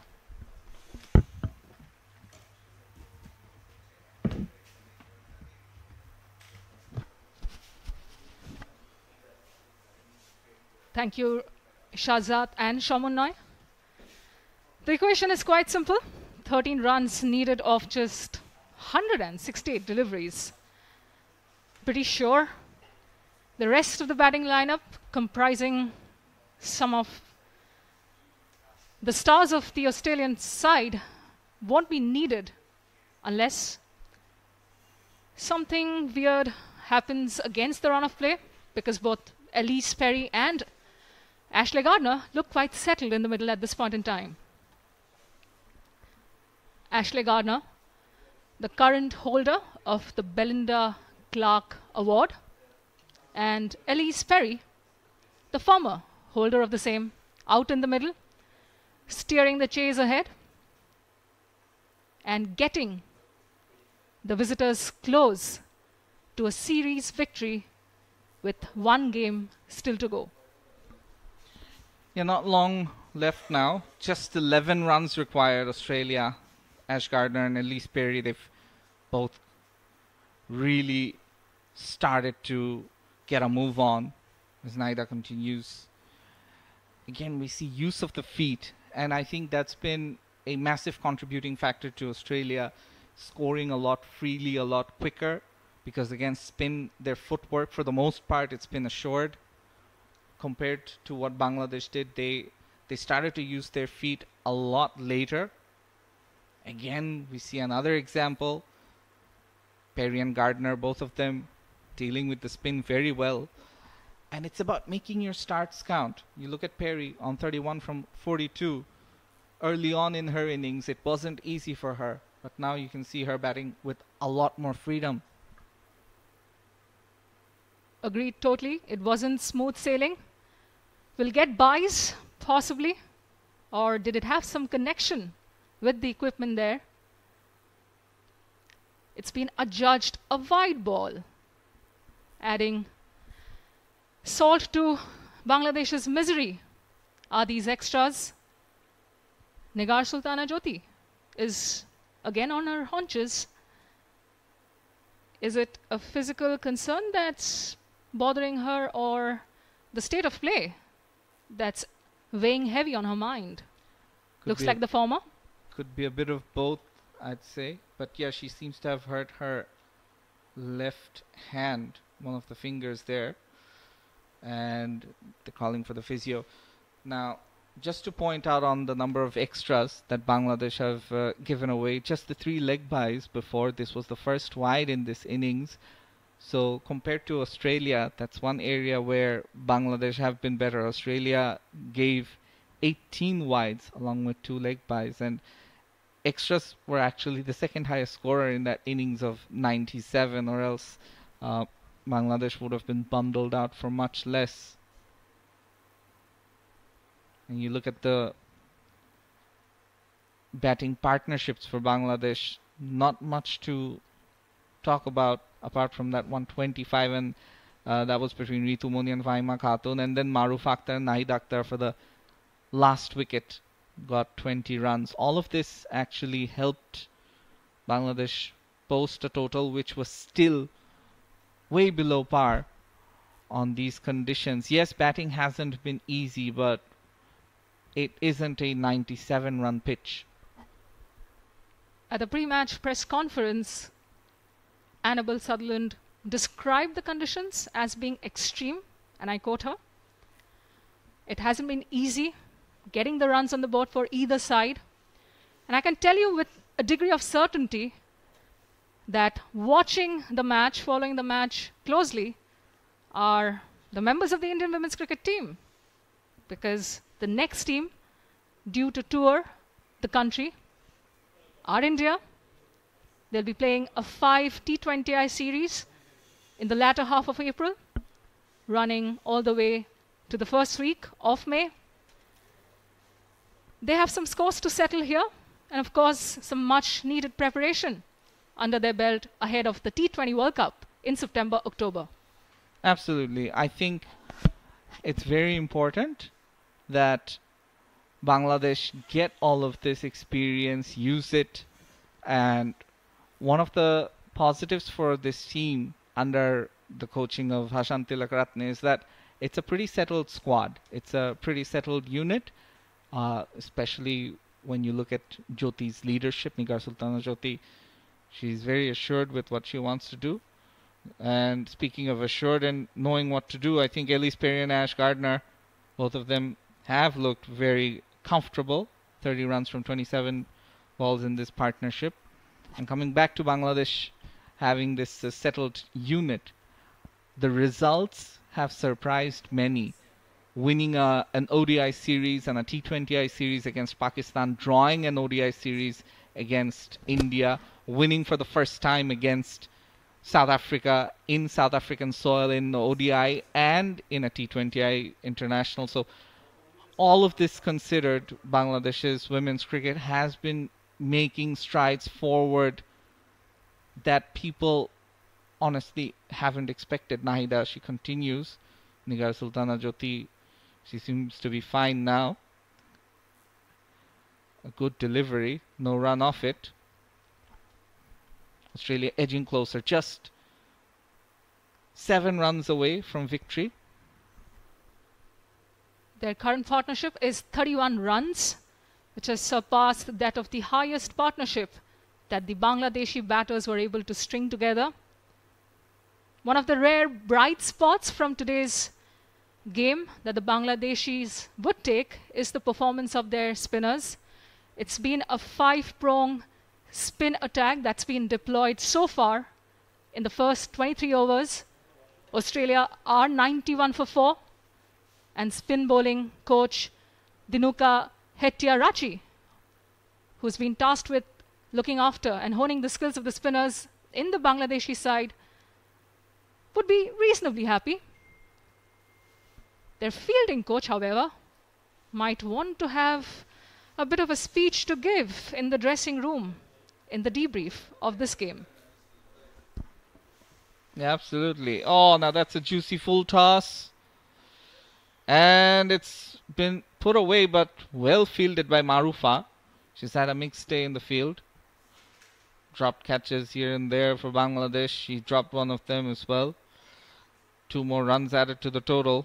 Ellyse Perry. Now, if you're choosing a player of the match from Australia, who do you give it to? Sophie Molineux? Without a shade of doubt. It's an absolute no brainer. She comes in and wreaks havoc. Though Perry herself has done a decent job in steadying the ship, helped in part by some slip ups in the field, as was on evidence in that delivery. Played off the back foot, a slip up in the covers. I think that's been a massive difference between the two teams is how Australia have fielded. Despite calling these conditions extreme, they fielded much better. Down the ground now, there is an opportunity, perhaps. No, it just lands between both the fielders. And two more runs added. So the fielder was in place at long off, and there was also a fielder at cover between mid off and cover. So protection there inside the circle and in front of the boundary rope for exactly that shot. Just two needed now, and one of them will be taken here. So the scores are level. Australia edging closer towards another victory, another series win. They've lost perhaps a few more wickets than they would have liked.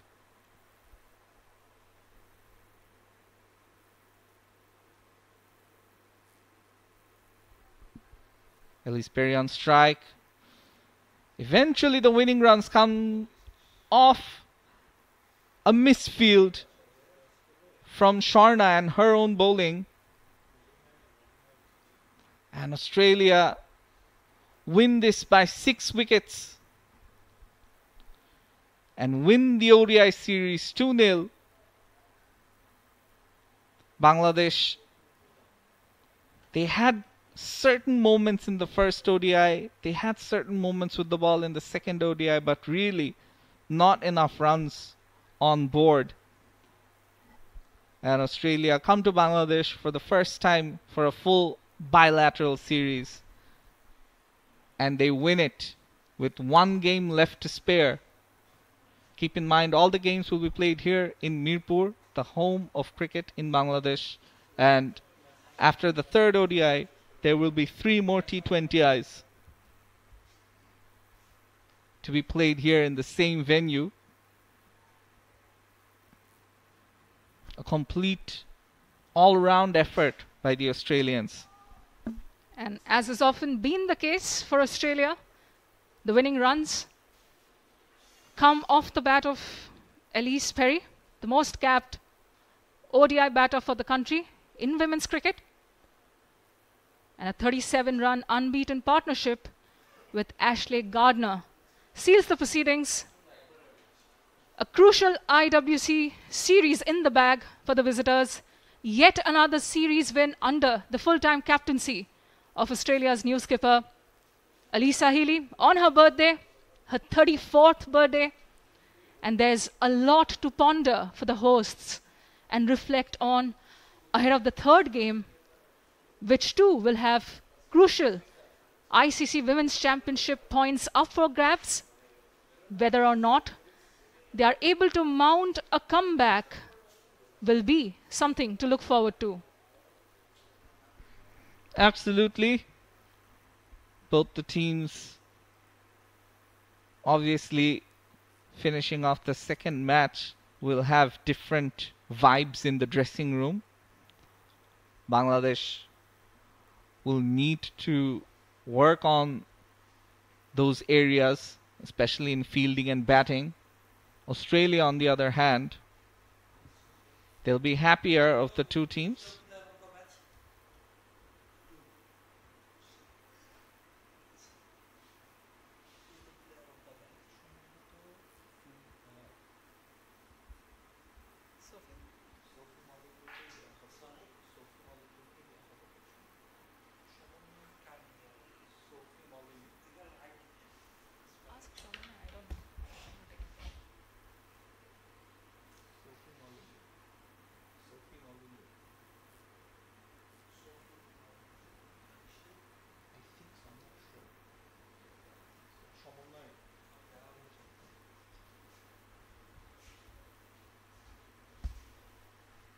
So to sum it up for you, Australia they've won by six wickets. Batting first, Bangladesh put on 97, all out in the 45th over. Nahida with the top score of 22. Sophie Molineux with three wickets, giving away just 10 runs. Ash Gardner also amongst the wickets, along with Alana King and Georgia Wareham. In reply, Australia's ever so reliable, talismanic all-rounder Ellyse Perry, top scoring with 36 not out. She was joined by Ashleigh Gardner who finished things off for the visitors. Sultana and Rabea both amongst the wickets. Nahida, she was economical, but didn't get any wickets herself. Sorna Akter as well. There, two runouts in that Australia innings, which is why they lost four wickets. And in the end, it was an easy victory for the indomitable Aussies.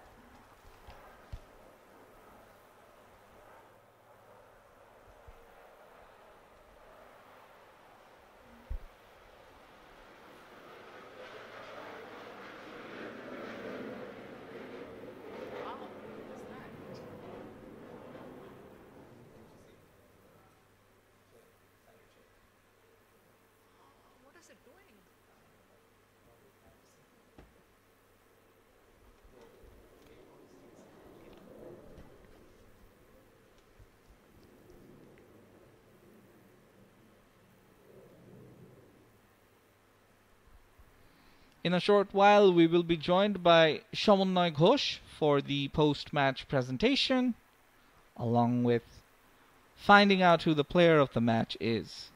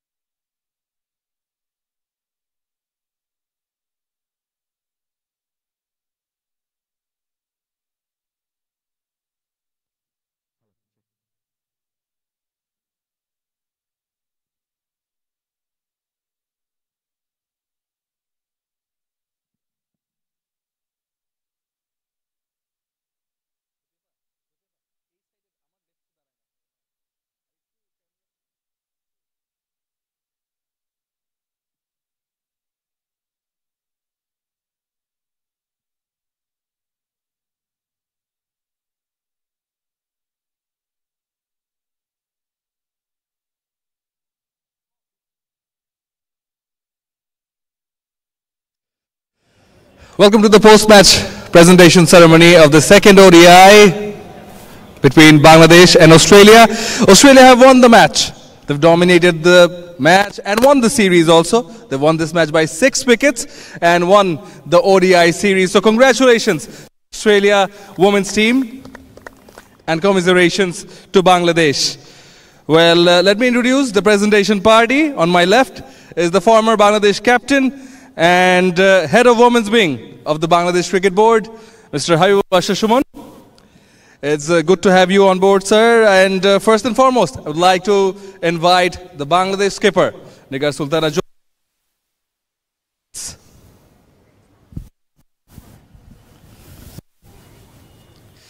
Jyoti won the toss, different decision, result not quite in your way. Yeah, I think it was a very uh, good wicket to bat on, but uh, how our batter actually batted today is very disappointing uh, because this is not the way we actually play. So I think uh, we should take care of it. Yep. Well, without a doubt, they're the world champions, top side. But w- would you like to elaborate on where it did not go right in terms of batting? See, this is not about like we are playing against the top side. This is about like, see, we are not playing on our potential because how we played in the last six months, uh, it was not the uh, exact way how we should play. And uh, uh, we have a very good batting unit, but the thing is, we everyone we call ups, nobody are taking responsibility and. Uh, the, the bat coming, ball coming into the bat so easily, but no one is there to taking that option. And obviously, and I think for top five batter is not when your batter top five batter is not clicking, so it's pretty difficult for the middle order and the lower order to get into the a good total. And the top order seemed to have spent a bit of time in the middle. Was it that hard uh, to get the runs out? See, when you are not getting too much run in the power play, it is really pressuring to, uh, to the others. Obviously, they were hanging there, but the thing is, the uh, score is not in there. But we think we should work on that, and uh, looking forward for that.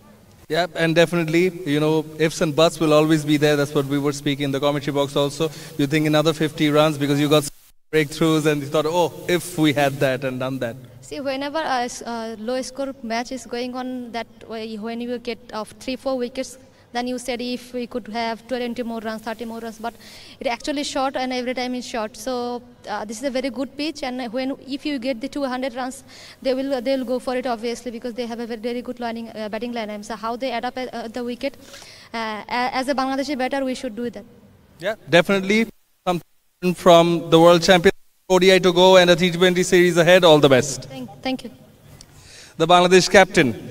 Now, the player of the match in this uh, second ODI, well, she made a comeback and a comeback worth remembering. And that's how you make a comeback when you're making a comeback to the top notch side. It's so new, three for 10, five maidens. And in her 10 overs, the economy was only one run. Very well played. She gets a check of USD 500.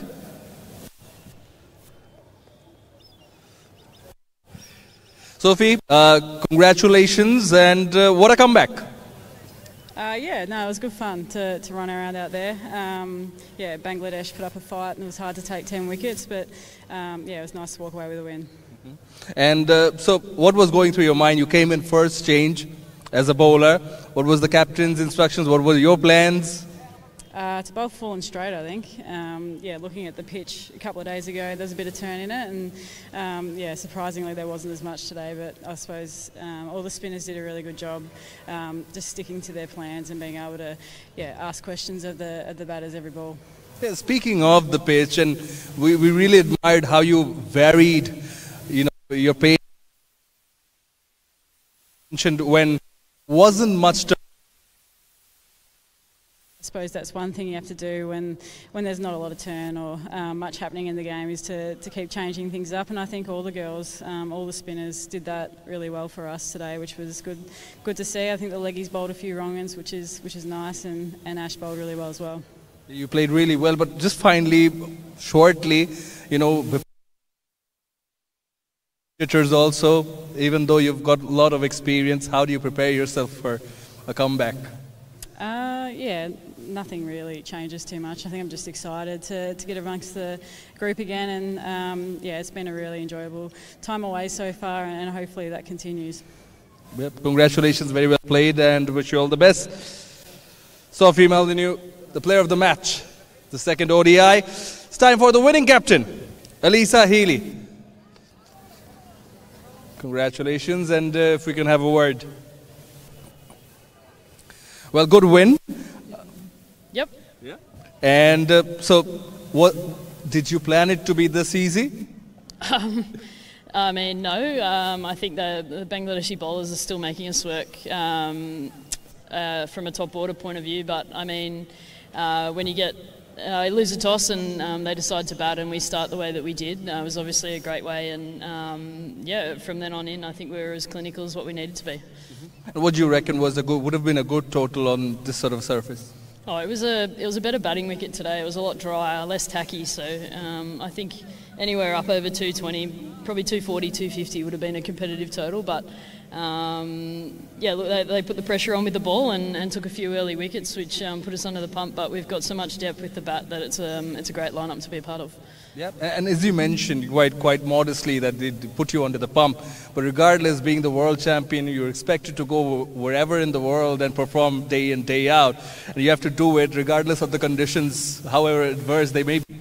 Yeah, we do, and uh, we pride ourselves on that. I mean, we've we've had the opportunity to train out the back here and, and get um, comfortable with some extreme conditions. It's very, very foreign for us in Australia. We're, we're facing a lot of things that we don't normally get to face. So, um, from our point of view, it's the perfect timing for that. It's obviously the back end of the season for us, and there's a lot of tired bodies around. But the fact that um, all 14 people in the change room want to keep learning, keep growing, and um, keep developing their skills is um, full credit to them. Yeah, well, I believe it's also nice to win another series, and particularly if it's on a birthday, it's a nice gift from the team. But yeah, uh, let you go back. Congratulations and enjoy. Thanks a lot. Cheers. Cheers. That's it uh, for the post-match presentation ceremony. Still one more ODI to go. We'll be back on the 27th, and then we follow it up with a T20 series between uh, the world champions Australia and the hosts Bangladesh. Do stay tuned. Do not miss out.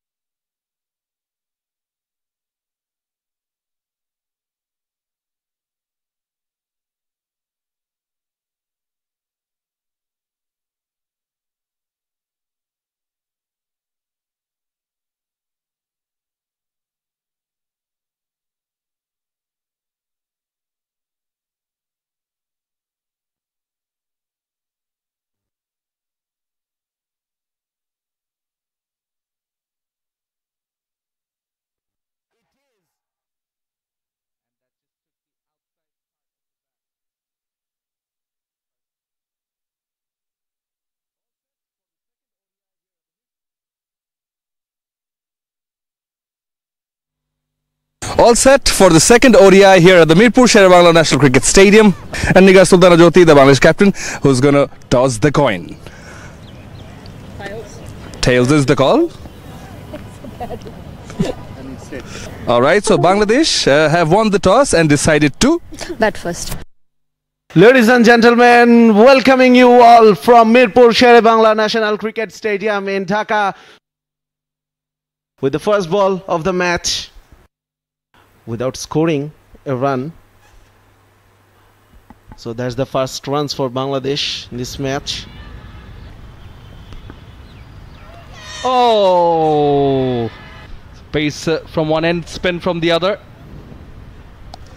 Slip remains. And that's the first wicket for the Australian side. Taken properly, we'll get to know. No doubt. that there are barely any. They look up to them. But by no means, you know, you also want to Bowling tight lines and lengths. This time going over the top. Is that a chance? Yes, it is. and that just took the outside part of the bat. Farzana trying to clear the infield. What Bangladesh can boast and how much it can challenge. The Australians now that's straight to the fielder. So let's have a look at the replay. Once again, outside the off stump, we saw a few plays and misses in the previous over. This time she connects, but goes straight to the backward point. They haven't really found a way against the constant threat. Oh, now that looks close. And the finger is raised. So Nigar Sultana Jyoti, she has to walk. The umpire deeming it to be on the money. Now, there's no question about the line. Perhaps Haid Shajat.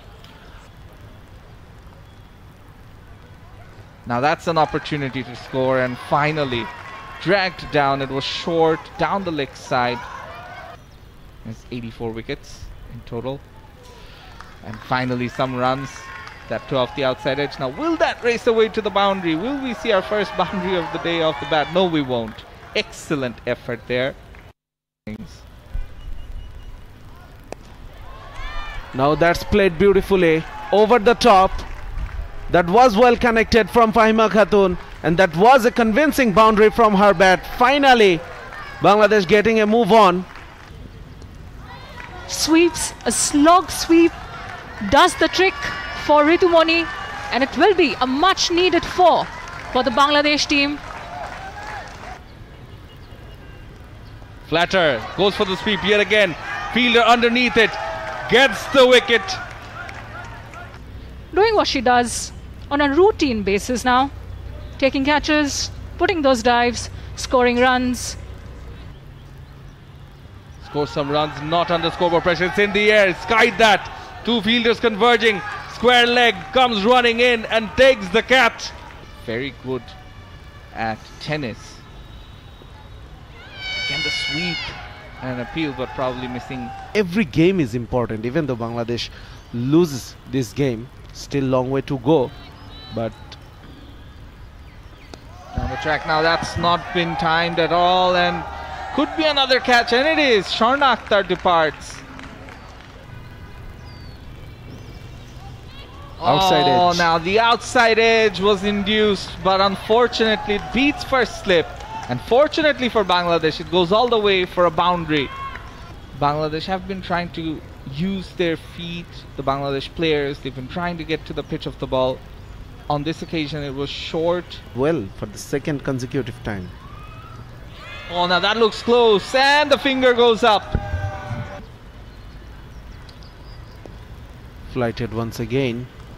Played with softer hands into the leg side for a single. I think that'll help the outfield, and I think it's gotten better in the last few overs. And she also finishes her overs very quickly. Now down the track, finally using her feet, but now that could be very tight. Coming round the wicket, making the angle difficult.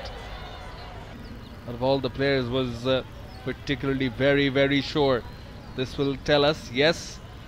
The back foot crosses the line. Inside out, played it well, dug it well. Will be a rare boundary from the youngster. Yes, it will win the race finally. If your tail ender can play a shot like that, it should give you a sense of what the batting lineup can do. Off Georgia Wareham. And this time around, edged, flies between the keeper and first slip Beth Mooney. Will it trace away for another boundary? Now that's a shot.